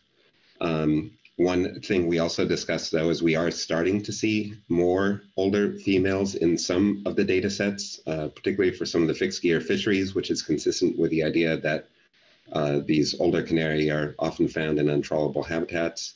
So there's some hope and potential as the fishery develops to understand a, a little bit better how best to deal with natural mortality parameterizations, but I, I, I, would say that both the assessment team and the panel were very comfortable with the decisions that were made um, for this model in this round. And I hope that mostly addresses your question, but I'm happy to follow up if not, if that's not the case. Or yeah, thanks, John. I guess just a, a follow-up question that you might not have a lot of thoughts on now, and maybe it's a topic for our next agenda item, but kind of on the lines of my last question on petroleum, how do we if we're interested in, in, a discussion happening, how do we encourage the uh, stock assessment community and SSC to start it? And so I'm, I think um, there's been some good discussions about you know uncertainty between you know um, within a model, but then the uncertainty on, on on different models. And you've seen, for example, the Halibut Commission use ensemble models to to get at some of that uncertainty between various assumptions and models. And um, just if we were interested in in getting you all to discuss how we might think about it maybe differently than we go for this best model approach here at this council. Um, do you think that's something you, you might all be discussing as part of the uh, what, what, we're not supposed to be calling the postmortem, or is there a way to uh, you know wonder if um, you know think about methodology reviews or workshops and if, that we could we could you know pose the question to you all if, if that's a, a topic that you're interested in, in, in discussing. Uh, thank you, Mr. Niles, for the question. Um, I'm not, I know that we've discussed ensemble modeling approaches in the past. Uh, some time ago, there was, we did also receive a presentation from Mark Maunder and other staff at the IATTC about the approaches they're using with ensemble models for highly migratory species. And I think there was a lot of interest that's certainly a, a, very promising approach and, and something that um, we should be thinking about as we move forward and move ahead. It adds to the complexity of both developing the models and uh, conducting the reviews. But um, if it ends up with more robust products, then that's probably a direction we should be heading. We didn't explicitly talk about it at any of the panels or subcommittee meetings uh, during this assessment cycle, but I would certainly agree and, and flag this for something that we could discuss at the process workshop uh, later on this year, early next year. Thank you, Corey. For the questions? Okay, actually, I, I do have one. Um, uh, John, um, I was at the STAR panel uh, for a couple days, and uh, and last night, I know it came to me last night, but um, about the dearth of um, older females. Given that the stock assessment shows that in 2000 there was less than 10% of the biomass in the water, um, and the fact it's, under, it's understood, like for the most part, that the females tend to be in the untrawlable habitat. Um, how many older females, truly old females, do you expect to see, given the stock where it was at 20 years ago? And um, the second part of that question would be you say some of the hook and line information we're seeing is starting to see some of that, and uh, we hope to get more information as that fishery develops. Um, the stock assessment, as we will likely approve it today, uh, will probably suspend any uh, activity in that fishery. So, what might you say could we do to backfill the information gathering from the for canary rockfish? So, two part question. Thank you. Uh, thank you, Mr. Pettinger, for the question. Um, that's a good one. We did talk about so essentially when when the fishery was dramatically scaled back in the early 2000s, one thing we talked about was you know landings were very low and consequently so was the flow of data, age samples, length data, um, all, all the data that help the fishery dependent data that help inform the assessment. Uh, following the 2015 assessment, catches increase and data started flowing again. And there was some discussion that we're now getting this nicer glimpse of what the age structure is, is looking like for Canary. And this is going to be very helpful in trying to address these questions in the long term. Those, those fish are now in their early 20s, which is close to the time at which previous analyses have suggested that there's, you know, they either become less available to the fishery or perhaps are dying at a, at a higher rate. Um, so the hope is certainly that data will continue to flow from some fisheries and help better inform and understand sort of that process and, and what's truly going on uh, with the biology of the species. In terms of constraints on future fixed gear, yeah, I, I would definitely be sympathetic to the idea that it's a double-edged sword. Um, and the consequence of a more pessimistic perception of this stock might be that the data flow is reduced as fisheries are increasingly constrained. I don't have a solution for that, but perhaps there are opportunities to do um, cooperative surveys uh, using similar hook and line gear uh, to some of the fixed gear fisheries to help kind of address or alleviate that that paucity of data. Obviously, as discussed earlier, you know, a, a better hook and line uh, fishery independent surveys coast-wide would be helpful for quite a number of stocks. And there's certainly a lot of interest and hope that we could do more of that to better understand these questions. I, I hope that answers your question. I'm happy to try and follow up if helpful. Oh, that, that's fine, John. Thank you. Okay, further questions for the SSC? Okay, I'm not seeing any. Thank you all. Thank you. Next up will be the GAP report. Gary Richter. Welcome back, Gary.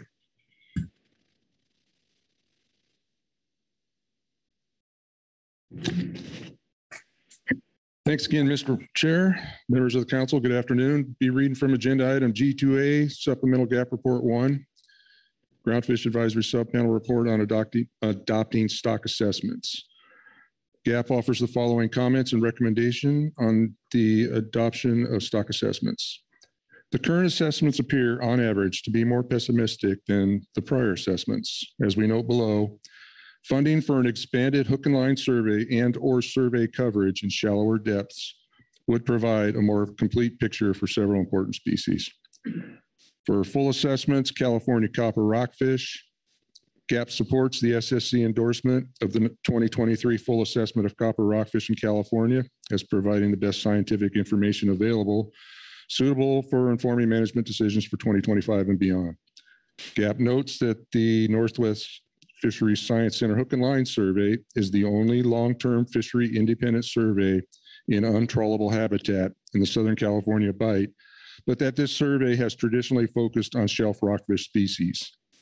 Funding ex and expansion of this survey into shallower waters in the Bight should strongly be considered so that more nearshore species, such as copper rockfish, might be better sampled to inform future assessments. Future nearshore assessments in California would also greatly benefit from additional California Department of Fish and Wildlife remotely operated vehicle surveys, which could increase the power of these data to better inform assessments.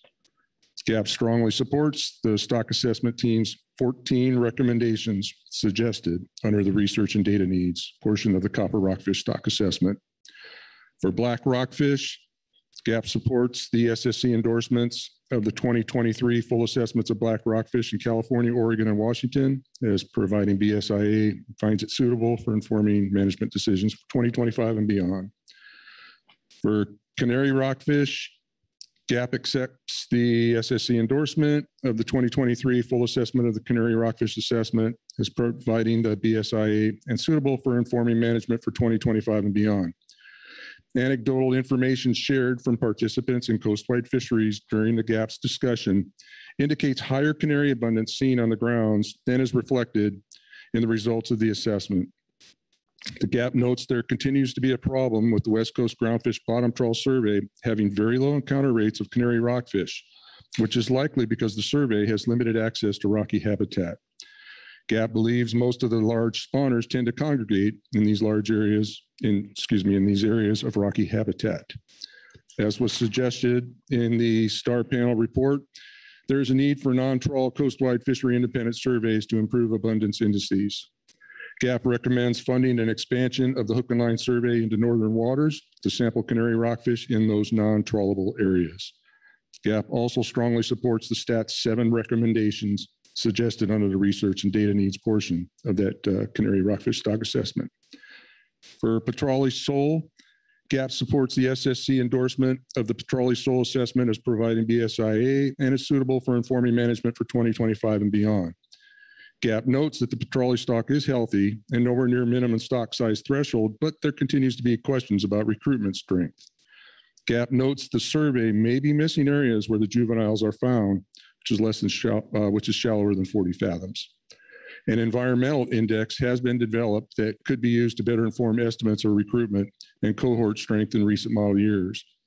Both the STAR panel and Petrale Stat agreed that this promising tool needed more evaluation before using it as an index of abundance. GAP strongly encourages continuing the development of this index. Uh, data moderate assessments for Rex, sole, and short spine thorny head. GAP supports the SSC endorsement of the, both the Rex sole and short spine thorny head data moderate assessments, BSIA, and are suitable for informing management for 2025 and beyond. GAP notes there continues to be an absence of aging methods for short spine thorny head, and that makes it very difficult to estimate growth. GAP hopes that the National Marine Fisheries Service will continue to pursue aging methodologies for short spine, as it is assumed to be a very long-lived long-lived species. Uh, sablefish update assessment. GAP supports the SSC endorsement of the sablefish assessment as BSIA, and it's suitable for informing management for 2025 and beyond. And lastly, uh, catch-only projections of widow and yellow eye rockfish reports. GAP reviewed the widow and yellow eye rockfish catch-only projections report. The GAP understands that, uh, I changed the wording here a little bit. Uh, GAP understands that rebuilding has been shortened one more year following the correction to the P-star values in the harvest specifications. And my thanks to Keely and Chantel for straightening me out on that terminology there. Be glad to take any questions anybody has. Okay, thanks, Gary. Questions on the GAP report? Bob Dooley. Thanks, Gary, for the good report there. Just real simple question. I noticed in almost every uh, every one of the stock assessments you say the gap supports but in canary it says you gap the gap accepts. Was that is is that a is there a difference there? Should i what did is there any is there a reason you chose the word accepts rather than all the rest of them say supports? Mr chair good catch bob. Yes it was intentional. We had quite the discussion in the gap about canary rockfish. Folks aren't happy fixed gear trawl recreational around the table. Everybody's seeing those fish catching a whole lot of fish and they're not buying into the assessment. Um, the biggest thing was what came out of that 2015 assessment, obviously, you know, where it said that stock was in great shape and we saw these giant ACLs for all these years and stuff. And all of a sudden, the new assessment is saying that we were never rebuilt or we were never overfished. So uh, it's just hard for people to accept. And I would say yours truly included, but I've been doing this a long time, so nothing surprises me anymore. So. Thank you, Bob. Further ca- questions uh, for Gary? Marci, you're up. Go. Thank you, Mr. Chair. Thank you, Gary. On the uh, environmental uh, index that is in development for Petrale, um, I know you're supporting uh, continuing development of the index. Can you talk a little bit about the potential application beyond Petrale, or is this a one species type of a thing? Yeah, Mr. Chair, Marci. Yeah, I, we didn't really talk about that. Did, I mean, it's not the same. Is it the same as the sablefish one, Marlene? It's not. No, okay. Yeah. Um, no, beyond, I mean, I, I'm assuming it could be used for other flatfish, but I, you know, can I phone a friend? Is John still on there? John could probably answer it, but you know, we just, it looked like it was really driving the stock upward for whatever reason. Um, you know, when we did look at it, but I think it just came down to a time series. Uh, just, you know, we just didn't have the data accumulating across a time series for it to be usable in the assessment yet. That was my understanding. Uh, John does have his hand up if you'd like to. Oh, good. Thanks, John. John, can you help us out here? Uh, Thank you, everybody. Uh, Thank you, Mr. Yor- Ramko, for the question. Uh, I think a brief answer would be that the index was more or less developed uh, specifically for petrale um, and is, is kind of thought about that way. Petrale uh, larvae are in the water column for a much shorter period of time than larvae and pelagic juveniles of rockfish and many other flatfish. So it is kind of a species specific index, but this type of index and type of approach would all but certainly have potential to be developed and to help inform other assessments, but they would be newly, they would be different indices. I hope that covers the question. Yes, thank you. Thank you, Marci. you, John. Thank you, Dr. Fields. So, okay, Corey Niles. Thanks, Mr. Chair, and thanks, Gary. I think this, this is probably going to be a tough one, but maybe Joe can help you out again. But maybe you got the explanation. But I was just just cluing into the your statement there about the T target for yellow eye going back a year based on this correction to P star, although the catch has been under the ACL continually. Somewhat if, if catch is lower, the the T target has usually been based on an assumption that of ACLs being caught in full. Um, it, how can the how did the rebuilding slow down? Did you hear that explanation? And look, someone else might have an answer. Mr. Chair, Corey, I botched this thing up so badly. I'm going to have to defer to somebody because, yeah, I, I totally misunderstood. For some reason, I thought we were T target was originally 2027 or rebuilding was 2027. And boy, did I botch that. I missed something somewhere. So I will defer to someone, anybody. Keely? Thanks. Um, yes, the current T target for yellow eye rockfish is 2029. I think several of us have forgotten the change that we made back in 2019 where we extended the rebuilding time. We bought more catch by extending the rebuilding analysis by two years. So it used to be a T target of 2027, but it has been a T target of 2029 for quite a bit of time now. So the SSC report says that because we've been under attaining, it looks like it will rebuild one year faster than what we've been working on now, but everyone's had that 2027 number in their mind. So it's that's the confusion. Does that help? Okay. Thank All right. you. Thank you, Keely. Okay, further questions for Gary? Okay, Thank you. thank you, Gary. All right. Okay, that, uh, that is our, our reports, management and advisory body reports. Takes us, oh. It takes us to public comment and um, I think we have three people signed up at least. I'm waiting for the the list to come up. And there it is. And Merritt, you are you are correct in your uh, standing to approach the bench. so welcome. Thank you, Mr. Chair, council members. I have a uh, presentation. Um, We too noted, as other council members have, that there was a general trend across all stock assessments for the current stock assessments to, to shoot under the previous stock assessment for the time of the previous, for the ending date of the previous stock assessment. And so I put together a few slides uh, of excerpts from those stock assessments. Um, the, the graphs themselves are um, designed to show different things, but these are the ones that I picked because they did show the uh, current base model and the previous base model. Um, next slide, please.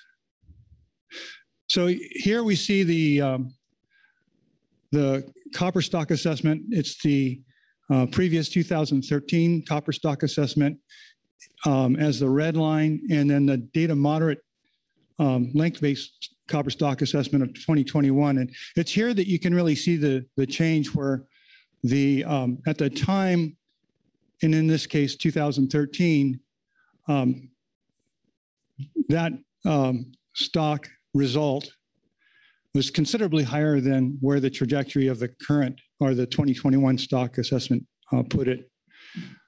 And I, I'm going to stop with the um, more the, the more complete description and just go through the rest of the slides fairly quickly. Next slide, please. So this is a 2013 or 2023 stock assessment. Um, the red line here is north and the blue line is south. And basically the point here is that um, the 2023 and the 2021 stock assessments are fairly similar. There was a downward tra- trajectory in the 2021 and it's continued and uh, we lost a couple of tons in the south. Next slide, please. And here's Oregon black rockfish. Um, we have in the red, um, oh, that typo still exists. That's 2015. And in the blue, 2023. Once again, the current one shoots underneath the end of the 2021 or 2015. Next slide, please. And here we have Petrale sole. We see the same thing. Uh, the red line is 2019 and the black is the 2023. Notice for the 2019 year, the black line is uh, cast underneath it. Next slide, please. And here's canary rockfish, and, and you guys, the council members have already spoken about this. Uh, blue line is 2015, and the red is the 2023 base model. Once again, far underneath the 2015 stock. Next slide, please. And then we have um, Rex sole, and it's hard harder to see because there are so many lines here. But the black line is 2023 uh, base model, and the red is our 2013 base model. It's hard to see the small print. And then um, the red is 2023. And I understand that the typos are fixed in what's in the briefing book now. Uh, next slide, please. And here's a um, sablefish. So it's this one's even harder to see. Yellow is 2021 and red is 2023. And this is a stock assessment that had very positive results. Um, both stock assessments follow essentially the same track line with 2023 ever so slightly above 2021 along its course in the most recent years. And I think that's the last slide.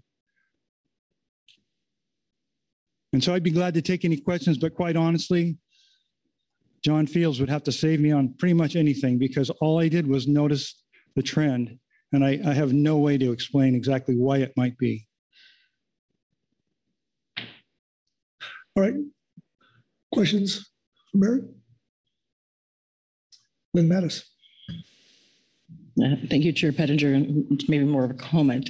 Um, Thank you for providing this. Um, I, am somewhat relieved to know that I'm not the only one wearing the tinfoil hat on the, how all of these assessments, the last two cycles, something seems to be pulling the scale down of the biomass. Um, Bless Sean, Dr. Wetzel for uh, trying to help me with this. Um, But uh, I'm gathering you didn't get any real, you haven't been able to find any real reason to explain why all of these are happening. Um, Trying to frame this as a question and not get into discussion yet. Um, But you, you didn't find anything that explained all of these overall, just that you noticed them. And that's what you're trying to point out to us, I guess is what I'm asking. That's, that's pretty much the case. I did ask John Budrick and he did provide an answer, but I, I'm not even going to dare to summarize what his answer was. Um, you might ask him if you would like. Um, Thank you, Merritt. That's about where I am with Dr. Wetzel's answers to me. Appreciate the, the feedback. Thank you, Lynn. Thank you, thank you, Merritt. Anyone else? And Merritt, I'd just like to say that uh, in MREP, we were, were told that, uh, or at least understood that all assessments are wrong, some are useful. So I'll leave you with that. So, okay. Thank you. Thank you. Okay, next up will be uh, Michael Gudowski. Mike, welcome. Thank you, Mr. Chair, council members. Good afternoon to you. For the record, my name is Mike Okoniewski and I'm just representing myself. Um, I'll be speaking on canaries specifically and just kind of give you a view of what happens in the processing end when you have a lightning strike. When lightning strikes occur, it can dramatically impact processor operations and have a ripple effect for markets. This happened to Pacific Warrenton about 10 years ago when one of our fishermen went over his annual quota limit for a bycatch species. Our Warrenton plant shut down operations for 30 days, or the whiting operations, I should say. We lost the entire crew and we couldn't find a replacement vessel, I think for a little bit longer than that even. But or a full-time one, I should say. If the fishermen reports for canary are correct, the chance of an individual plant shutdown or even an entire fishery are a realistic possibility. This may be unnecessarily pessimistic. Hopefully, there will be no shutdowns. Even so, bycatch avoidance maneuvers are costly. Thank you. Thank you, Mike. Questions for Mike on his testimony? Okay, thanks, thank you, Mike. Uh, Next up is Jeff Lackey. Welcome, Jeff. Yes, thank you, Chair and council members for your time. My name is Jeff Lackey. I manage two trawl vessels out of Newport. I have two points about the Canary stock assessment, one on the assessment itself and one on the impact.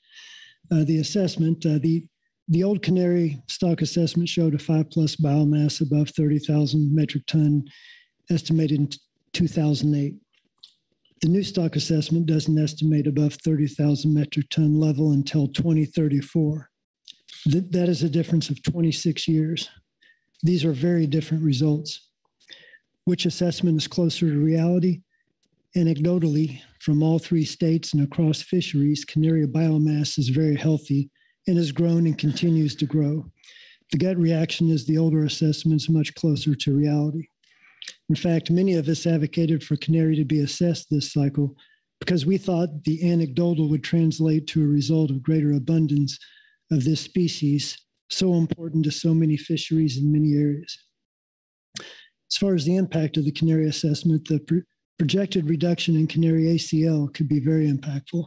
Canary is rarely a trawl target species, but 60 to 70 trawl vessels need to have and use canary quota pounds. Canary catch events can be random and large as the stock has seemingly been growing over the last several years.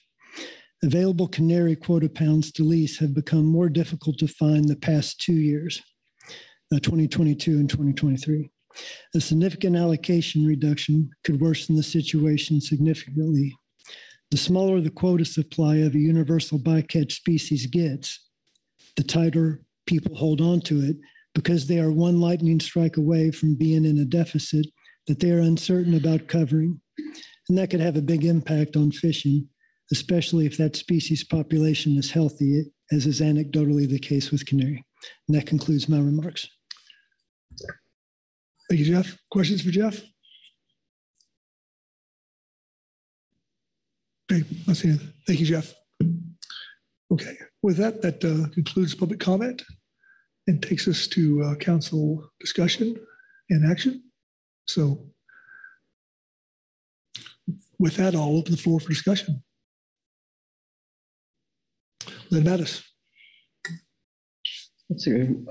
I sort of alluded to this when Merritt was speaking. Um, This has nothing, my comments have nothing to do with our stock assessors or our stat teams. They're some of the most intelligent and diligent people I've ever worked with. They have done everything they can to try to ensure that the best information, the best model is being used. But I have some concerns and again, I appreciate Dr. Wetzel for trying to help alleviate these. She and I have exchanged a number of emails.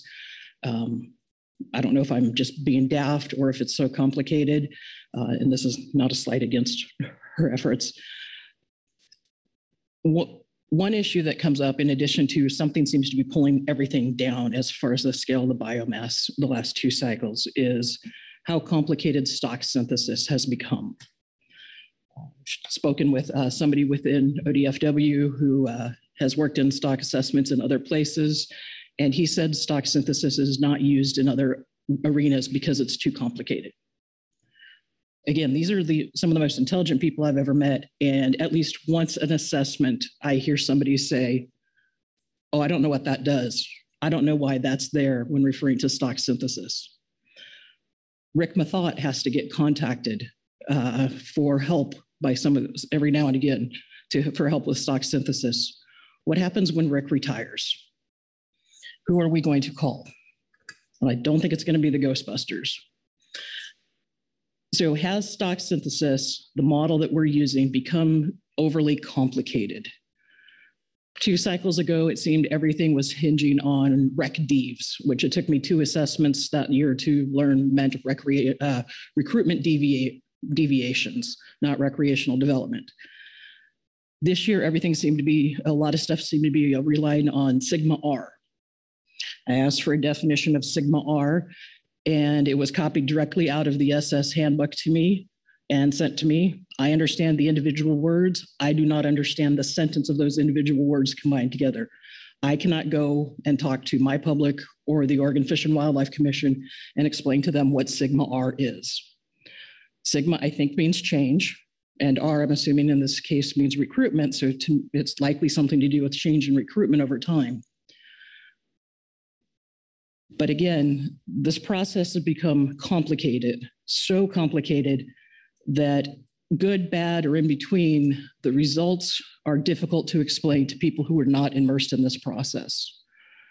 I'm trying to figure out how I go to the Oregon Fish and Wildlife Commission in December and explain to them we're going to be looking at a 40% cut in black rockfish for 25 and 26 and beyond.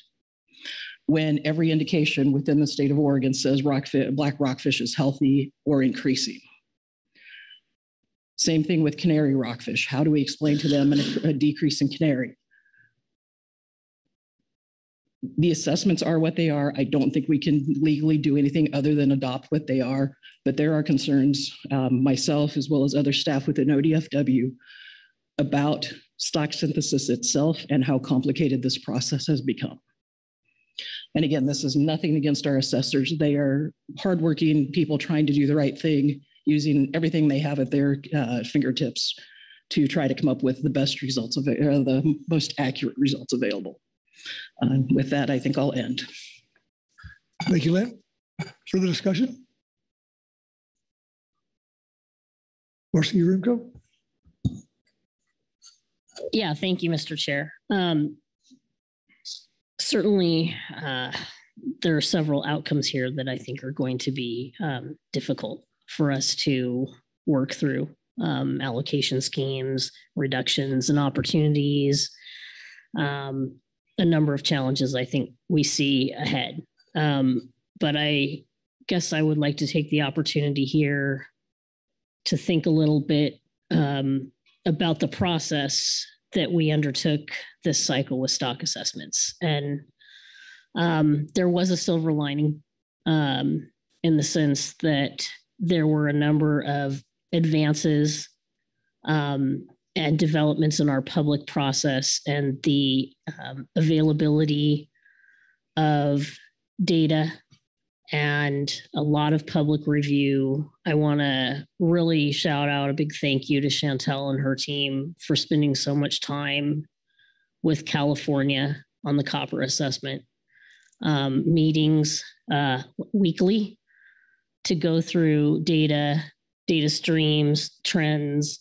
Um, we put a lot, a lot of energy and blood, sweat, and tears into this collectively, and um, certainly um, a lot. There was a lot of leadership, and I want to acknowledge it. And while we don't necessarily like the outcomes here in many cases, um, the commitment to the pre-assessment data workshops, um, discussions uh, after those workshops about um, assumptions and you know just working uh, step by step with the assessors as they um, developed um, the drafts I, I, think has just been um, uh, it cannot go unnoticed. So i just really wanted to to thank um, the whole crew involved. And want to compliment council staff on the development of the pam site and the ability for um, information to be posted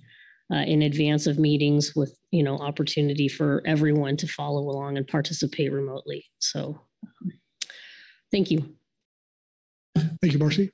Further discussion? Phil anderson. Yeah thanks mr chair. Um well at the risk of piling on a little bit. Um this will be my last chance to do this so on stock assessment so um one of the things that has been the most frustrating for me, at least over the years, is that um, we don't have any way to evaluate the effectiveness effectiveness of our management measures because we're we never get a chance to compare apples to apples from one assessment to the next. There are so many changes from assessment to assessment um, you have no idea whether what you have been doing as managers in terms of managing to our ACLs are being effective or not. Um, and I used to live in a, well, maybe sometimes I still do, in a land of panacea that we would get to a point where we'd, where we would be able to assess whether our management measures were achieving the management objectives by use of stock assessments. I don't I don't ever see that happening. And um, I I like uh, in many ways with, with Lynn in, in the black rockfish assessment in Washington. The only reason Washington isn't facing a similar situation that Oregon is is that our fishery shifted offshore and is we are we are catching far more yellowtail and canary now than we did a decade ago and fewer black rockfish. Otherwise, this black rockfish assessment and the ACL that goes with it at about 240, we were catching 350 and plus, and we a decade ago, and we would be in that same the only reason we're we're going to probably squeak by without having to have a lot of major restrictions is because of that shift. Otherwise, we we we'd be in serious trouble. Um, and I um, like I think like Lynn are are hearing and observing that our Black Rock Fish resource has not demonstrated that kind of a reduction in the biomass that the assessment indicates. So, and I think the um, points that Lynn made about the complexity and the ability to explain, let alone understand some of the variables that are in uh, our, our assessments, and with the slightest tweak of one dial, like natural mortality, you can completely change what you what the what that stock looks like. And um, so I'm just voicing frustration. Um, I know it doesn't do any good. Um, I, I, like others, have a tremendous respect for our stock assessment authors and all the hard work that goes in to these assessments, and I know that they're trying to give us the very best scientific information they can about these stocks. Um, uh, but that said, it's it's very frustrating to come to this a point like this every other year when we get new assessments. Thank you, Phil. Further discussion? Bob Dooley. Oh. Thank you, Mr. Chairman. Thanks, Phil, for those comments and kind of the same, same line of thought. I guess everyone hears me incessantly talk about MREP. And over my experience with MREP, I've come to know our stock assessors. I've come to know all of all the people involved in making the soup, and they're top notch. They're just the best. And I recall it's been five or so years ago, we had an EBFM workshop through MREP, a national workshop that was in San Diego, actually La Jolla, and it was um, was a it was about EBFM, and the conversation that struck me was there was a conversation between Jason Link, who's probably the premier E EBFM person from the East Coast at Woods Hole, and, J- and uh, Kevin Piner, Southwest Fisheries Science Center. And they had nearly a debate, nearly an argument about the validity of that in the room. And what stuck with me was that, yes, if you can only afford one thing, you only had money for one thing, would you put it in EBFM or would you put it into science stock assessments, more science to, to uh, get the data? And unequivocally, it was we need the data. And I see us going forward and trying to create new machines to give us an answer. The new the new slot machine, you put a quarter in and it gives you 50 cents. And I think I hear just this throughout this whole conversation that we're short on data, that we need to have the data to make these assessments. And they have a bigger effect than all the machines we're trying to create. We have limited budget. We all know that. And I think it, it, we really need to get the data from these places we can't survey. It's hurt us in copper, it's hurt us in canary. Those are going to come back and haunt us for years here. And we, in, in more ways than we even know, how this is going to affect us. And I think we need to start thinking in that direction that we need to focus on getting the missing data so that we know. And then I'll, I'll drift a little bit here again. Um, I, I worry about this whole process when that because of the last Magnuson reauthorization, the whole the the any control over these stock assessments has been taken pretty much out of the uh, council's hands.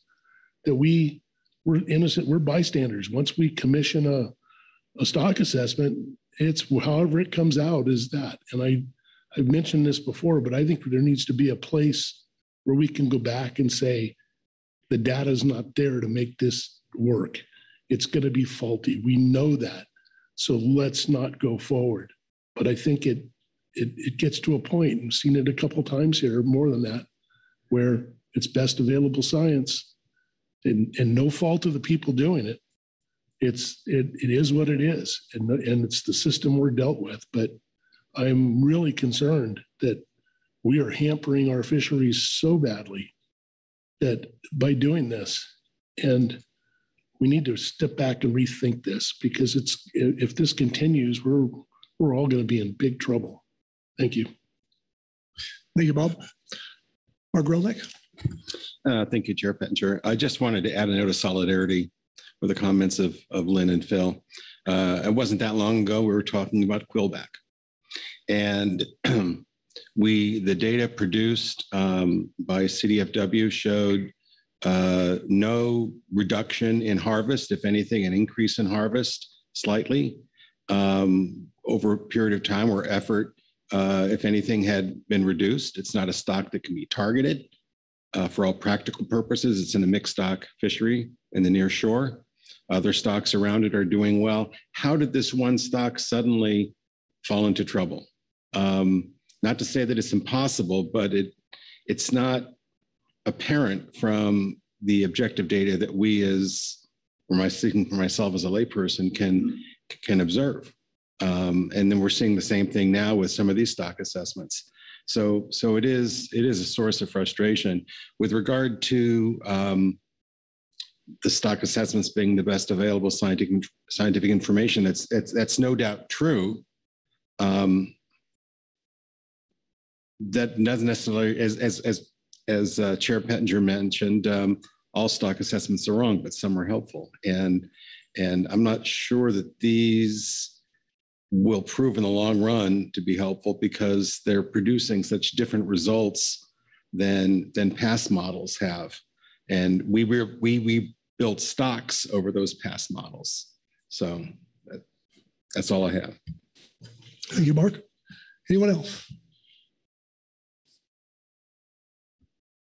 Corey Niles.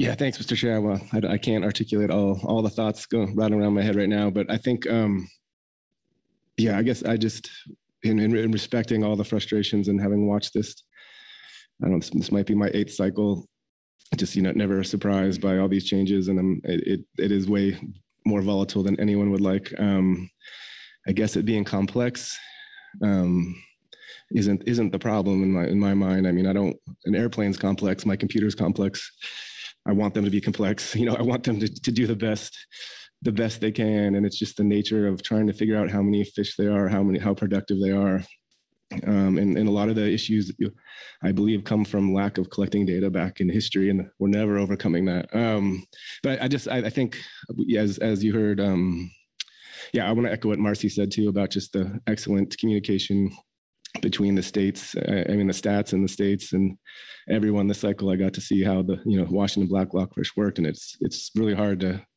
keep everyone in the loop and, and collaborate and um, but the, the efforts with, like by uh, Dr. Cope Jason Cope are great. So, but I'm, I'm trying to, the point I'm trying to get here is I think, I think as Dr. Field said, they're hearing this, they're seeing this too. And how, how, like Phil said, just small changes to these assumptions can, it's not just parameters, it's weighting the data differently, slightly differently changes, makes big differences. And is, is there a way that they can have um, the estimates come out of be more robust to that? And I think that's going to be a topic that the stock assessment community is um, going to be thinking about, and we should encourage them to think about it.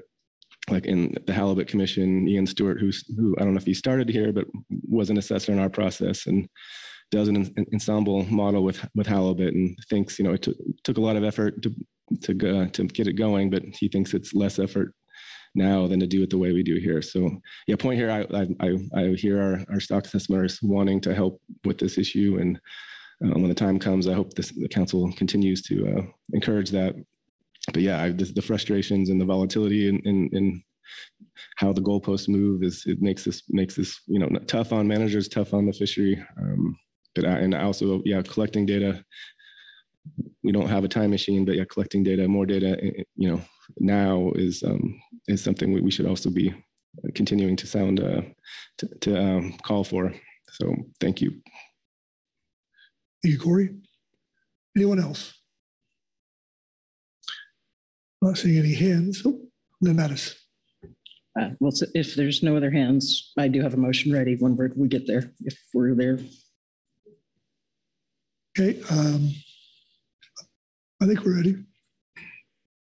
Um, I sent it to Sandra a little while ago. Hopefully she'll be able to pull it up.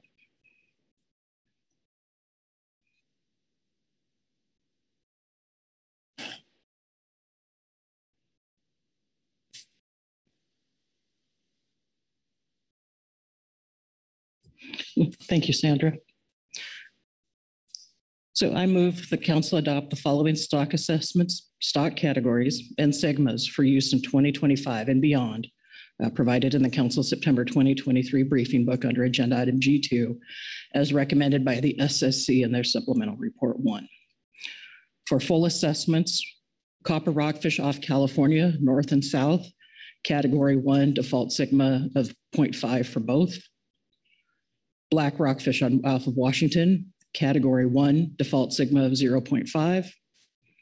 Black rockfish off of Oregon, category one, default sigma 0.5. Black rockfish off California, North and Central. Category one, default sigma 0.5 for both. Canary rockfish, category one, default sigma 0.5. Petrale sole, category one, default sigma 0.5. For data moderate assessments, Rex sole, category two, default sigma one. Short spine thorny head, category two, default sigma 1.0. Limited update assessment, sablefish, category one, default sigma 0.5 and two catch only projections for widow rockfish and yellow eye rockfish. Okay, thank you, Lynn. Is the language on the screen accurate? Yes, sir, it does appear to be so. Thank you. Looking for a second. Second by Bob Dooley. Thank you, Bob. Please speak to your motion, Lynn. I know based on the discussions we've been having, um, or or wait, is it for clarification or actual discussion? Just want to make sure I'm in the right spot. We got it seconded? Yep. Okay. Sorry. You're great. Clutch Clutching my brain slipped for a moment. Um, Based on the discussions we've been having here for the last little bit, I don't think, well, I think many of us are uncomfortable and maybe not even, and maybe even unhappy with the results of some, some of these assessments. But these are the assessments we have. And I think legally we have to adopt them, and this is what we have and we have to work with. Um, The categories, categories and the sigmas are what the SSC recommended uh, in their report. And I believe the GAP uh, recommended those as well. I don't have really any other discussion points at this point on this. Okay, thank you, Lynn. Questions for the uh, motion maker? Okay, discussion on the motion? Okay, I'm not seeing any, then I'll, I'll call for the question. So all those in favor signify by saying aye. Aye. Aye. Opposed? No? Abstentions? Okay, motion passed unanimously. Thank you, Lynn. Marlene? Thank you, Chair Pettinger. Uh, The council has um, heard from the SSC, its advisory bodies and the public. Um, You've had a robust discussion and um, had a lot of good uh, points to make, uh, question and answers. Uh, You had a motion and have currently completed your task in adopting the current stock assessment information in front of you. Okay, thank you, Marlene. Whew. Okay. All right, with that, uh, we'll go straight into um, G4. So we'll wait for a few moments here to get people changed around. And is Jesse in here by chance? Oh, we- oh. Oh, my bad. We'll go to G2. G3. G3? What am I looking at here? This is where we're. Okay. All right. It's G. It's G. Whichever G, Marlene, take us, take us away. Uh, Uh, Thank you, Chair Pettinger. We are on agenda item G3. And this is the stock assessment methodology review final topics under groundfish. Uh, The council operating procedure 25 is involved in reviewing proposed new methodologies to inform your management decisions. There are two types of methodologies that are addressed here, uh, depending on whether it's an odd year or an even year. Uh, We're in September of an odd year, so we're looking at those methodologies proposed for use in groundfish stock assessments. Uh, The council should consider the recommendations on any new proposed methodologies and schedule a formal methodology review next year during 2024 uh, for any of those proposals that you deem merit a review. We did receive uh, one proposal from the Northwest Fishery Science Center uh, that is under this agenda item in the briefing book. And so that is the current um, piece of information that is being proposed. Uh, That proposal, you also have um, several advisory body reports on this item. And just a moment, I'm not sure. Okay. All righty. Questions uh, for Marlene on the overview? All right. Seeing any? With that, we'll go to the SSC and uh, Dr. Holland. Dan?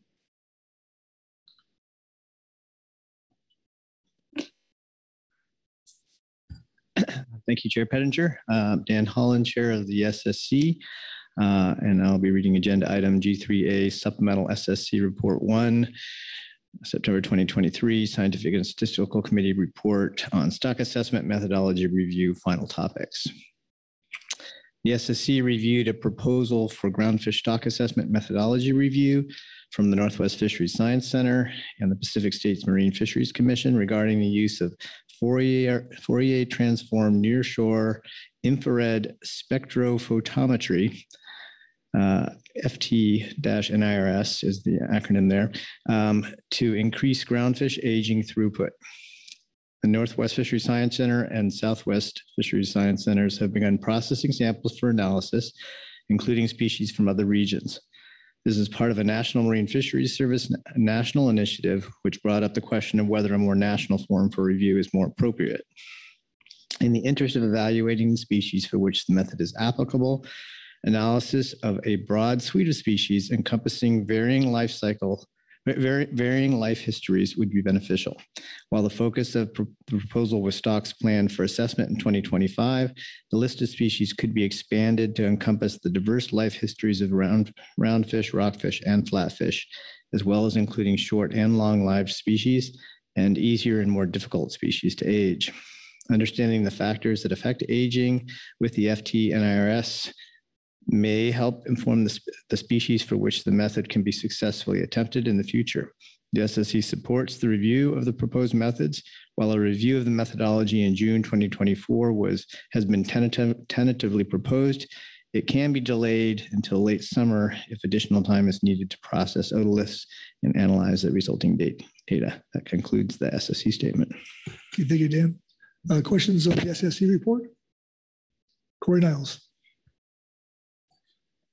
Yeah, thanks, Dan. Just kind of a question on um, the sentence about this being a national initiative and shouldn't be national in scope. But to be clear, what are you all saying we should have a local, we should have a West Coast review, but others should be doing it elsewhere? Are you saying we should also be looking to have the review here be national in scope?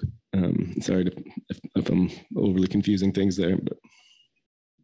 Uh, thank you for the question, um, Mr. Niles. Um, I think the idea was that there could be a national level review meeting um, uh, potentially in, instead of having just a regional one. Um, but um, it's, I guess it's, it's not clear, you know, that, you know, when that would be organized or how that would be organized. Um, and, you know, maybe with a little bit more time to look into this, um, we'd know a little bit more about that. But um, I think um, regard, regardless, there's interest in moving forward.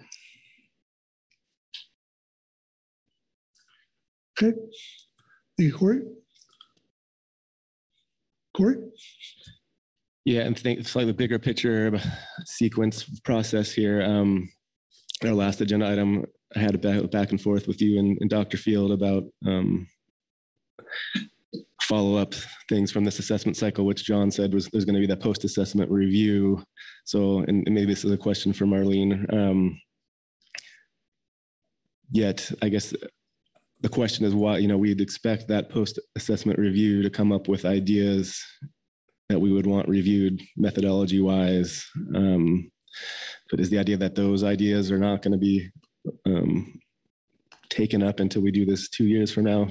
I'll stop there to see if you what I'm at. So basically, I'm thinking the review would would spotlight um, areas where we'd want new methodologies reviewed. But this is we're doing this before we hear about that, the results of that of, of the, the introspection on this year's assessment cycle. Um, thank you for the question, Mr. Niles. Um, I um, I think this is the time of year when we usually make the decision about what's going to go into a methodology review. I, I don't know that, that would completely preclude the possibility of them choosing something, you know, bringing something up later. I, I- I'm looking at Marlene here to see if you, you uh, have Yeah, anything to add there. Thank you. I'll try to address the question just from what we're planning currently. Um, For that, uh, the review at the end of the stock assessment cycle, which is being um, tentatively scheduled for sometime in January. Um, The goal there would be to talk about um, outcomes of the current process, and those would feed into the next council items on uh, stock assessment prioritization for the next cycle, as well as change to the terms of reference. And so I think those are sort of the two, the debrief from this cycle, as well as moving into prioritization in terms of reference changes for the, the coming cycle were the things that we were particularly planning on for that um, review meeting. So I'm not sure if there's an avenue for additional, I'm sure discussion will occur, but in terms of your question relative to how we would merge that into something for this process, that I'm unclear. Executive Director Burden. Thank you, Mr. Chairman. Um, and uh, thank you, Mr. Niles. That just made a very good point. And um, while our COPs call for a one-step methodology review, uh, we have done more than one in the past, is my understanding. And so just as your executive director, I would say if during the item formerly known as the postmortem, we raise something that we think should be evaluated further, I think we should evaluate it further. Thank you, Merrick. Okay. Marci Yaremko. Thank you, Mr. Chair. Uh, Thank you, Dr. Holland. Um, First paragraph, the last sentence uh, discusses that processing, uh, sample processing has already begun, including species from other regions. I'm hoping maybe someone can explain for us um, the, the time commitment uh, that's already been invested um, into the use of the new technique.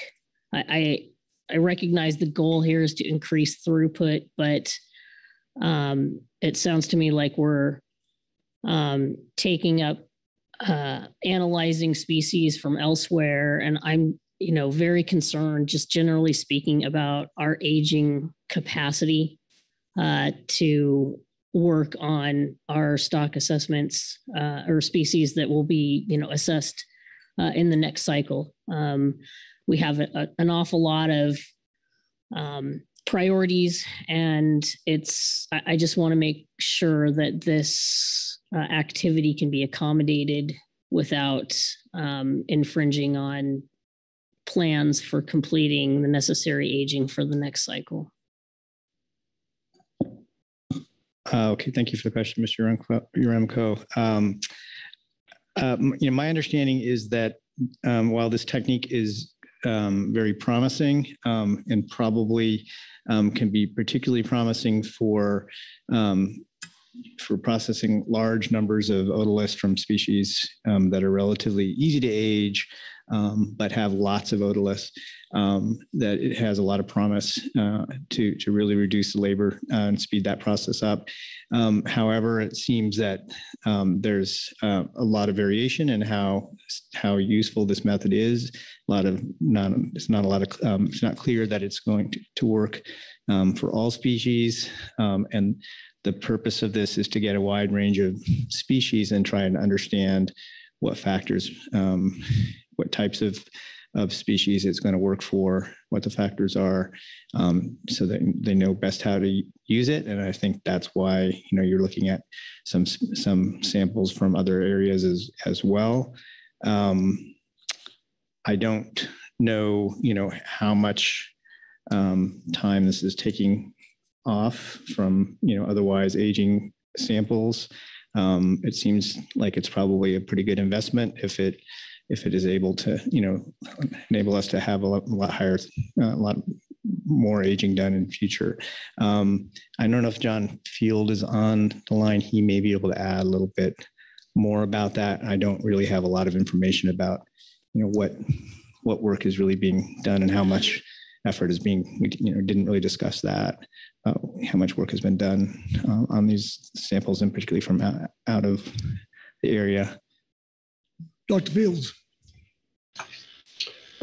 Thank you, Mr. Pettinger. Thank you, Mr. Yaremko, for the question. I'll try and um, fill in a little bit. I think Dan described the situation pretty accurately.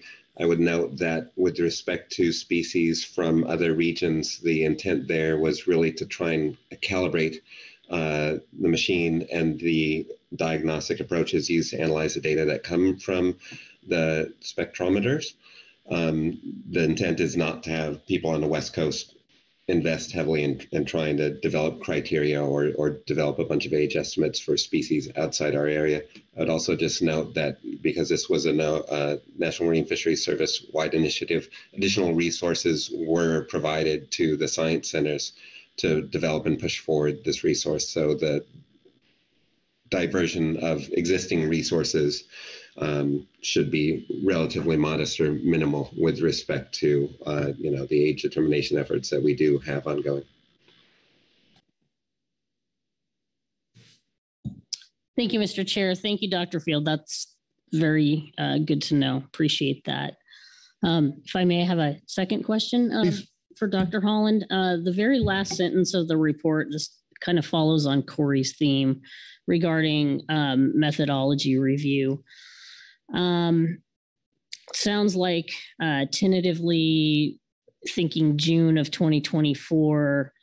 Um, I'm just concerned about the number of priority methods reviews that we have been talking about being really critically necessary. Um, development of our new indices and reviewing them f- for use in upcoming stock assessments. I'm thinking about um, new ROV surveys and techniques uh, to incorporate uh, those data streams uh, using various methods. So I guess I'm I'm struggling a little bit here with how this particular methods review fits in the the SSC's priority list, and maybe you can just speak to that um, generally because we've heard an awful lot of um, need for workshops, um, need for um, additional reviews um, on other topics. And so I'm just curious to know how this fits in the mix. Thanks. Uh, thank you for the question, Mr. Umko. Um, well, I think this was the only topic that was put forward uh, for consideration for methodology review. Um, so, um, in that sense, um, it it was prioritized because it was the only only topic that was put forward for an actual methodology review. Um, there are other topics um, for workshops. Um, it was also noted in our discussions that there's not a lot of clarity about um, about how what, what the process is really uh, for for um, scheduling workshops. There's not a sort of a similar um, it's not well described in the COP, I guess, um, like like this process is. Um, I don't know. I you know I, am not on the groundfish subcommittee, uh, and um, uh, so I'm not sure where this where this would fit. You know, in terms of their of their priorities, I think it is um, certainly something that's been a concern for a long time. That that you know that there's a lot of time spent uh, on aging, and that can be a constraint um, and it has been a constraint and or or cause delays in assessments having to do that. So if you can if you are able to do this, it could be pretty significant boost. And, and in addition, there is there are these resources that are available. This is a national uh, level uh, initiative that NMFS is putting money into, and that, so it seems like it's a good time to to move forward with it. So I think there's a lot of support for that. Um, but how it compares in terms of other priorities, um, I'm not sure that I could give you a good answer. Again, we've got um, John Field on the line. I, I, I don't, it's possible um, John Budrick is, but he was flying back, so he may not be. You would probably be in the best person to to to um, respond to that. Okay. Not seeing any hands up here, so anyone else? All right. Thank you, Dan. All right, next will be the gap report. And uh, Gary Richard Richter returns. Thanks again, Mr. Chairman, Council. B, speaking from agenda item G3A, supplemental gap report one. Groundfish Advisory Subpanel Report on Stock Assessment Methodology Review, final topics. The GAP wholeheartedly endorses the new methodology that will estimate groundfish ages much more rapidly than the current method of manually reading the number of otolith rings. Age data are critical for estimating recruitment strength of our groundfish species that can determine abundance trends, which are used for management guidance. GAP appreciates being kept informed of these important methodology changes that affect our fisheries. Love those short statements, Mr. Chairman. Thank you, Gary. Questions on the GAP report? You get off easy. Thank you. Thank you, Gary. All right, that finishes our, our um, reports and takes us to public comment. I believe we have one individual signed up. That would be Chris Howard. Is he on the line?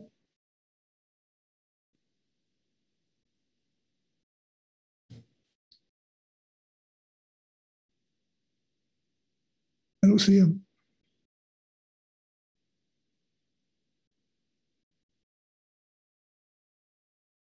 Chris, are you there?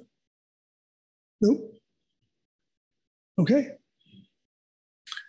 Well, that takes us to uh, council discussion, I guess, if we can't get him on there. So there we go. All right. With that, I'll open the floor. Keely?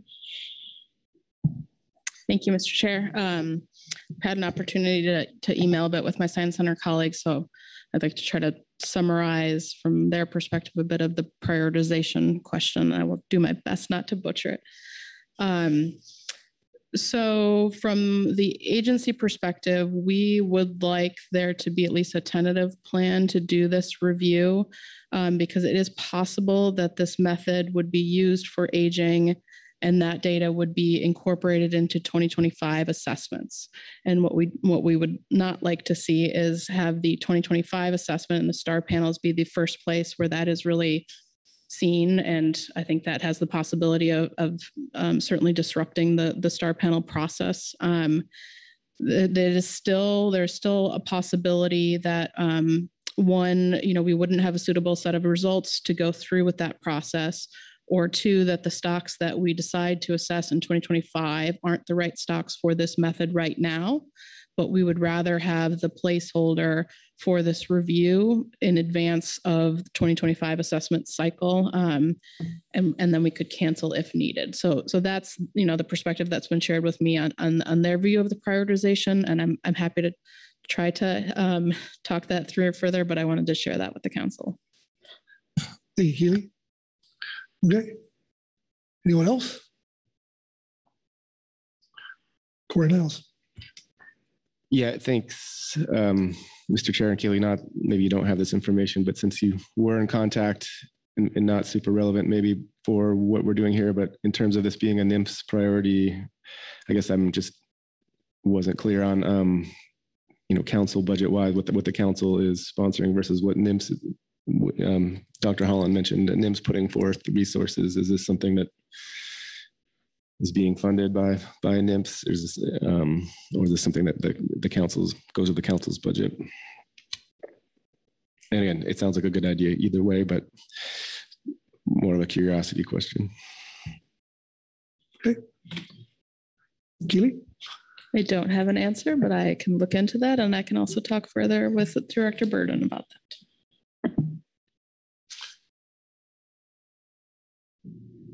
Executive Director Burden. Uh, yeah, thank you, Mr. Pettinger. Um, we are, as I think you all know, we are just getting started on a very preliminary view of our 2024 budget. Uh, I don't have a good sense for the council resources this would take, so I think it would benefit from a conversation with Ms. Kent and others as well. Thank you, Eric. Okay. Anyone else? Okay. Oh, Lynn Mattes. If we're to the point, um, I do have a very short motion for this to help us move forward. Okay, thank you. Please. Okay. Uh, Send it to Sandra with the other ones, hopefully. There we go. Um, I move the council adopt the fish age estimates developed using Fourier transformed near infrared spectroscopy methodology for review in 2024. Okay, is the language of the screen accurate? I I believe so, yes. Okay, looking for a second. Seconded by Corey uh, Ridings. Thank you, Corey. Please speak to your motion. Thanks. Ellen. I, I'm assuming that the NMFS staff and council staff will, will have discussion about the budget pieces and whether or not this review, where this review would fit in.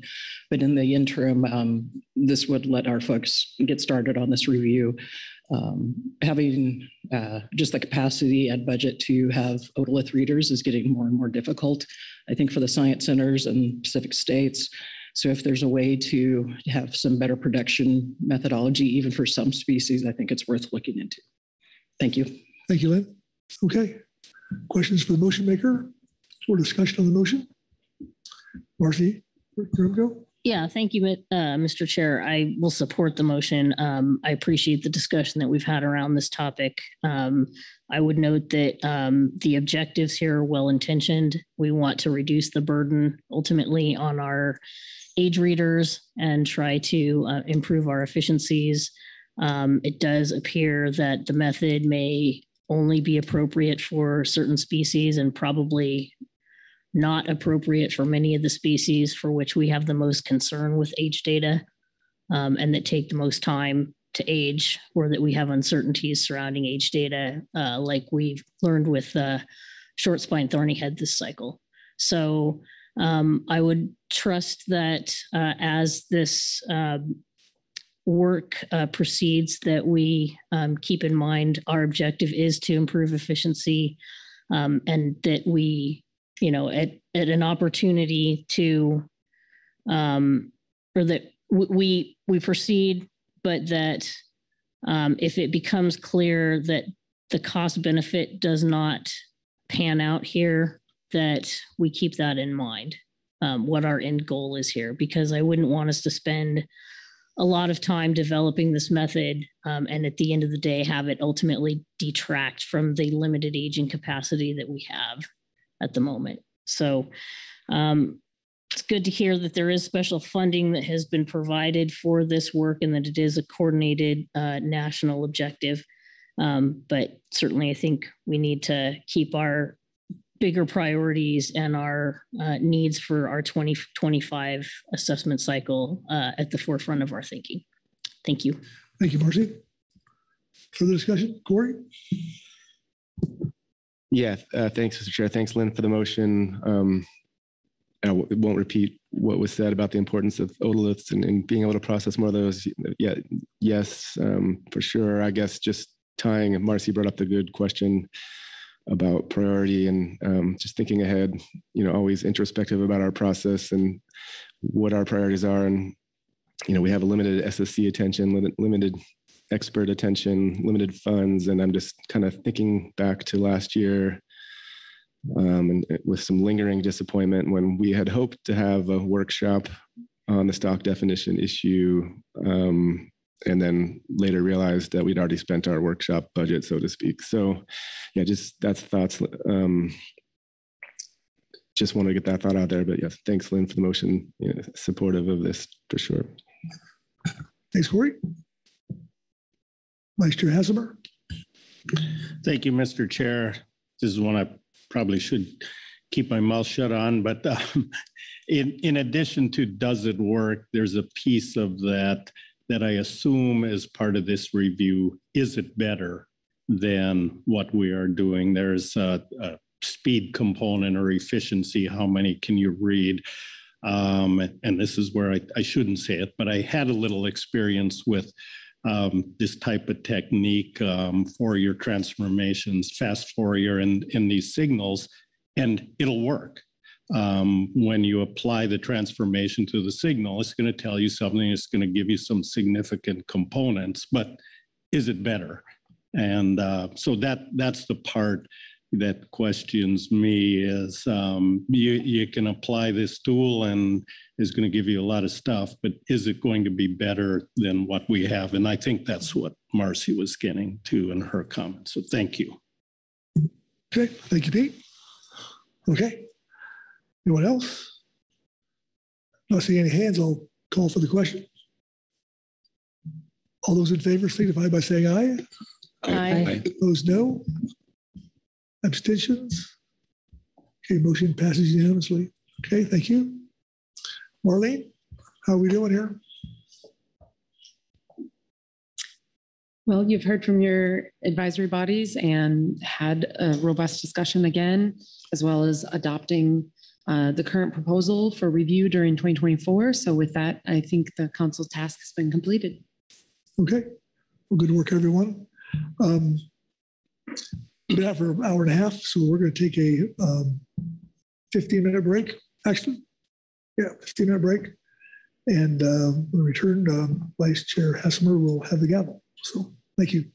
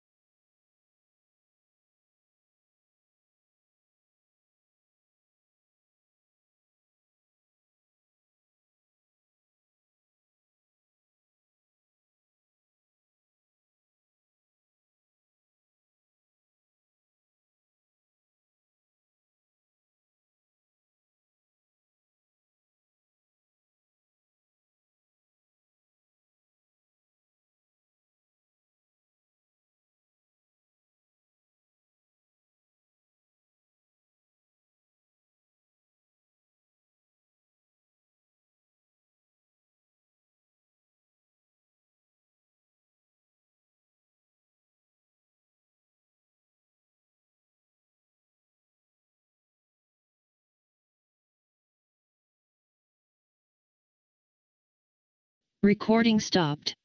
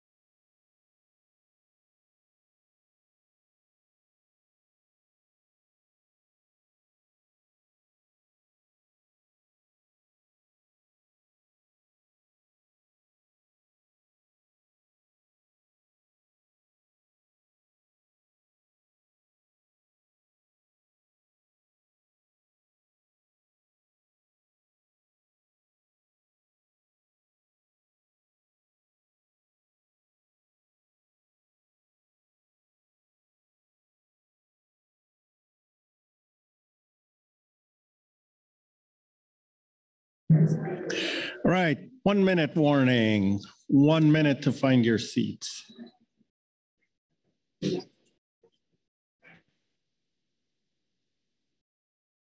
Recording in progress.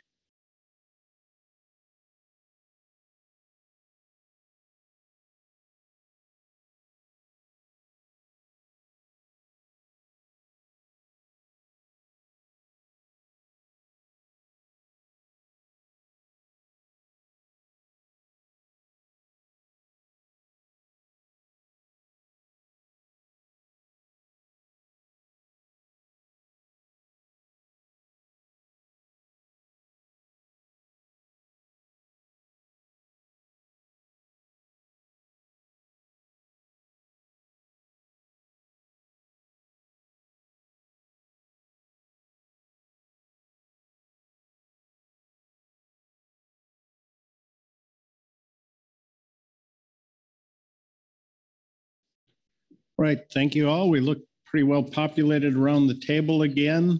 This is agenda item G4. Before I turn it over to Jesse Doerpinghaus to tell you what the long title of this is, a couple of new faces at the table who haven't been uh, with us yet this week. Caroline McKnight for California, welcome. And Maggie Sommer over in the NMFS chair. And I, I think that's all the new faces here. So with that, I will turn it over to Jesse to give us the introduction to this agenda item. Good afternoon, Mr. Vice Chair, council members. Yes, this is agenda item G for fixed gear marking and entanglement risk reduction and the limited entry follow-on actions. Give me just one second to share my screen. Awesome.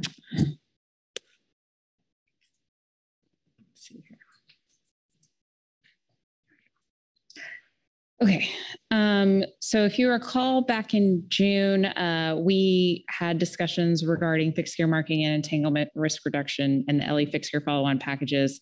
Um, these were separated out as two different actions, um, but for this meeting, they're they're still combined, and we will be discussing uh, later on um, in the presentation about the two individual packages that you can take action on today. So in terms of just an overview, in terms of briefing book materials, in attachment one, you have a proposed schedule for each of the packages, and attachment two provides a proposed purpose and need and range of alternatives for each package. There are supplemental uh, GAP, GMT, and EC reports, as well as public comments. Your council action for today is to adopt a purpose and need along with a range of alternatives if possible. And um, after this, I'll be going through the presentation, starting with the fixed gear marking and entanglement risk reduction item. So for this item, as outlined in attachment one, uh, the proposed timeline by council staff is we're obviously here in September 2023 with the purpose and need and range of alternatives if possible. And we've tentatively scheduled March 2024 for PPA and June 2024 as FPA. This was noted in June as a priority um, during the discussion on this item as a priority for NMFS.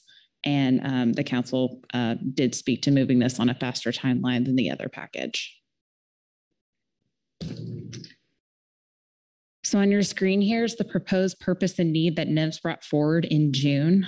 Um, council and NMFS staff have modified it to cover the remainder of the items that were included in the June written council guidance. And in bold, I highlighted some of the keys to this action, with the purpose being to expand fixed gear marking requirements and risk reduction measures for entanglement and bycatch. And then for the need, there are a couple parts um, to positively attribute protected species entanglements, understanding and reducing the risk of protected species entanglement, and improved bycatch reduction of the currently required biodegradable escape panels and fish pot gears.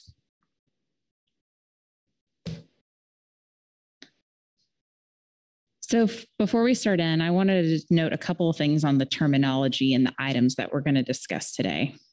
So the items and the range of alternatives presented in the document are specific to bottom longline, trap, and or pot gears in federal groundfish fisheries. So they're not applicable to other fixed gears like we have in the open access sector. So when we say fixed gears, we're talking about these gear types, um, the long line trap or pot gears and vessels that utilize these gear types. They can, those vessels could be in the open access, limited entry fixed gear, or IFQ gear switching fisheries. Also, these alternative discussed are not mutually exclusive, exclusive, so you could select an action alternative for each item. There are five items for consideration under this package, buoy marking, line marking, entanglement risk reduction, the escape panel, and a best practices guide. And I'm going to go through each of these individually. Starting with item one on buoy marking. So under no action, and you'll note that I've shortened the full description, but you can find them in the attachment too um, for the full details, but these are the main elements. So under no action, fixed gear must be marked at the surface and at each terminal end with a pole, flag, light, radar reflector, and a buoy. No line marking is required. The buoy must be marked with a number clearly identifying the owner and the operator of the vessel. There are two action alternatives proposed under this item. One would be gear specific buoy marking, and alternative two would be sector and gear specific buoy marking. So on the first one, alternative one, this would be identifying the buoys with pot and long line specific tags. And then the alternative two would be thinking of things like having different identifiers for LE pot or LE long line, for example.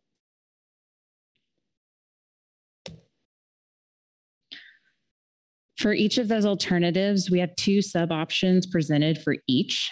Um, sub option A would be uh, to have sablefish specific patch, shape, letter um, on the polyform buoy. And sub option B would have to have cattle tags attached to the molded eye of the buoy. Based on conversations with um, the councils and the advisory bodies should consider the need to distinguish across sectors or if just having individual gear ta- or gear identifiers would be sufficient. And based on preliminary conversations with NMFS staff, we do believe the gear specific alternative may be sufficient, given that other information like the buoy number would be able to potentially identify the sector. For sub option A, the type of um, when it comes to the sub option, the council may want to put the specifics in a best practices guide, which we're going to discuss a little bit more in detail later, rather than the regulations. This way, if methods of marking prove to be better than others, the regulations wouldn't have to change, but rather the more formal practice of updating a best practices guide. So for sub option B, Currently, the color and shape of cattle tags used in state Dungeness crab fisheries changes each year to help with derelict gear cleanup programs. Therefore, if the council includes the sub option, you may want to consider if the tags are the same annually so that it's easier for fishermen and easier for the states to not pick that color or style.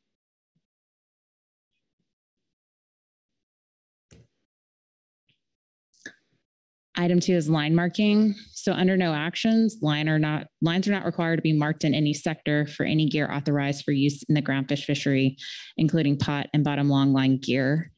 And for our action alternatives, there are three main decision points for consideration the portion of the line marked, the distance of the line marked, and the method of marking. So for the portion of the line mark, this would be to require that some or all of the line be marked in a unique color scheme and method. Alternative one would be all the line be marked, so the surface, vertical, ground line, and anchor line. Alternative two would be only the vertical line. And then alternative three would be the surface and the vertical line. For distance of marking, this would be to require that lines be marked in a unique color scheme for a specified length of the vertical line, starting where it attaches to the buoy closest to the ground line with three alternatives being at least five fathoms, at least 20 fathoms, or at least 50 fathoms.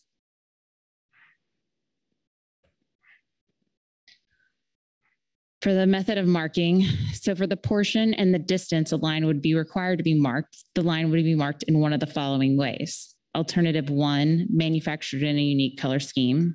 Alternative two would be temporary markings at specific intervals from the surface buoy, with suboption A being at least every five fathoms, B at least every 20 fathoms, and C every 50 fathoms.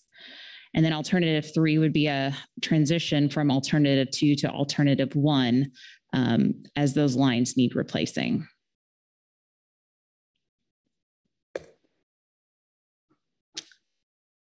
So in terms of line markings, we do suggest that the lines would need to, um, the attachment two describes how the markings would need to follow the same scheme as item one. So we're looking at likely having buoy markings and line markings that are either both gear specific or gear sector specific. So, um, excuse me. For the portion of the line mark, after some discussions with NMFS Protected Resources staff, we did add alternative three from the June written guidance, um, which would be to mark the surface and the vertical line. The state, um, so as previous discussions have appeared to be just around the vertical line, but we may want to consider adding that to help identify entanglements without buoys. And I'll note that the state Dungeness crab fisheries are considering, and I believe have started marking the surface line. So this would be in line with that practice as well. For the distance marked alternative, the EC in June noted that having continuous marking for the first five fathoms at a minimum would help to evaluate compliance.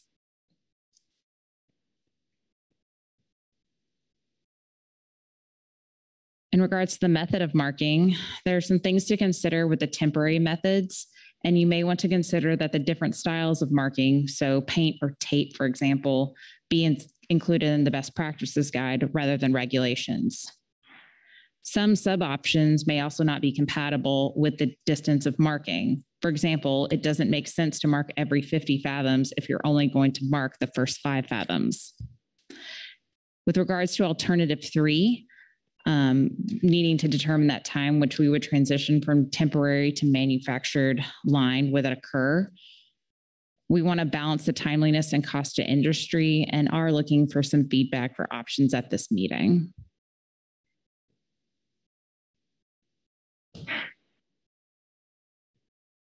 Item three is entanglement risk reductions. And there's one item um, currently in here, and that is right now under no action, fixed gear vessels are required to use surface gear, buoys, and flagpoles at each terminal end of the ground line. And the proposed action alternative is that fixed gear vessels would be allowed to use surface gear on only one end of the ground line. Now, while this was the only item moved forward by the council in their written guidance in June, staff did want to note some in the doc, other items in the document um, and here in case there is interest as we are trying to establish that full ROA if possible. So some other items that have been brought up through public comment and other methods have been time area closures, the use of pop-up gear and surface gear limitations.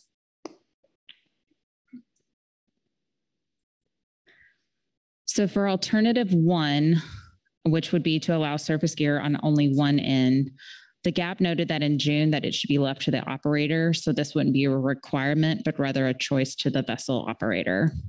The EC, however, was not supportive of this in June because they stated it was difficult to enforce in closed areas. For those other items, um, again, not a full list in the document, but highlighting a few. For time area closures, these could be based on historical or real-time data or models. Regards to pop-up gear um, this one has a lot of different thoughts. You know there are some that think it's most effective in reducing entanglement but it does have potentially high cost and there are some uncertainties about the reliability of the technology. For surface gear limitations, this is um, would include measures such as limiting surface buoys or the amount of line that can trail surface buoys. And surface gear limitations are being considered in crab as well and could be considered in a best practices guide rather than putting um, limitations in regulation.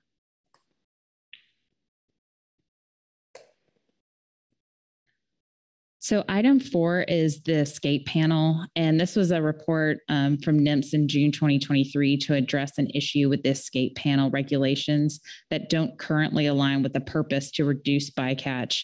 As the way the regs are written, the escape panel could actually be on the bottom currently. So in the alternative, it would be to modify those regulations so that the position of the escape panels may not be on the bottom of the pot with an exception for collapsible pots or slinky pots. And we had some proposed language for discussion on page seven of the attachment two.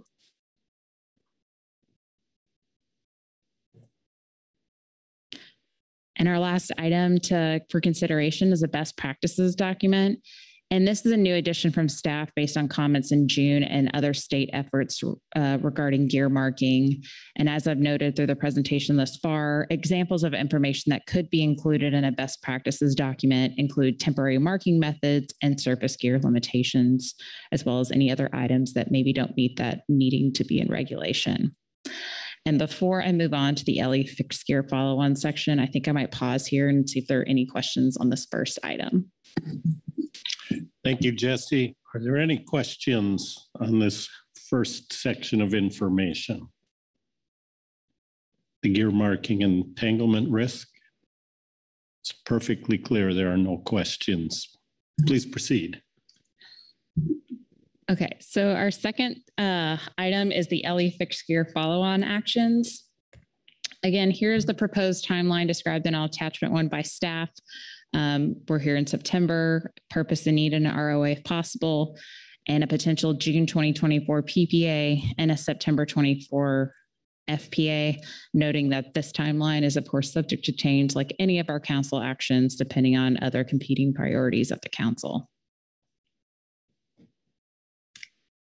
I'm not going to read this whole purpose and need here, um, but this was drafted up by uh, NMFS and council staff, and comments and feedback um, were welcomed by advisory bodies or council members.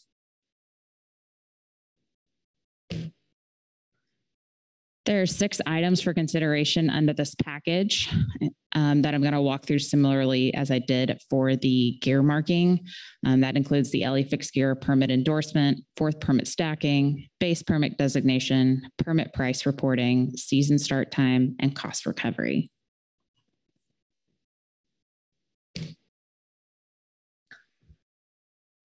Before getting into the different alternatives, I wanted just to give a quick overview of the LE fixed gear sector as different uh, some of the items apply to one portion or to all of the LE fixed gear sector. So to participate, vessels must be registered to a fixed gear endorsed permit, whether long line or pot. Um, and there are two sectors within the LE fixed gear sector. There's the trip limit fishery for vessels, um, and then the sablefish tier fishery, in which vessels have to have a sablefish endorsed permit. Vessels are only allowed to fish with the gear on their registered permit or would need to declare into the open access fishery. And I'll note that one exception that will be coming is the non-trawl area management measures package or amendment 32, which will allow LE fixed gear vessels to use those two non-bottom gear types in the RCA in the non-trawl RCA to fish up to their trip limits. And you can see here on a screen our different gear endorsements and then the number of permits that we have that are um, general LE fixed gear permits and then Sablefish endorsed permits and the numbers that were registered of each in 2022.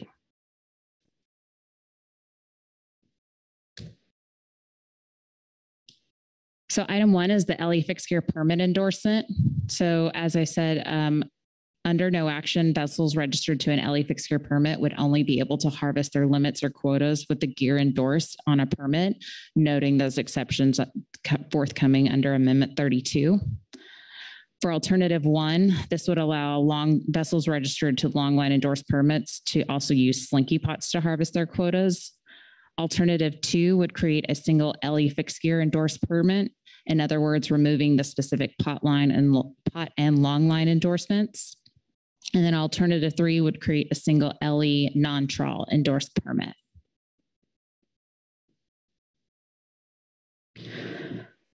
So in terms of discussion on this item, so you'll note that each alternative provide more flexibility for participants with gear usage. Starting with alternative one, this would allow slinky pot use for longline vessels for all limited entry fixed gear vessels uh, registered to a longline permit. And I'll note that a majority of our permits are longline endorsed as seen in that overview slide. Currently, those vessels using pot that are pot endorsed can utilize slinky pots. Um, one thing to consider with alternative one is that this would just be another exception to the allowances. So we're getting into um, regulations where we have you're allowed to do you know either pot or long line gear, and then we have our Amendment 32 exceptions, and this would be yet another one on top of that. So something to consider. And due to that um, growing number of exceptions, alternative two and alternative three came out of the June written guidance and discussions with uh, that came out of the NMFS report, staff discussion, and the GMT and GAP. And so alternative two would create a single gear endorsement, um, but still leaving those exceptions as proposed under Amendment 32. In other words, vessels participating with a limited entry fixed gear permit could utilize either pot or long line gear and would not be restricted um, to one or the other. I'll note that this type of endorsement was considered during the original um, discussions under Amendment 6, but the council did choose to go um, with the separation of gear endorsements. So that'll have to be considered in a forthcoming analysis if included in the range. For alternative three, this would allow LE fixed gear vessels to operate like open access and IFQ gear switching vessels. They would be able to utilize any legal groundfish non-trawl gear. This would reduce regulatory and enforcement complexity um, and could actually encourage a shift from open access to limited entry because open access participants that might use gear other than pot or longline can purchase LE fixed gear permits, which we do have latent LE fixed gear permits, and then move over to access those higher trip limits with the gear that they're used to using. This would definitely be the most significant program change for Amendment 6. And so there would be a significant uh, level of analysis with alternative three and considering going to a non trawl gear endorsement.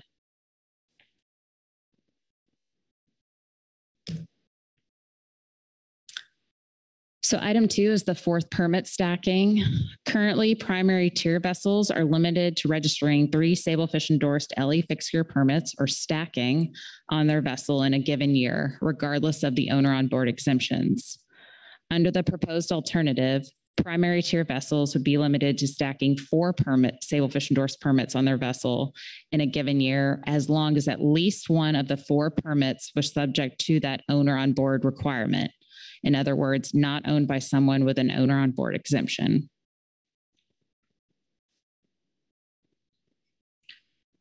So while the alternative described in June was focused on the stacking limit and the owner on board provision, there is a third element that comes into play with this item, the own and control limit. So under the own and control limit for the tier fishery, no individual person, partnership, or corporation in combination may own or hold more than three Sablefish endorsed permits, either simultaneously or cumulatively over the primary season. And control is can be seen as vessel owners that have permits registered to their vessel, even if they aren't owned, are considered to hold that permit um, and control that permit. So in the gap in 2023 noted that the four permit stacking limit was assuming that we would be able to maintain that three permit own and control limit. But since permit owners and holders are subject to the three permit limit, we would need to actually increase the four permit own and control limit for this alternative to occur. And we did provide revised language to that um, on page 11 of attachment two.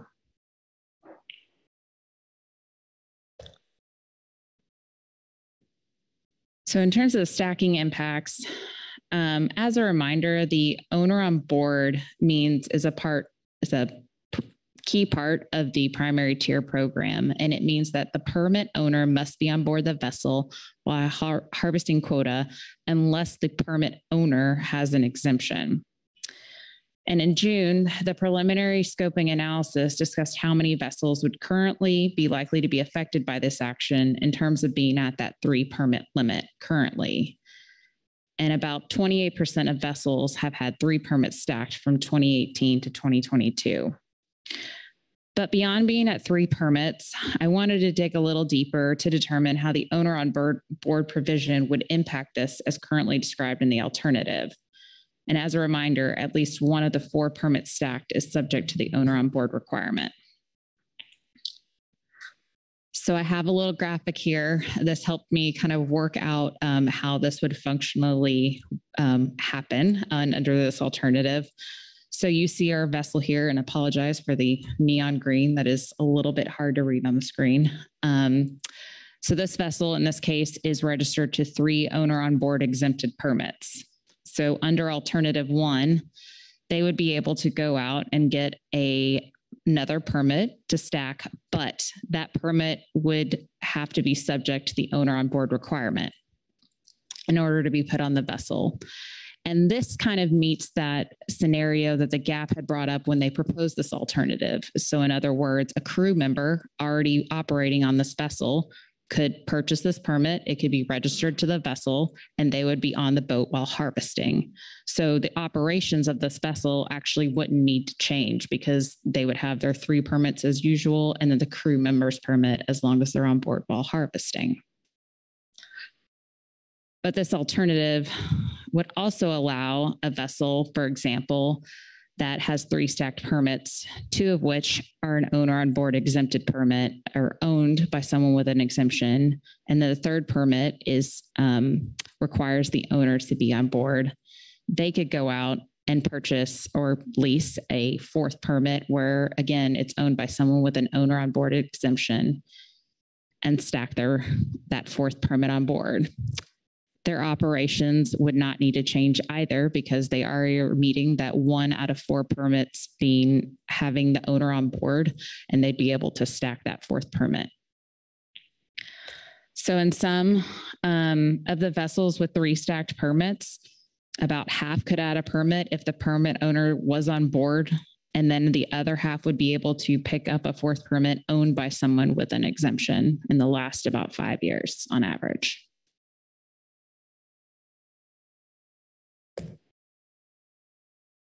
For item three, the base permit designation, under no action, NMFS designates the base permit as the permit registered to the vessel for the longest period of time, so long as its length endorsement is sufficient for the vessel and unless the vessel requests a different permit. And the alternative would be to remove this designation and associated regulations. This item was highlighted during the tier review that this regulation isn't necessary as we already have regulations requiring a vessel to have at least one permit that meets its length requirements. And so this is really just an unnecessary administrative burden. For permit price reporting, uh, currently we don't collect any permit price information when LE fixed gear permits are sold. There are two alternatives here. Uh, alternative one would be owners of Sablefish endorsed LE gear permits would be required to disclose that price upon sale to a new owner, with alternative two being all LE gear permit owners, Sablefish and non-Sablefish endorsed would be would be required to disclose the prices. The GAP noted in June 2023 that this should be an easy addition to the permit forms, and this information could help with future reviews and analysis.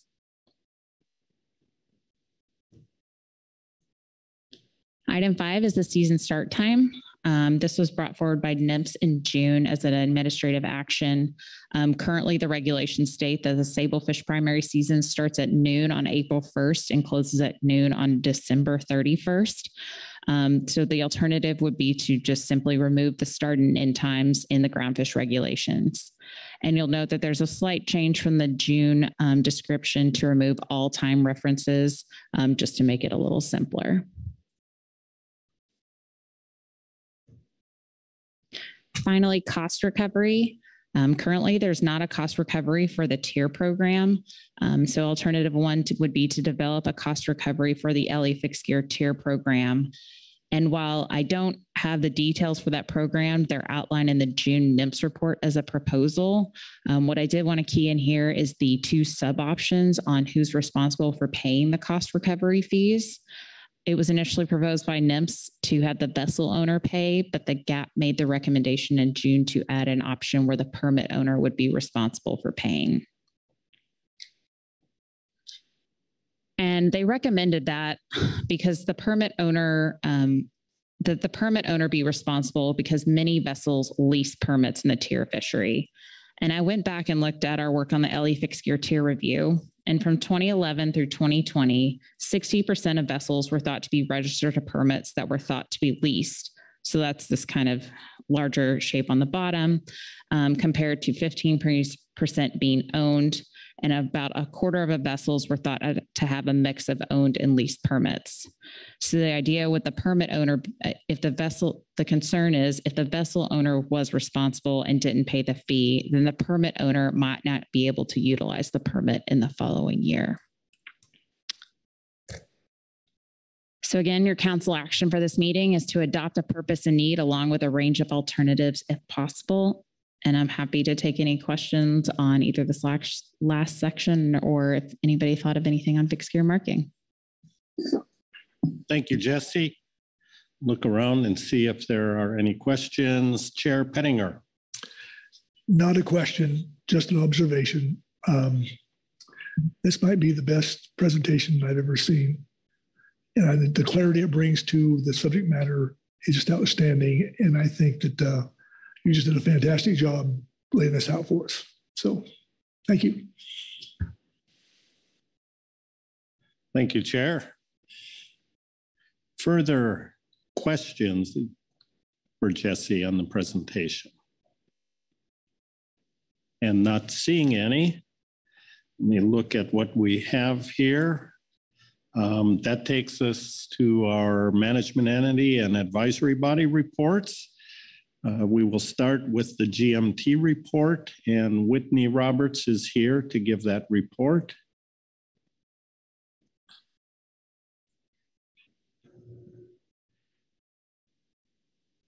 Good afternoon, Whitney. Good afternoon, council members. Uh, For the record, my name is Whitney Roberts, and I'll be reading Agenda Item G4A Supplemental GMT Report 1, Groundfish Management Team Report on Fixed Gear Marking and Entanglement Risk Reduction and Limited Entry Fixed Gear Follow-On.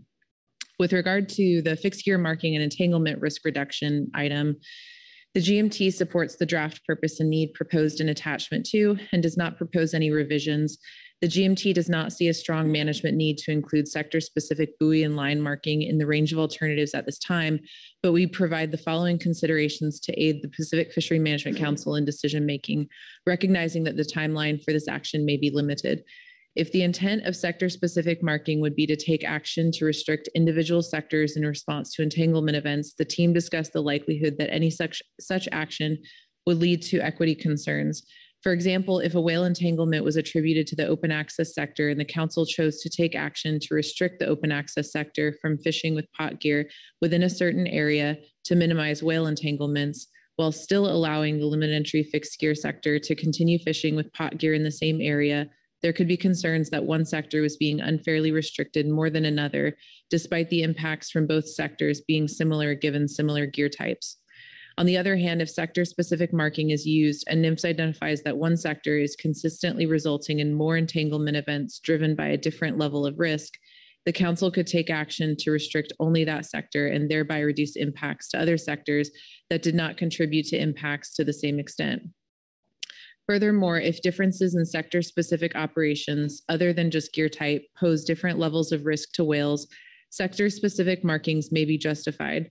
Some examples of these differences may be line thickness or type, soak times, total time of gear in the water, etc. Additionally, the council could consider developing risk reduction measures that address sector-specific operations that pose substantially different risks. The GMT recognizes sector-specific identification of entangled gear might be gained through information or markings required on buoys but also is aware that it can be difficult to discern this information and markings in the field, for example, blurry photos and faded markings. If temporary line marking is allowed, the GMT seeks clarification about how long each segment of line would need to be marked if methods such as dipped or spray paint are used. The GMT also suggests adding a sub-option under alternative two of method of marking for an interval of at least every 10 fathoms. Under item two, method of marking, the GMT also discussed the potential impacts to fixed gear participants required to use manufacturer marked line in the event that one or more of the facility's manufacturing line closes or is severely limited in capacity. The GMT also notes public comment offered during the June 2023 meeting, which emphasized the resulting inflexibility for individual vessels should manufacturer marked line be required. The council should consider those potential impacts if alternatives one or three are included in the ROA whether that means including a sub-option provision allowing for flexibility in the event of manufacturing constraint, or whether that means considering such a flexibility when writing the rule.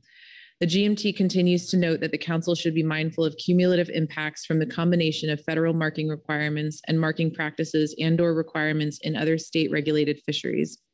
Being cognizant of existing state fishery practices or requirements while avoiding timeline overlaps could minimize those cumulative impacts to participants of both.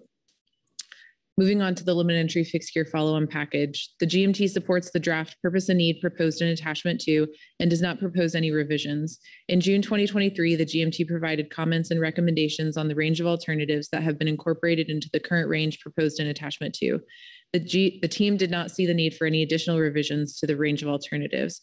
Regarding item one, LEFG permit endorsement, the GMT requests that the preliminary analysis attempt to address the question about whether gear-specific endorsements are still necessary to limit harvest capacity, such that the council is able to provide sufficient allowable catch while protecting the resource as outlined in the purpose of Amendment 6. This analysis, the analysis to support Amendment 6 noted that gear-specific endorsements, in other words, trawl, longline, and fish pot, were established to place greater constraint on capacity. The analysis also noted that, quote, the connection between fish pot and long, pot, line gear did not appear to be stronger than the connection between fish pot and trawl gear in terms of vessels switching between gears, and that with Amendment 6, quote, vessels would not be allowed to switch from a less powerful to a more powerful type of limited en- entry gear, for example, long lining to trawling for rockfish. End quote. Thus, the council should consider whether there is still a need to limit capacity of specific commercial non-trawl gear types within the limited entry fixed gear fishery. Preliminary analysis to address this question could inform further revisions to the ROA, such as alternatives or sub-options that restrict traditional fish pot, in other words, not including slinky pot, capacity if it is determined that conservation and or habitat concerns warrant continuing to limit capacity of that gear type. And that concludes the GMT statement. Thank you, Whitney. Are there questions on the groundfish management team report? I see no questions. Again, thank you. Next, we will have the Groundfish Advisory Subpanel report. I have Poggy Lapham here and my sincerest apologies for any mispronunciation. Uh, Council, Mr. Chairman, uh, my name is Jorgen Lapham. I'm known to y'all as Poggy. I'll be reading uh, agenda item G4A, the supplemental gap report one. Groundfish Advisory Subpanel Report on fixed gear marking and entanglement risk reduction, limited entry, and also limited entry follow-on actions. The Groundfish Advisory Subpanel, or the GAP, provides the following comments on the fixed gear marking and entanglement risk reduction and limited entry fixed gear follow-on actions. fixed gear marking and entanglement risk reduction. The purpose and needs statement. While we understand the necessity of including the last sentence, the structure could be modified for clarity. The gap suggests the following. Action is also needed to improve the effectiveness of the biodegradable escape mechanisms currently required in pot gear. Under the range of alternatives, item number one, buoy marking. The GAP supports the inclusion of alternative one, but recommends removing alternative two from the ROA. Marking buoys according to gear type, in addition to the already required vessel information, will align the fixed gear fisheries with other fisheries working to reduce and attribute whale entanglements. The GAP understands that a gear sector identification alternative is not needed to attribute entanglements given the already required vessel information. The GAP recommends including both sub-options and on alternative one for the ROA. Item number two, line marking. This portion of the GAP discussion was diverse and included many references to the ongoing line marking discussions in the state-managed Dungeness crab fishery. In those fisheries, marking up to the top 20 fathoms of line has been recommended. It would be helpful to have more direction from NMFS about the distance of marking and mark spacing that would be adequate. The GAP is interested in the use of a custom color line and believes that acquiring funding is a good way to ensure continuity and take advantage of economies of scale. The GAP supported the various alternatives under this item with the exception of the following. The portion of line marked. The GAP recommends dropping alternative one because of the burden of marking all of the line used in the fishery is excessive. For the distance of marking, the GAP recommends the removal of alternative three because the burden of marking more than 50 fathoms of buoy line is excessive. Item number three, entanglement risk reduction. The GAP is in full support of including alternative one in the ROA, allowing the use of one buoy line per set, allowing the use of one buoy line per set. The GAP is hopeful that further discussions with enforcement consultants can bear out that the benefits of this action outweigh the risks.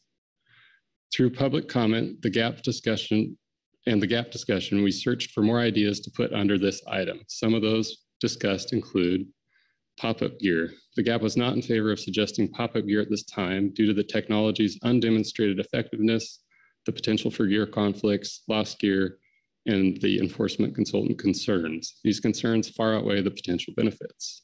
Number two, time and area closures. There was no support for this in the GAP for many reasons, including that whale entanglements have not followed a specific pattern and environment, or sorry, enforcement consultant concerns about enforcement. Number three, surface gear limitations. This has been used in the Dungeness crab fishery and may have an application in the fixed gear fishery. The simplest form would be preferable, in effect, total allowable length of gear on the surface.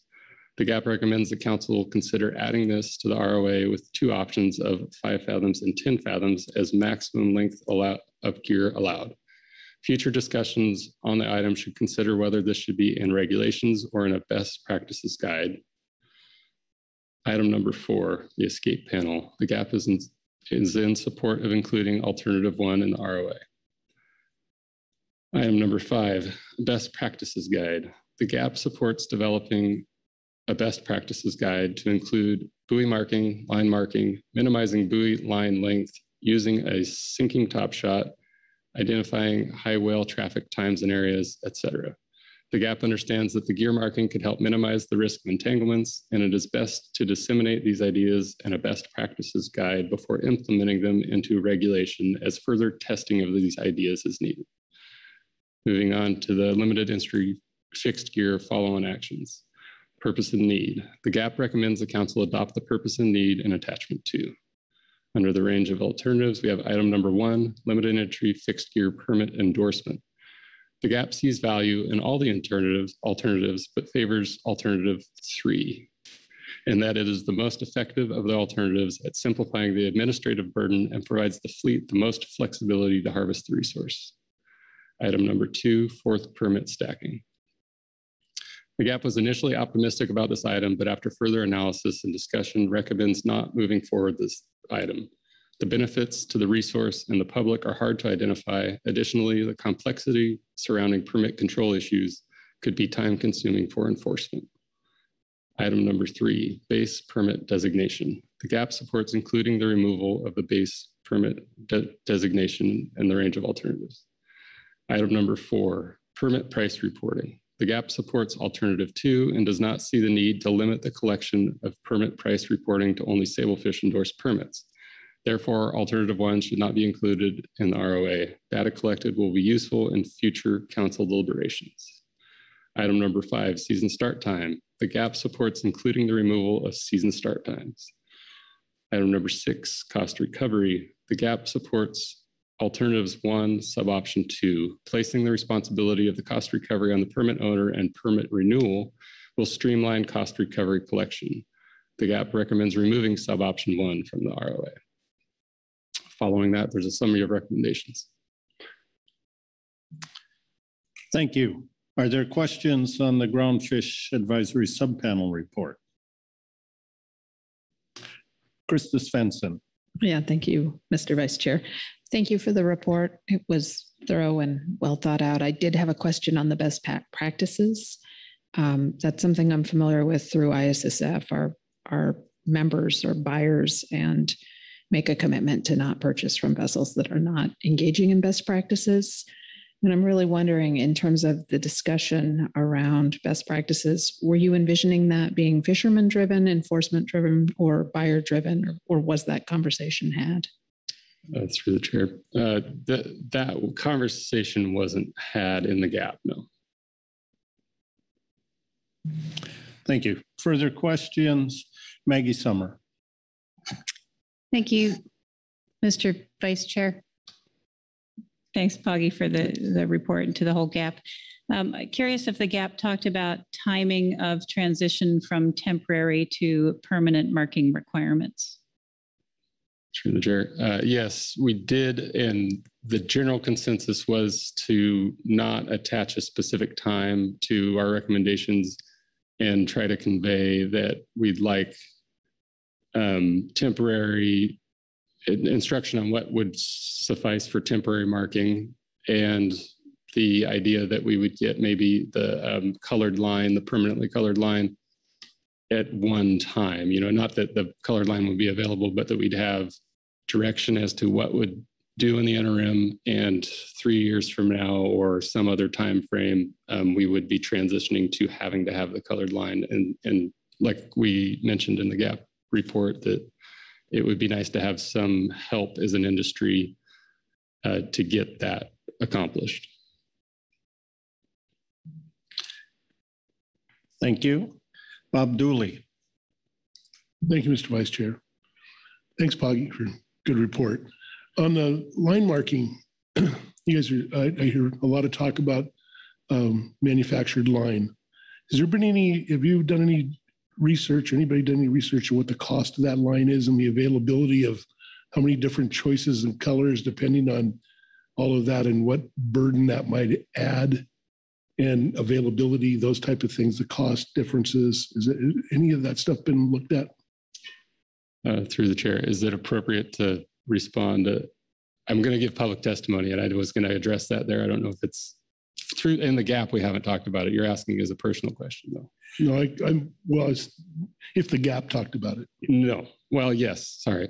The gap expressed the fact that uh, to order line, you, you you might be able to walk in and get what they have, and it's a certain color. But to get a color of line, a specific color, takes a minimum order and might take a lead time of eight months or more, depending on where the line comes from. You know, there's manufacturer, the two main ma- manufacturers are in Korea and Nova Scotia.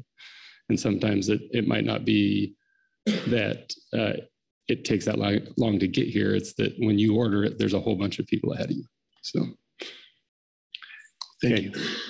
Thank you. Yeah, we're just asking for the, the gap. Yeah, right. Further questions? Corey Ridings. Thanks, Mr. Vice Chair. Thanks, Poggy. Um, I'm looking at item three, entanglement risk reduction, and um, the GAP kindly responded to some public comment and discussed about some ideas that were brought up. And I noticed you comment on pop-up gear. The GAP was not in favor of suggesting pop-up gear at this time due to the technology's undemonstrated effectiveness, potential for gear conflicts, lost gear, and EC concerns.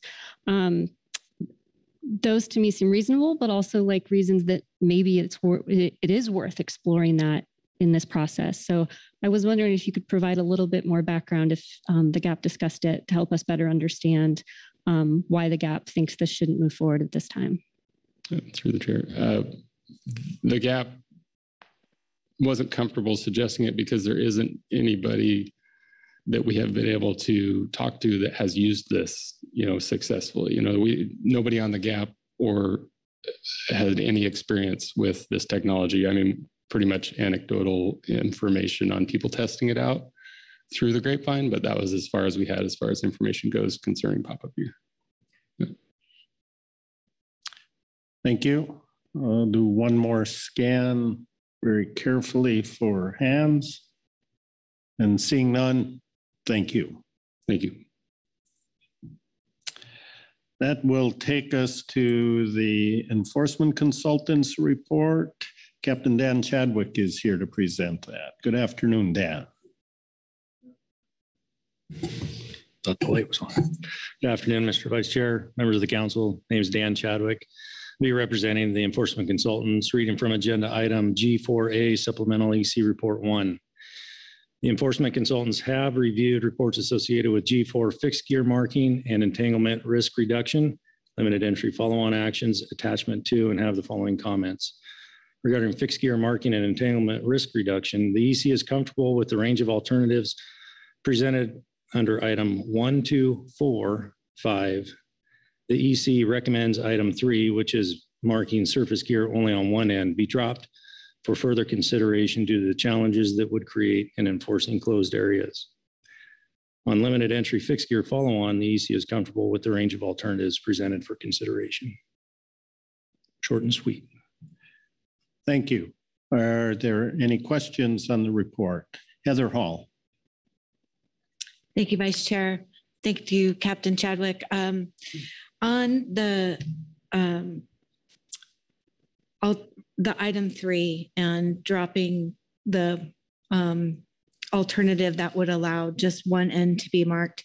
I know you talked about it on the EC relative to enforcement issues. Did you talk about it relative to any other issues that you see on the water in your experience just with derelict gear or that kind of thing? Yeah, thank you for the question through the vice chair. Again, thank you for the question. Um, in addition to the closed area concern for marking both ends, we we have seen over over the period of specifically the directed halibut fishery into a um, the need for both ends to be marked just for gear recovery. Oftentimes, lines get crossed, gear gets um, separated, and the need to recover that amount of long line gear is is, is important. So having that both ends marked is uh, is something that we see that's important. Eh, you know, and we we have our coastal crab fishery that has 300 and 500 pot limits off of Washington, and um, some of those crab fisheries are out to 100 fathoms, and so those are long individual crab pot lines, and so having the long line gear marked in the distance that it is on both ends seems reasonable. Thank you. Further questions? Um, no questions, so thank you, Dan. Thank you. That completes our management and advisory body reports. We'll take us to public comment. We have three signups. We will start with Valerie Phillips. Valerie will be followed by Ben Enticknap. Uh, Valerie, can you hear us? Yes, can you hear me? Yes, we can. Please go ahead. Okay. Okay, give me one second. Let me pull it up here. Thank you, Vice Chairman Hassemer. My name is Valerie Phillips, and I'm the daughter of Tom Falk, who is the owner of a limited entry fixed gear permit with a long line endorsement on the fishing vessel Aquileo, based out of Santa Cruz, California. My father's background in this fishery dates back to the 1980s and includes fishing both pots and long lines in the open access sector and under his limited entry fixed gear permit. I have been working full time with him for 11 years, and although I'm not a permit holder, I do have a vested interest in the limited entry fixed gear fishery and its preservation for generations to come.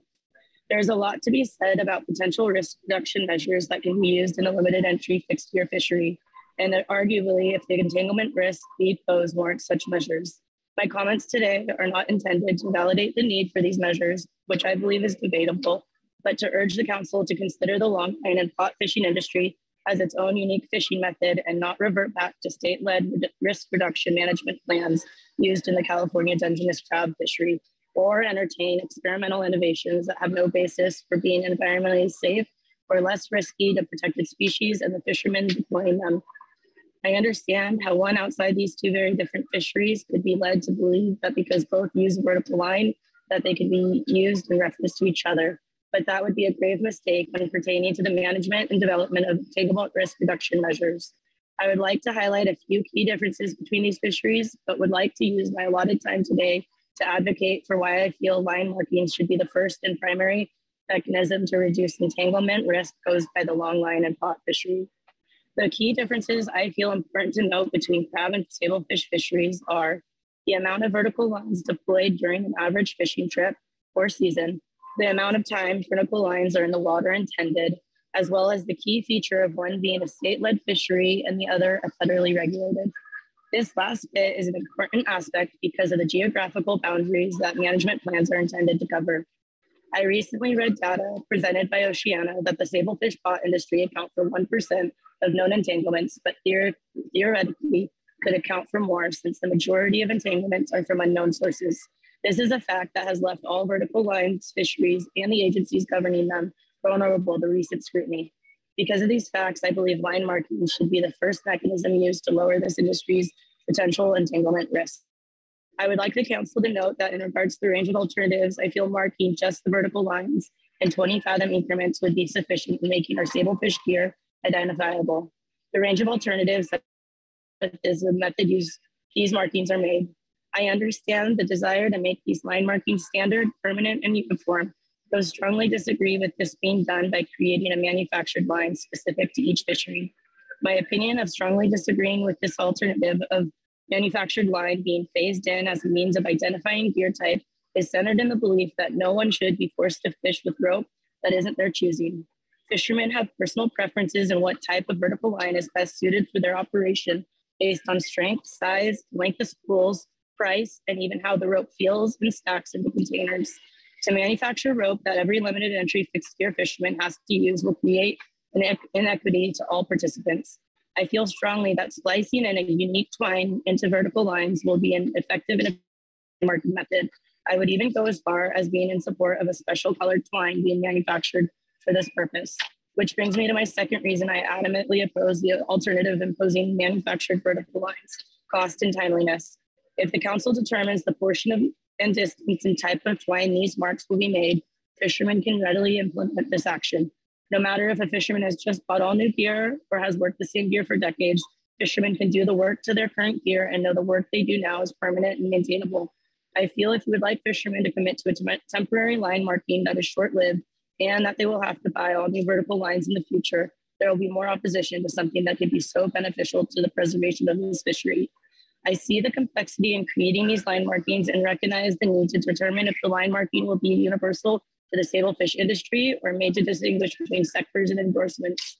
I would like the council to consider streamlining the line marking process with the limited entry fixed gear permit fishery by implementing alternative two of item one of the follow-on actions, which is to create a universal endorsement for limited entry fixed gear permits. I submitted a written comment to the council to advocate for the need of this action in June. If the endorsements remain as is, I would feel it important to have differentiating colors among limited entry fixed gear sectors. Thank you for your time today. I feel passionately about matters discussed and appreciate the opportunity to be involved in this process. Thank you, Valerie. I'm going to look around to see if there are any questions for Ms. Phillips. Maggie Sommer. Thank you very much, uh, Vice Chair, and thank you, Ms. Phillips, for your testimony. Um, I did not catch the last thing you said um, uh, about colored line for different sectors within the fishery. And I'm, I'm asking because I was listening to the reports provided by our groundfish advisory subpanel and groundfish management team indicating uh, they, they didn't see any need to distinguish between different sectors in terms of line marking, just the type of gear used.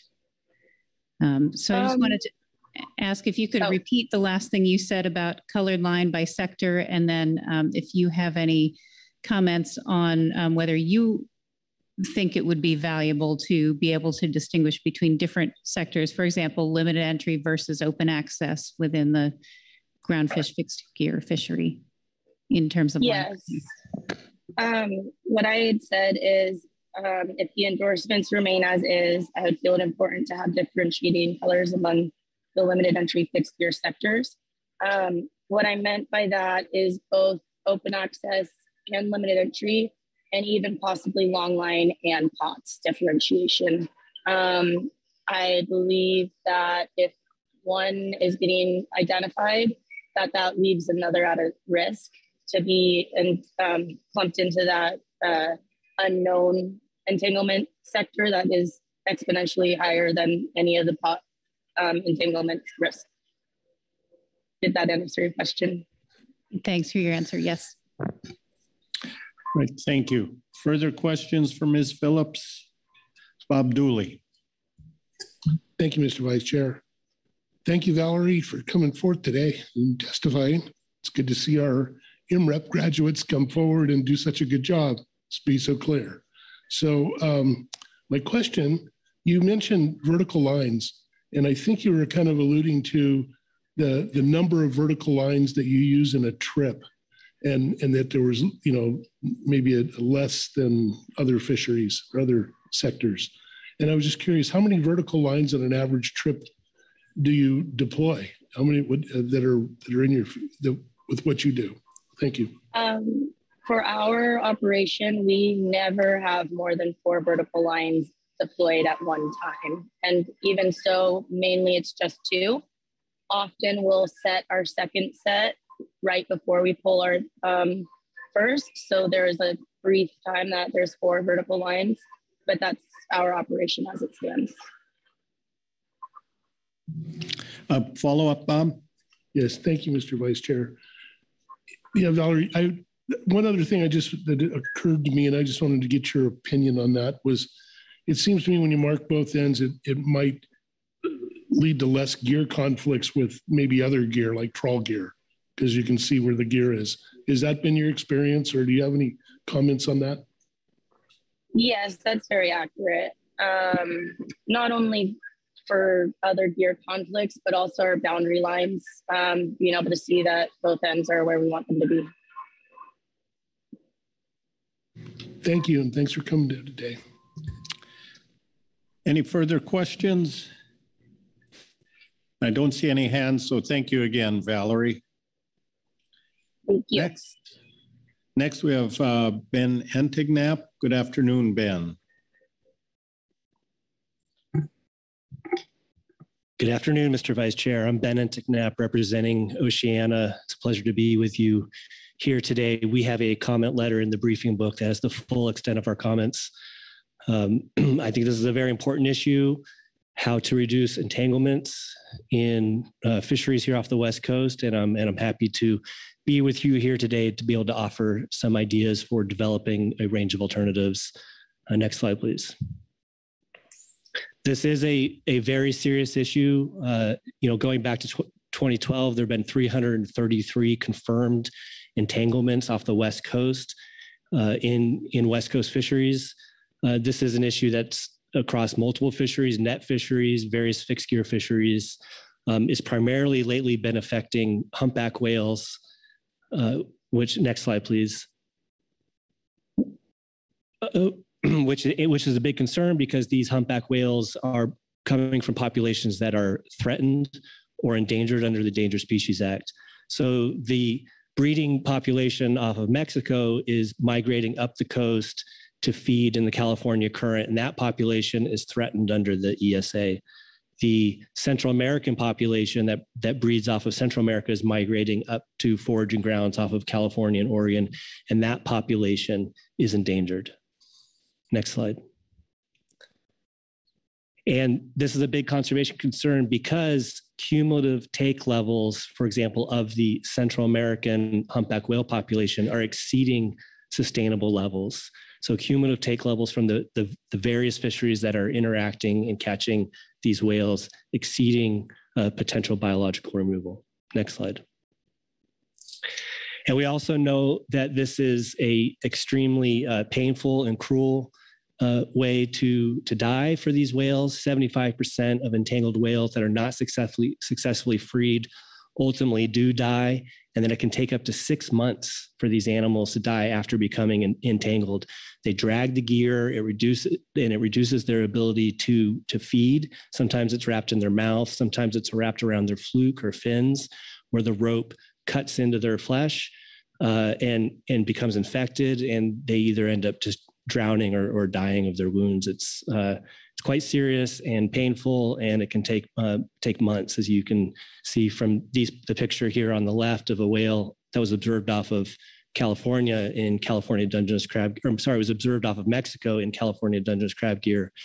Um, and the one from on the right is actually footage from one of those teams trying to to free an entangled whale. Next slide. And the purpose and need statement really speaks to uh, addressing this unidentified component. So over half of confirmed entanglements off the West Coast are in what's unidentified gear. And that's why we need that gear marking component. Gear marking not doesn't reduce risk.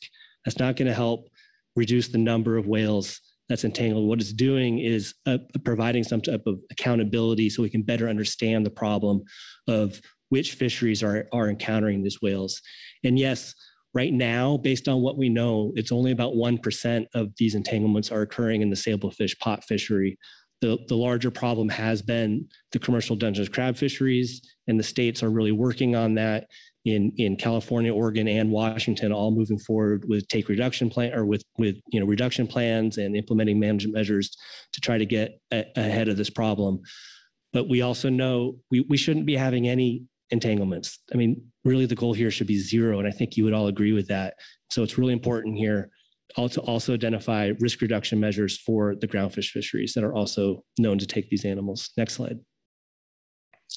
So to that kind of that accountability measure, which is the gear marking, we do support the alternatives that you have uh, for line and buoy marking. This is a really important component for getting an understanding of which fisheries are interacting with the whales, reducing that unidentified risk.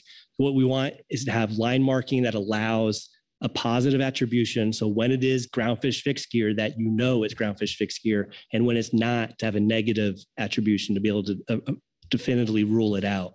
So on the the left in that photo, you see what is basically tape wrapped around the line, and that's a temporary marking uh, to be able to identify the gear. Ideally, we would go to a manufactured line throughout the full length of the line. Sometimes it's only a very small portion of the line that's that's visible. And so the more frequent the gear, the, more the marking is, and the more durable that is being it manufactured versus a, a temporary marking like tape or, or paint, that's going to help improve uh, the ability to identify which fishery is entangling these whales and make that make that positive attribution or that negative attribution. Next slide, please.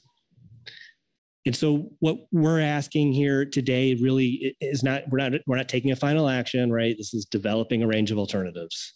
So we're asking for the development of a reasonable range of alternatives to reduce entanglement risk in the groundfish fixed gear fisheries. Right now, what's being offered is one alternative. Alternative one, a voluntary measure that is not a reasonable range of alternatives. There are other reasonable actions that could be taken. For example, we are asking that you have an alternative that includes time and area closures, right? This is this is something that's being done in the California RAMP program. We know that it could be developed for federal fisheries management when there are t- times and in areas of increased entanglement risk or observed entanglements to close those areas that are hotspots for these whales. This was also a recommendation from the Endangered Species Work Group uh, that was made to you in, in their June report to the council. So we, we know that this can be done and this could be developed and be a reasonable alternative in this package that you're considering. The other is the, the vertical line reduction. Right now, you have this voluntary measure.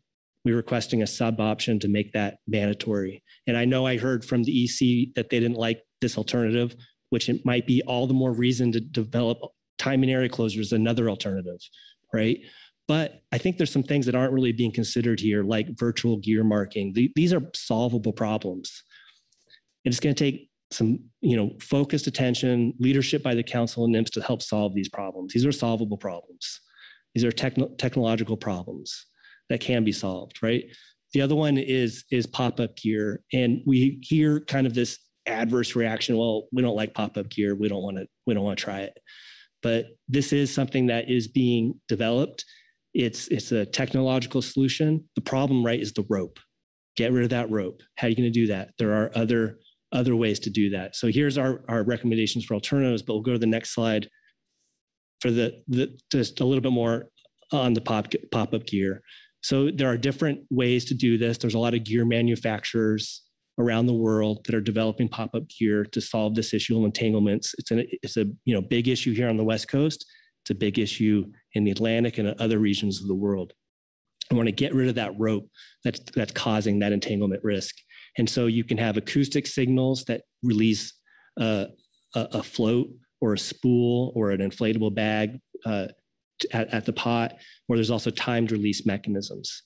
And testing happening now for the, in the California Dungeness crab fishery, initial EFP, EFP testing is finding 99.7% reliability in, in recovering that gear. And the price it's relatively inexpensive. You know, some people are saying, "Oh, this stuff's way too expensive, eight thousand dollars for a deck box." Well, you know, Subsea Sonics is selling them for one thousand three hundred. You know, it's it the, the price can come down. These are solvable problems, uh, and I think there are you know people are now are thinking about how could you adapt this for the sablefish fishery.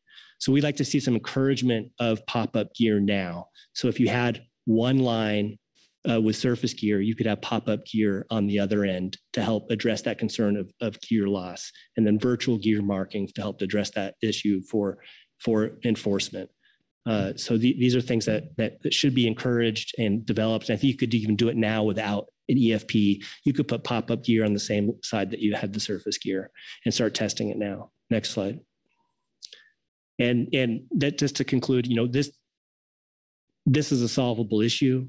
Nobody wants to see whale entanglements. It's a conservation concern, and it's going to require a, a, a proactive approach now. We're asking not to just put this off to a, a future take reduction team. That the council will start getting ahead of this now. We know it's a problem, uh, and, and we know that it can be solved. So, thank you. Are there questions for Ben? Heather Hall. Thank you, Vice Chair. Thank you, Ben, for the presentation. Um, I do have some questions, um, mostly on the pop-up gear, and I haven't uh, heard lately. I do know that it is being tested in the California Dungeness crab fishery. And one of the things that I was thinking about as we're thinking about its application to sablefish is if you are aware um, of how deep they're testing it in California. And that that was one of the things that I was thinking might be more challenging for sablefish than it is for Dungeness crab. But I also know um, test getting it tested is is part of the way of of getting there. Right. Uh, thank you, thank you, Mr. Vice Chair, Ms. Hall. That's going to be, I think, the big the, the, the big challenge is is getting uh, the acoustic signal to reach all the way at depths for sablefish, you know, 200 meters, 1,000 meters down versus Dungeness crab, which is, you know, we know is much shallower than that. So that's one of the big challenges. One of the ideas is you could have a rope uh, or, or a, a, buoy and have your pop-up gear suspended in the water column. Mm. So your the acoustic signal could get further down or or have time released mechanisms as another instead of acoustic signals. Again, what I'm just trying to point is these are these are issues that can be solved. It takes you know the the gear designers and manufacturers to sit down and start working on and testing these. Thank you. I have another question, if that's okay. Go ahead. Thank you. And and I, I agree. I mean, just in the time that we've been working on this in state Dungeness crab fisheries, there's been a lot of changes to pop up gear, and um, uh, so which is in, encouraging. And then on the bullet that says it could occur without an EFP, and I don't know if this is a question. This might be a question for NMFS, but um, because current under current regs, I believe you have to have each end marked. You, you would have to have a EFP, wouldn't you? Because I was thinking EFP would be an opportunity to try this. And um, anyway, I'll let you answer. Yeah, thank you. So I, that would be my understanding too. So right now you have to have surface gear on both ends right. of your main line, whether it's pots or a long line. Right. You could have pop-up gear on the line with surface gear to try deploying that pop-up gear and then if it fails you have your surface gear as as backup thank you i understand mm-hmm. thank you further questions Corey Ridings. Thank you, Mr. Vice Chair. Thanks, Ben, for being here. Um, I'm curious about the time area closures. We heard from the GAP that they didn't like this. Um, but you also recommend it here um, and was noting it was a recommendation um, of the endangered species work group earlier. So I'm wondering if you can just provide a little bit more information about um, how that's been working for California, other areas, or a little bit more about how that works. Okay, thank you, uh, Mr. Vice Chair, Ms. Ridings. So time and area closures I, I don't want to be glib. I don't know that any fishermen like time and area closures. no one like no. Yes, they don't like it, but it's a it's a we know it's a tool for conservation, and it's a tool that will will will get people out of the areas where humpback whales are are feeding and and migrating and you want to avoid those periods of, of high concentrations. So, for example, the Oregon in the Oregon Dungeness crab fishery, what they're doing is closing waters deeper than 40 fathoms to the Dungeness crab fishery starting May 1 of each year because of that springtime, late spring, early summer is when the highest concentrations of humpbacks are off of the Oregon coast in those in those deeper waters. And in California, my understanding is they do have a risk assessment program where they're constantly checking in, evaluating uh, various information from NOAA and from the state on humpback whale concentrations off their coast and using that to, as a trigger for area closures by specific zone. So, for example, maybe you have a block area closures that would close during periods of high concentrations, or uh, the other one, the other trigger, I think in California is the entanglement. You know, where there are a certain number of identified entanglements confirmed in Dungeness crab gear or uh, that were unidentified that gets like a partial attribution. So you can come up with a program. There's a model there to be used now, um, and apply it appropriately for federal management. Thank you. Look around carefully once more. And I see no hands, so thank you, Ben. Thank you for your time.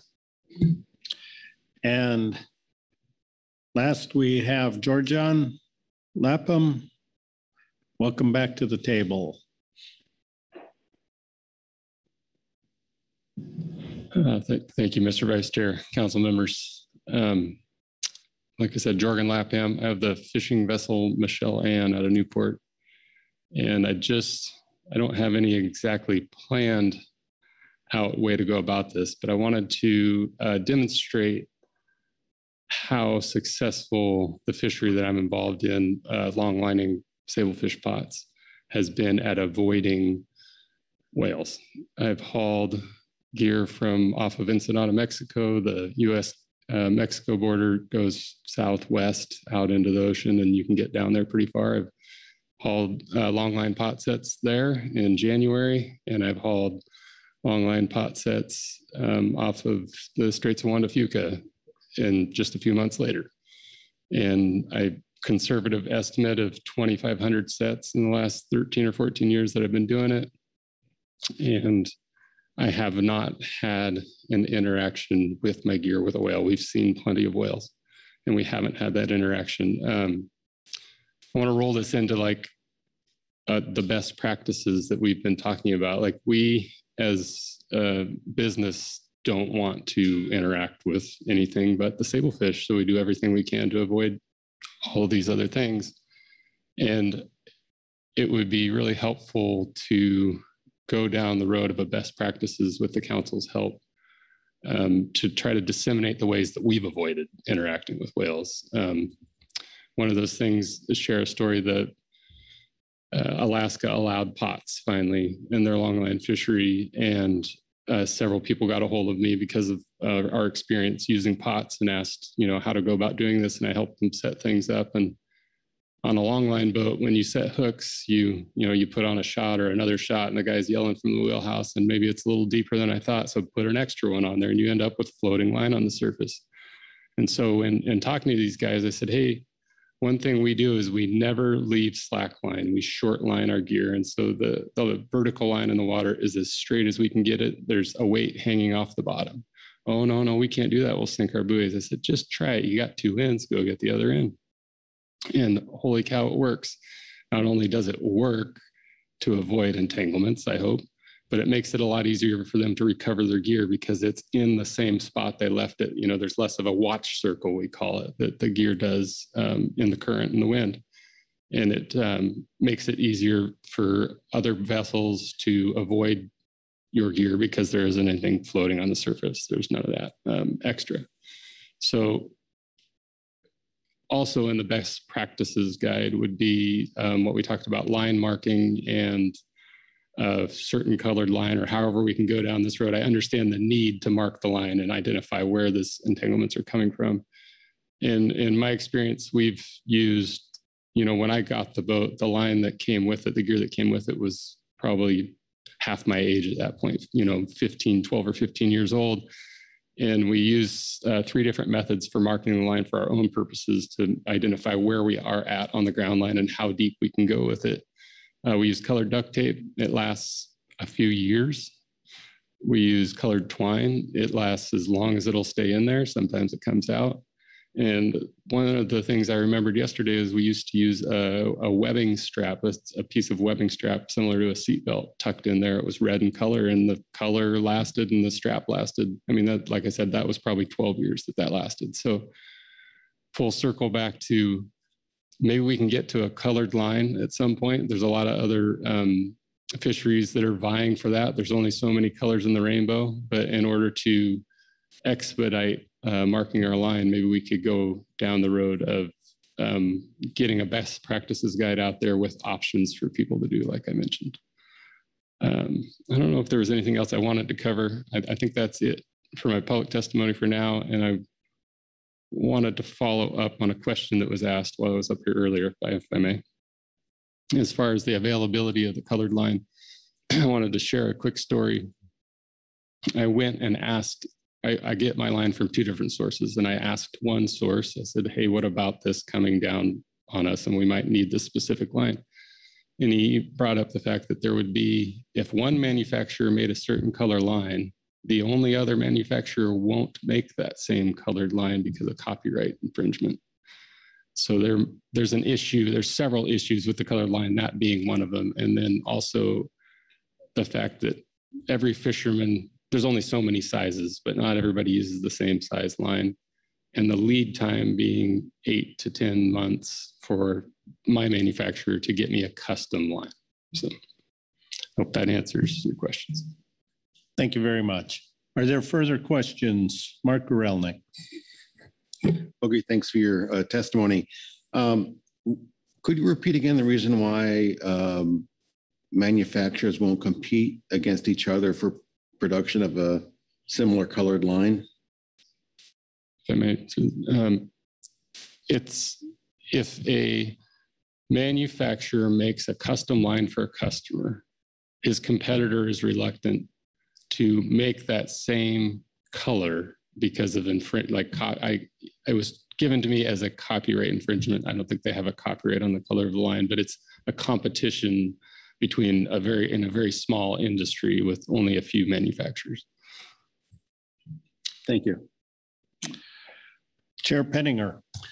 Well, uh, thanks for coming for us. Um, you're talking about the lack of slack line as being the, the, the key to not catching whales. That certainly sounds like the, it works. Um, you said you short line it, but do you also put a clump weight part way down so it keeps the line tight? Also, through the chair. Uh, yes, yeah, that's exactly what we do. You know, if if we're in 640 fathoms, there's a weight hanging at 600 fathoms and it's 70 pounds. Uh, we use a standard A4 buoy as our diver buoy, and that's 70 pound weight. Imagine an A4 buoy is this big. And if you fill that with water, that's as much flotation as that buoy has. So it's a lot more than 70 pounds. You know, that the A4 buoy floats are 70 pound weights. Yes. Yeah, because I've been thinking about that. It seems like that would be a I haven't heard anybody talk about that, so it's it's interesting you come up and mention that. And have you mentioned that uh, anybody in this process before today? Uh, I, I, had mentioned it. Yeah, uh, it's you know because Paul Clampett, the the one person that had the real aha moment was Paul Clampett's son Ben. Like, hey, you can do this, and you're not going to lose your gear, and it will help you in a multitude of ways. And you know, Paul and Ben both came back and said, "Hey, that's a that's a really good idea." I said, "Tell everybody you know, please." well, I got something certainly to consider. So, thank you. Yeah, yeah you're welcome. All right, Bob Dooley. Thank you, Mr. Vice Chair. Thanks, Poggy, for coming back up, and uh, good to see you here today. I curious. I, I'd asked you too about cost difference. Have you any information of like your standard line that you use that everybody probably else uses too, and the difference of when you order a custom line. Uh, what what's you have any idea of what the difference in cost is? Mr. Uh, as is no cost difference, but there's a minimum amount you have to order. That it was, you know, the last time I ordered a ground line, I asked for a different color, and there was a minimum of eight coils, uh, coil being a thousand fathoms. So that's a significant amount when you're talking about sorry, a coil is 400 fathoms. It was 3,200 fathoms line total to get a custom color.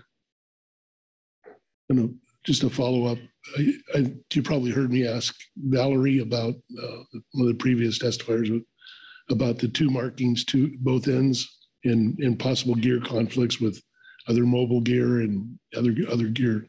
It, do you do you, what are your thoughts on that? Vice Chair, um, I hesitate to say that in reality, there are fisheries participants that use one end. And um, to my knowledge, it hasn't contributed to any kind of negative interaction, uh, especially when there's a high traffic area. That's one less thing to run into, you know, especially in a transit area with ships, tugs. You know, they would rather see one end than two end because if they see one, they'll veer off one way and all of a sudden there's another.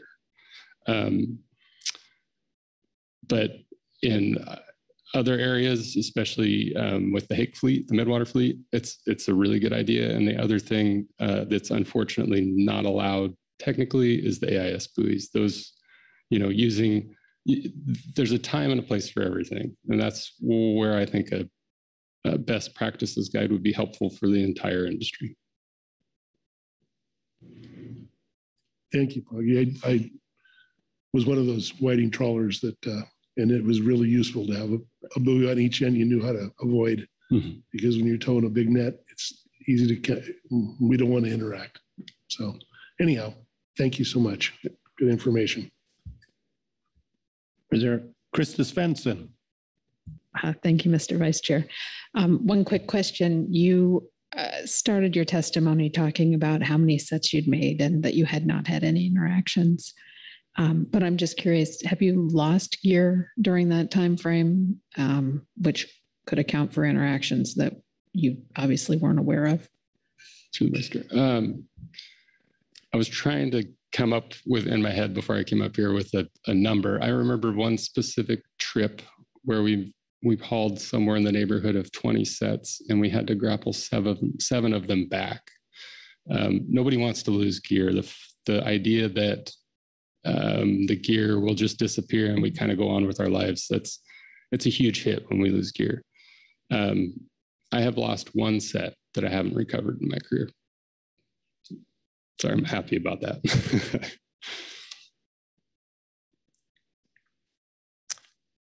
And any further questions?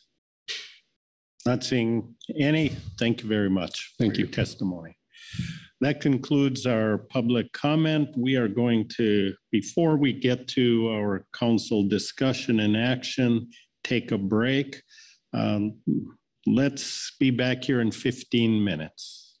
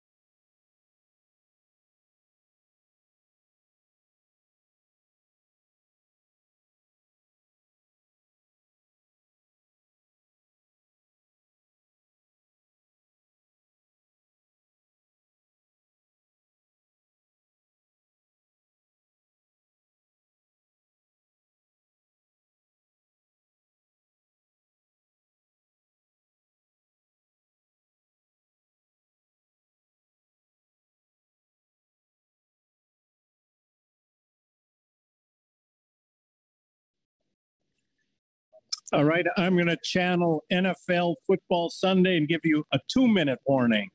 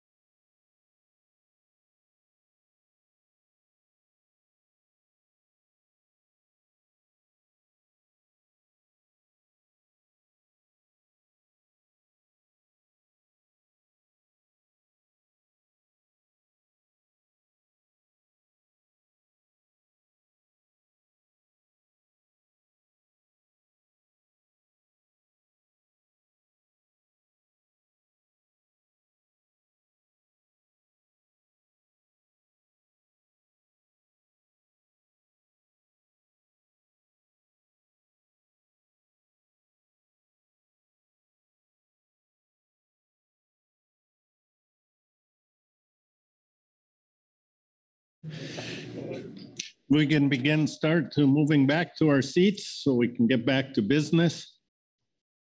Which is getting nervous here.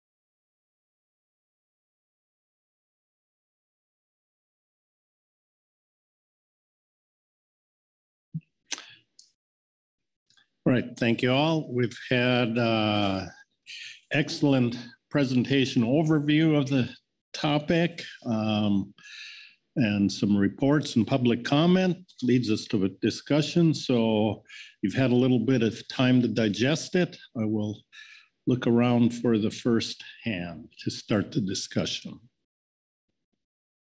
Maggie Sommer. Thank you, Mr. Vice Chair.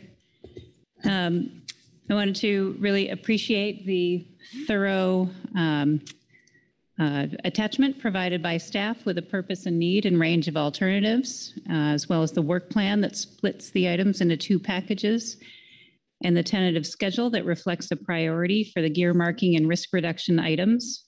Um, this is consistent with the priorities we have expressed previously and I think the work on uh, developing the um, range of alternatives really sets the council up well to move forward uh, with a very solid position at this point. Uh, just a couple other um, acknowledgments, really appreciate and support the GMT's recommendations for uh, analysis um, when, uh, when the analysis for the limited entry fixed gear follow-on action component is taken up to attempt to address whether gear specific endorsements are still necessary to limit harvest capacity. Uh, and then I wanted to recognize the enforcement consultant's comments on dropping a buoy line and some of the discussion we had uh, in, in public comment on that. Um, you know, I take very seriously concerns about the ability to enforce closed areas uh, and the potential for derelict gear. I also heard uh, some potential benefits of buoys on both ends in terms of operational considerations, and that it can depend on specific circumstances. At the same time, you know, we, we are having this discussion because we want to reduce entanglement risk, and reducing vertical lines in the water can help. So um, I would support keeping the option of dropping a line in the range of alternatives at this point, um, and expect to further explore those trade-offs as we move forward with this package. Thanks. Thank you, Maggie. Further hands. Try to be fair, looking left and right. Heather Hall. Thank you, Vice Chair. And I uh, just want to echo the appreciation for um, this really helpful attachment too with the information. The presentation today um, also was extremely easy to follow and understandable and um, the gap in GMT reports too. Um, I think I, I just would say agree completely that we're, we're set up well uh, for the discussion this afternoon. In terms of um, line marking, I did have a question for um, Maggie, and this is, has to do with, um, this is in um, the GAP report and their question to have more direction from NMFS about the distance of marking and mark spacing that would be adequate. And just wondered, I think this is a question to Protected Resources Division on how much marking is sufficient to um, uh, would be sufficient. It's an, and I'm asking it because it's a question we're asking in the Dungeness crab fisheries too. Um, how how much of a line needs to be marked to be considered adequate? Maggie Sommer. Thank you very much, and um, thank you, Ms. Hall, for the question. Um, you know, I think first I'll I'll just again make a distinction between the Dungeness crab fishery and the sablefish fishery. Um, obviously, we we know a lot of the the operational distinctions, um, and there's a lot we don't know about um, entangling gear. Uh, what at this point, um, what we are are looking for, and I guess let me just say up front, we don't. At this point, I don't have a specific distance, for example, of line to, that must be marked to provide, um, or a specific interval between marks. Um, we are, we recognize the importance of feasibility in this and some practical considerations. We want to make sure that whatever we end up with um, does provide um, a significant improvement in our ability to attribute entang observed entanglements to specific gear types. And at the same time, we want to make sure that we are taking into account uh, some of the, the practical considerations. So at this stage, what we were really looking for is to hear from the GAP and from industry. Um, and I appreciate some of the comments that they have provided on some of the, the means and, and methods and um, what would be feasible. And we will continue to work with the council through this process to um, evaluate proposals for line marking distance and intervals. Thank you. Right, thank you. Further discussion, Caroline McKnight. Thank you, Mr. Vice Chair. Um, first, I'd like to just say thank you for the staff report and the presentation today. I found them to be outstanding as well, but I'd also like to commend the GMT and the GAP for an amazing amount of content that they got through and provided uh, very clear reports. Um, it, has been very, very, very helpful. Um, I, I, have one question. I think it's going to be for you, Maggie, relative to some of the comments that we heard today about not just limited um, manufacturing companies that make this line, but also just a limited amount of line that's being made, period, or that it may be custom orders only. Um, in looking at the line marking uh, alternative three and the discussion about transi- transitioning from temporary methods of line marking to the manufactured line, is the intent here for it to be um, only manufactured line in the future, or will there always be the flexibility to go back to some sort of temporary marking? And I ask that specifically in light of some of the concerns we heard about availability of getting it. Seems like it would be reasonable to, to leave some kind of backstop in an event of that kind of situation moving forward. Thank you. Maggie Sommer. Thank you, uh, Mr. Vice Chair. Thanks, Ms. McKnight, for the question.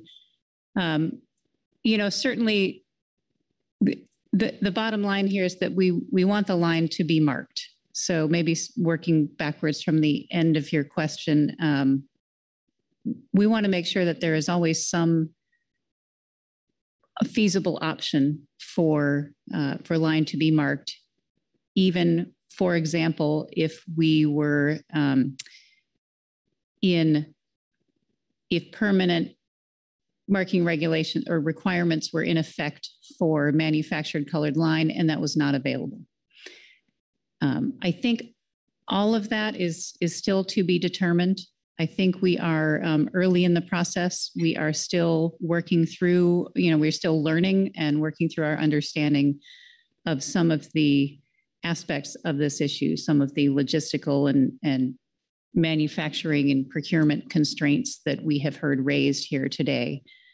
Um, you know, I understand there's probably been a lot of um, thought and discussion put into this by the states in particular as they have gone through this with um, Dungeness crab gear marking ahead of, of um, our process and our timeline, and certainly without my involvement. So there's probably a lot of knowledge out there too that that I don't have. But I think to answer your question, um, I think it's too early to say whether the certain endpoint at this time is that it must be manufactured colored line. We will be looking to flesh that out further through this process. Thank you. Follow up? Yeah, if I may. Please. Thank you, Mr. Vice Chair. Um, thank you, Maggie. That that is helpful. Um, along those same lines, and given that this is early and this is you know moving things forward, I think one thing that is not entirely crystal clear for me is what it, what meets the, the mark for a regulatory language development versus inclusion in a best practices guide. And so there, there's a little bit of talk ab- about the effectiveness and usefulness of a best practice guide. I, I agree that it, that there is a lot of merit there, um, but having some um, information, I guess, moving forward about if there's some standard or metric that needs to be a distinguishing factor between where something goes would be really helpful to know how we can provide guidance moving forward. So not not that you have to answer that now, but just a thought moving forward. Thank you. All right, thank you. I'll give you a chance for a response if you want, but you don't have to. Maggie? Thanks, uh, Mr. Vice Chair. I, I will respond um, briefly. Thanks for the question. Um, you know, regulations need to be enforceable. Um, so it needs to be um, clear and something that's clear and measurable. Um, and I would say it needs to be something that is um, ready to be put into that status. So measures that have been well tested and well developed. So, you know, there, there is some gray area. I want to recognize that. Um, and I appreciate the staff suggestion of a best practices guide and the gap suggestion of, of content for such a guide. I think that's um, a, a, good path to, to go down for some of these items. Um, and again, I think which items are appropriate for that. I think we have um, a good range for regulatory alternatives laid out here um, in the staff paper. And then I think there are a number of other things we can continue discussing and, and um, however a best practices guide might end up being developed, um, that process can really work through with industry input on um, things that could be considered to for inclusion in that, which could provide some consistent guidance, consistent guidance to the fleet. Thank you. Thank you. Marc Gorelnik. Uh, thank you, Vice Chair Hassemer. I just a brief comment. Um, I know that manufactured line that is manufactured in color is one of the one of the alternatives here. And um, there was a comment that perhaps there was uh, manufacturers would not manufacture it for more than one customer based upon uh, intellectual property concerns. Well, as the only IP attorney sitting around the table, I will say that that is not true. I mean, they may choose not to, but it won't because of any legal impediment. And in fact, I think if the National Marine Fisheries Service specifies a color scheme, I think I, I can't imagine uh, uh, manufacturers would have any uh, reluctance to uh, manufacture in those colors. Thank you. Is there further discussion?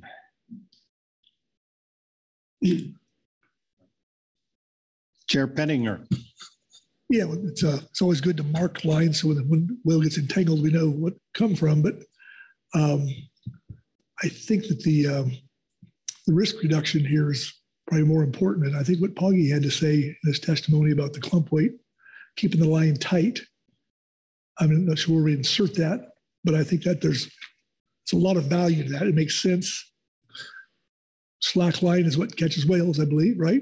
And so um, I think it's somewhere in this process we need to maybe incorporate that. I'm not sure where, but uh, I think that's a that's a that's just a big a common sense, easy way to minimize whale impacts. And I think we ought to you know, incorporate that somewhere in here. I'm not sure how to do it, but um, thank you for Poggy for sharing. And uh, I think I'm not sure of how many people know about that, but it's something that needs nothing else.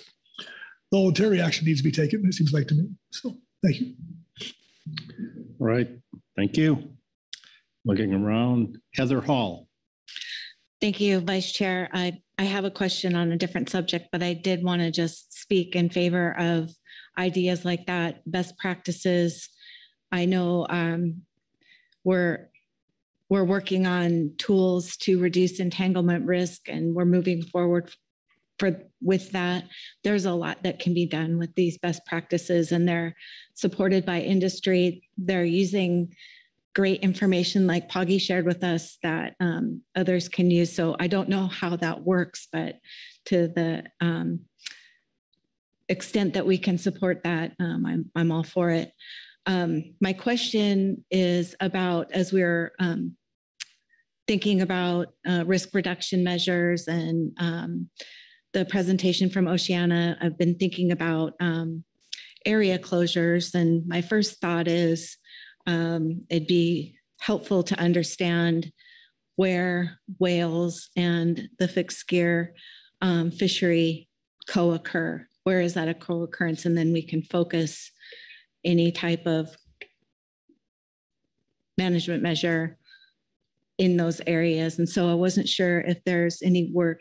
Um, the Science Center has been um, extremely helpful to um, the Washington Dungeness crab fishery and understanding that co-occurrence. And so I wasn't sure if that process has started using logbook data or fishery location data to explore that. And then uh, the second part of my question is, I know we have block area closures that are available to the fixed gear fleet, but I'm I'm not sure if um, if it can be used to reduce reduce bycatch of marine mammals, and that might be a question for NOAA GC.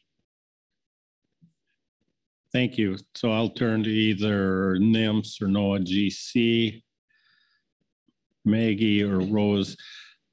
Maggie Sommer will take the first attempt at. I will. Thanks, Vice Chair.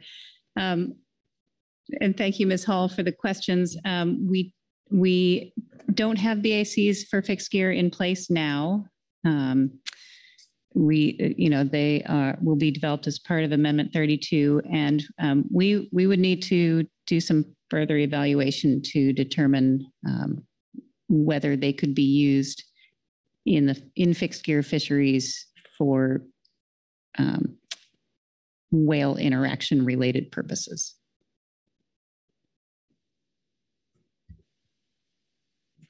Executive Director Burden. Uh, thank you, Mr. Vice Chairman. Uh, just following on uh, our Chairman Pettinger's here question, uh, perhaps a question for Jesse. This might be a, a, preference question or just a structuring of the analytical document question. But um, if this council were to desire uh, some further exploration of something like the clump weight and a taut line um, approach, um, is it your opinion it should be added to a range of alternatives or included as a best practices document? Or do you have any thoughts on that? Jesse, I think that was to you. Thank you, Mr. Vice Chair, Mr. Burden. Um, good question. Uh, I guess thinking, I kind of think about it like the surface gear discussion. So we've been like the surface gear was brought up, you know, as a we could add it to a range of alternatives. It could be a best practice, but if it was something that you wanted to specifically look at, I don't know how you would exactly write that in a regulation just off the top of my head. So that's where I, I maybe lean towards a best practice would be my suggestion. So it'd be something we could just scope out as a part of that idea. Um, but in terms of analysis, you know, if you're developing a best practice guide, and I, I would think a lot of that would kind of like come down the line later when we're actually working on like issuing the, the best practices guide. So I don't know how much analysis would be incorporated at this point, if that makes sense. Thank you.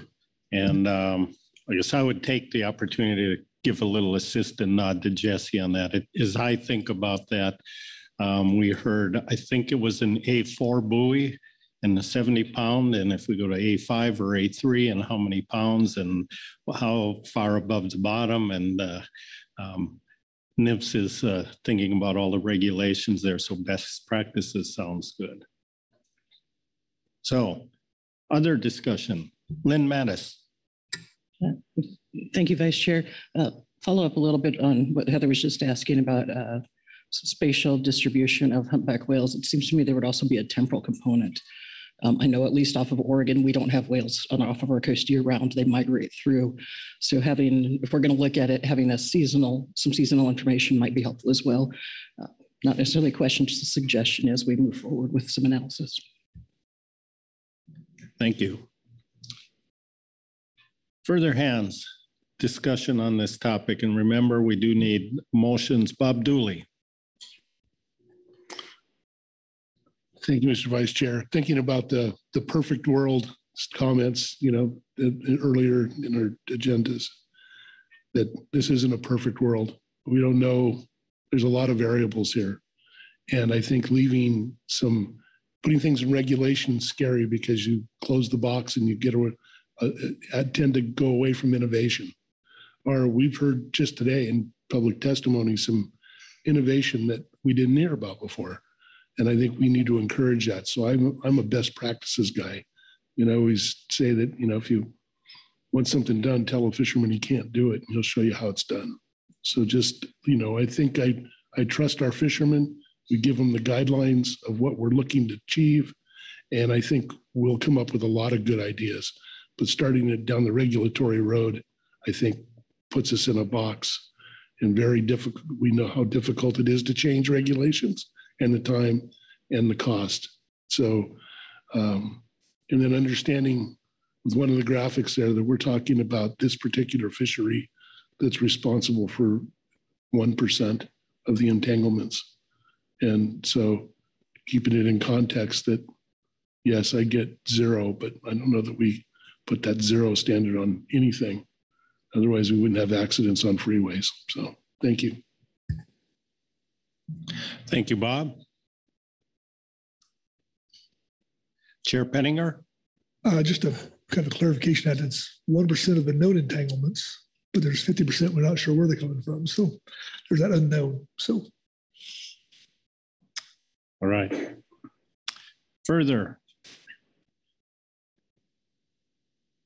Any motions? Heather Hall? Thank you, Vice Chair. I do have a motion. Is um, we're ready to move to that. I believe we are ready.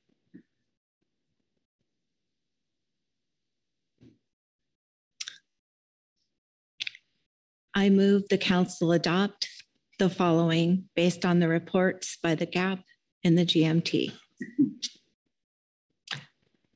Fixed gear marking, adopt the purpose and need with proposed changes, with the proposed change to replace the last sentence with action is also needed to improve the effectiveness of the currently required biodeg- biodegradable escape mechanisms in pot gear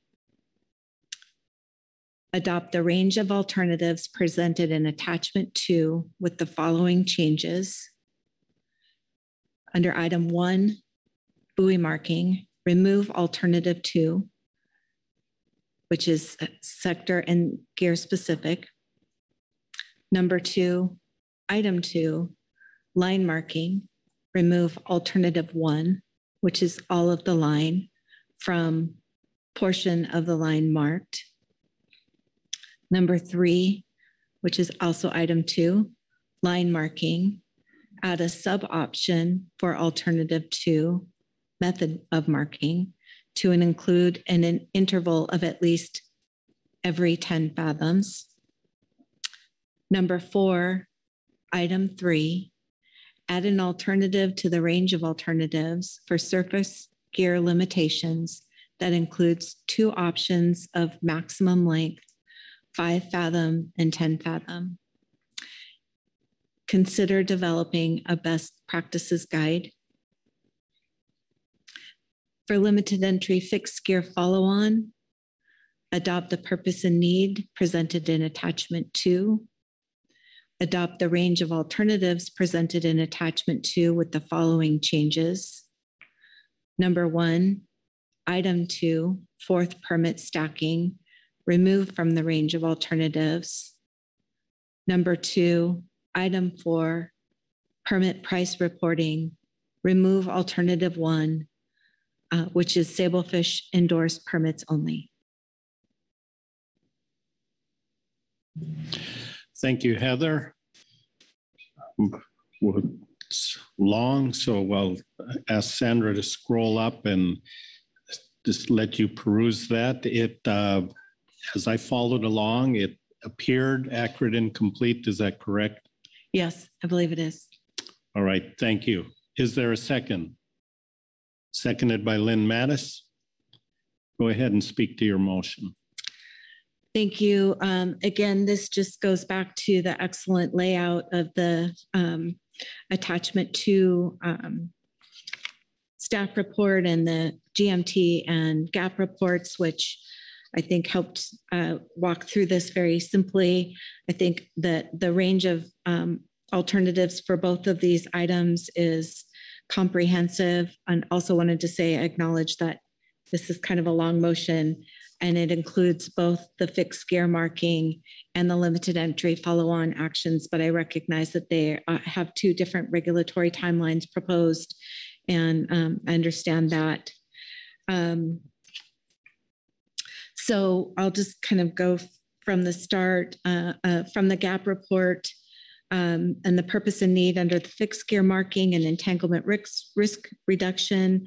Um, their suggestion um, clarifies the range of alternatives relative to the um, biodegradable es- escape panels.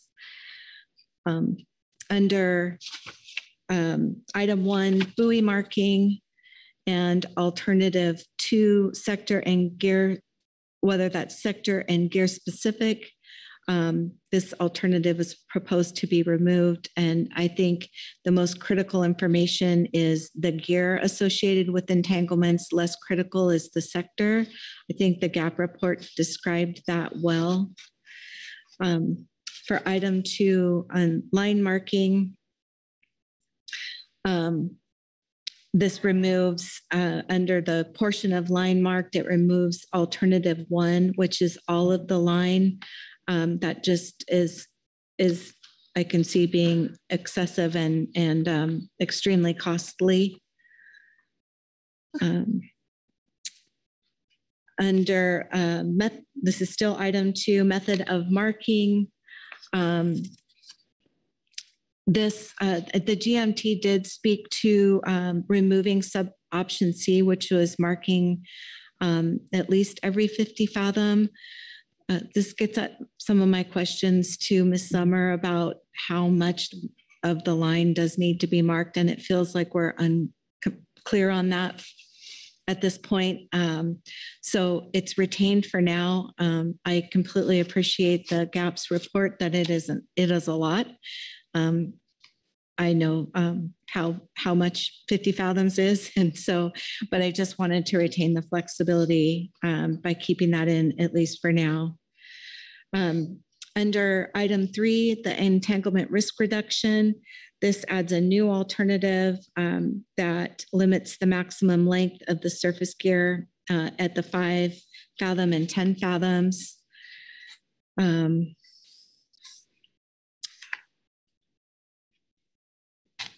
and uh, let's see if I've covered everything here.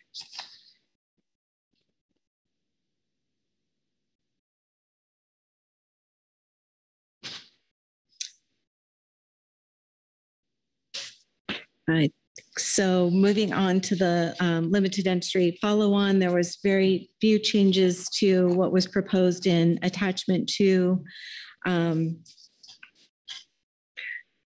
appreciate the input from the GMT on the analysis uh, relative to the alternatives for limited entry fixed gear permanent endorsements and the exploration um, on capacity um, as under Amendment Six. Um, removing the fourth permit stacking. I know we have talked with stakeholders a lot about the interest in that um, item over the time uh, during the uh, program review. Um, understand from the gap report and speaking to others that uh, just with the um, the fact that it modifies the three permit owner, own and control limit to four permits that that um, I think is where there's no longer interest in retaining that um, alternative. And then uh, per the gap again, under item four, the permit price reporting uh, removes um, alternative one, um, just um, the GAP's expression that it would be important to have owners of all limited entry fixed gear permits um, disclosing that permit price information would be valuable. Um, and then relative to uh, item six, cost recovery, um, I know the GAP had supported removing sub-option two on this. And um, my motion does not include removing sub-option two. It retains it for now. Um, just uh, under, I think the rationale that the GAP provided was was good, but um, it's not a lot of work, and it's I think it's important to maybe leave that on for now until we get to PPA or another phase of the this process. Thank you. Thank you, Heather. Are there any questions to the maker of the motion for clarification? I do not see any questions. So I will open the floor then to discussion on the motion. Maggie Sommer. Thank you, Mr. Vice Chair, and thank you, Heather, for putting together the comprehensive motion. Um, I just wanted to make a brief comment on the cost recovery part, um, since we had originally suggested that vessel owner be responsible for paying. Um, I wanted to say that uh, we we actually see the logic in the GAP's rationale for having the permit owner be responsible. Um, that that makes sense. Um, I just agree with the um, logic Heather laid out at leaving vessel owner in at this point for analysis, but wanted to say at this point, um, we certainly support the concept of it being permit owner. Thank you. Further discussion. Lynn Mattes. Just wanted to echo the thanks to Ms. Hall as well as to both the GAP and the GMT for how they out, laid out their reports and the discussions they had uh, and the information they provided us. I believe it was very helpful in our process. Uh, so it was just to say thanks to those folks. Thank you. Caroline McKnight. Thank you, Mr. Vice Chair. Um, thank you, Heather, for the motion. Um, I will be supporting it. I, I also want to just um, comment that this really harkens from the feasibility workshop that was held earlier this year, where it was very stakeholder driven and uh, amazing input that I feel like it came culminated to this right here. And what I see on the screen is a tremendous amount of consensus with maybe just a few exceptions that um, encompass a, a, broader range of, of an ROA.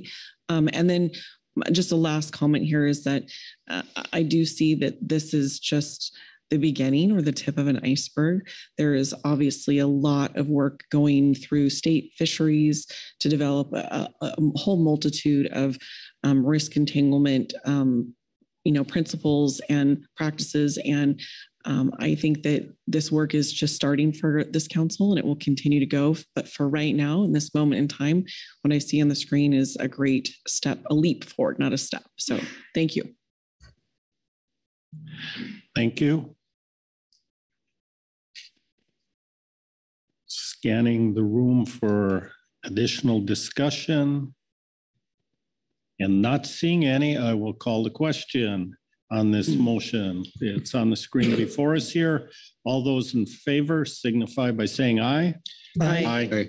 Opposed, no. Abstentions? Motion passes unanimously. Thank you. And with that, um, I have a suspicion that completes at least uh, our general action, but I will look to Jesse to see if there's something else we should do here. We have a few minutes to use up. Mr. Uh, Vice so- Chair, Excuse me, Jesse, I have a hand over here. Corey Ridings. Thank you, Mr. Vice Chair. Um, I'll, I'll take the bait on a little extra time to use up. Um, I just, uh, thanks for the motion, Heather. Um, and uh, I just wanted to add a few comments and thinking about um, like the time area closures that we discussed. Uh, we talked about gathering more data on co-occurrence, um, if and how block area closures could work. Um, noting that this fishery is different than D crab um, and fishes over a much larger amount of physical space, and that doing that data gathering could be very helpful. Um, so I hope that it's something we continue to explore and can do some of that thinking and bring some of that data and analysis in so that it can be a tool that we can use in the future. Um, I may be speaking a little bit out of turn, but I'm vaguely familiar with the concept of EcoCast, which is something that was developed at the Southwest Fishery Science Center for HMS fisheries. And I think about those sorts of science and data tools that might be useful in the future for something like this. Um, thinking about pop-up gear, I wanted to appreciate uh, what Ben Enticknap brought to the council and talked about that. Um, pop-up gear is a real trigger topic. There's one way to make someone mad at you real quick, say pop-up gear. Um, but I, it, I think it does hold real potential in the future. Um, and I wanted to echo what Ms. Hall said earlier about um, in response to her question in that line of discussion that you don't need an EFP uh, right now to add it to your gear and test it. Uh, um, Poggy said something earlier. I think it's really true that nobody is looking to lose gear. Nobody's trying to do this in any fishery. So if there are innovations out there like pop-up gear or something different than pop-up gear that helps us avoid entanglements, but also just helps us fish better overall, I, I hope that we can help contribute to that development and encourage that to move forward. Uh, and then finally, I just wanted to echo what Caroline said. Uh, the states are doing a lot of work on this in the decrab space and thinking creatively and trying to find solutions. And as much as we can take advantage of that moving forward, um, I hope that we do that. Thank you very much. And it is not my intent to close off discussion on this. So in the context of our council action, I'll look around Bob Dooley. Yeah, thank you, Mr. Vice Chair. Just a question, open question to whoever wants to answer it. Um, maybe, um, maybe Heather. We, we let the, the gap had, uh, talked about item number three, including the removal of the base permit designation, which I assume relates to the use of slinky pots. Is, is that, I think, no? Am I missing something? Okay, so that, I get that. But uh, we didn't include that, so I'm curious. Well, I'm gonna, Jesse is trying to respond. You uh, threw it out as an open question, so you want to take a shot, Jesse? So the gap was, uh, excuse me, Mr. Vice Chair, Mr. Dooley. So the so the gap was supportive of removing the base permit designation, um, which is part of the range of alternatives. Um, and that was identified in the tier review as an unnecessary administrative burden. It just is a is a length designation that NMFS keeps. So it has nothing to do with slinky pots or gear endorsements. We already have duplicative regs that require that a vessel has a permit registered to a sufficient length. That clarify that? All right, thanks. Further discussion on this agenda item? I'm not seeing any, so Jesse, how did we do? Mr. Vice Chair, y'all did excellent. Um, you adopted a purpose and need a range of alternatives for both fixed gear marking and entanglement risk reduction and the LE fixed gear follow-on actions. We have a lot of good suggestions for things to consider anal- to consider in the analysis and what a best practices guide might be and, and how to incorporate that into the analysis. And so the next time you'll see these items, they'll be in separate packages as you directed in June. And we're scheduled, I think, to be back with a PPA for gear marking in March 2023.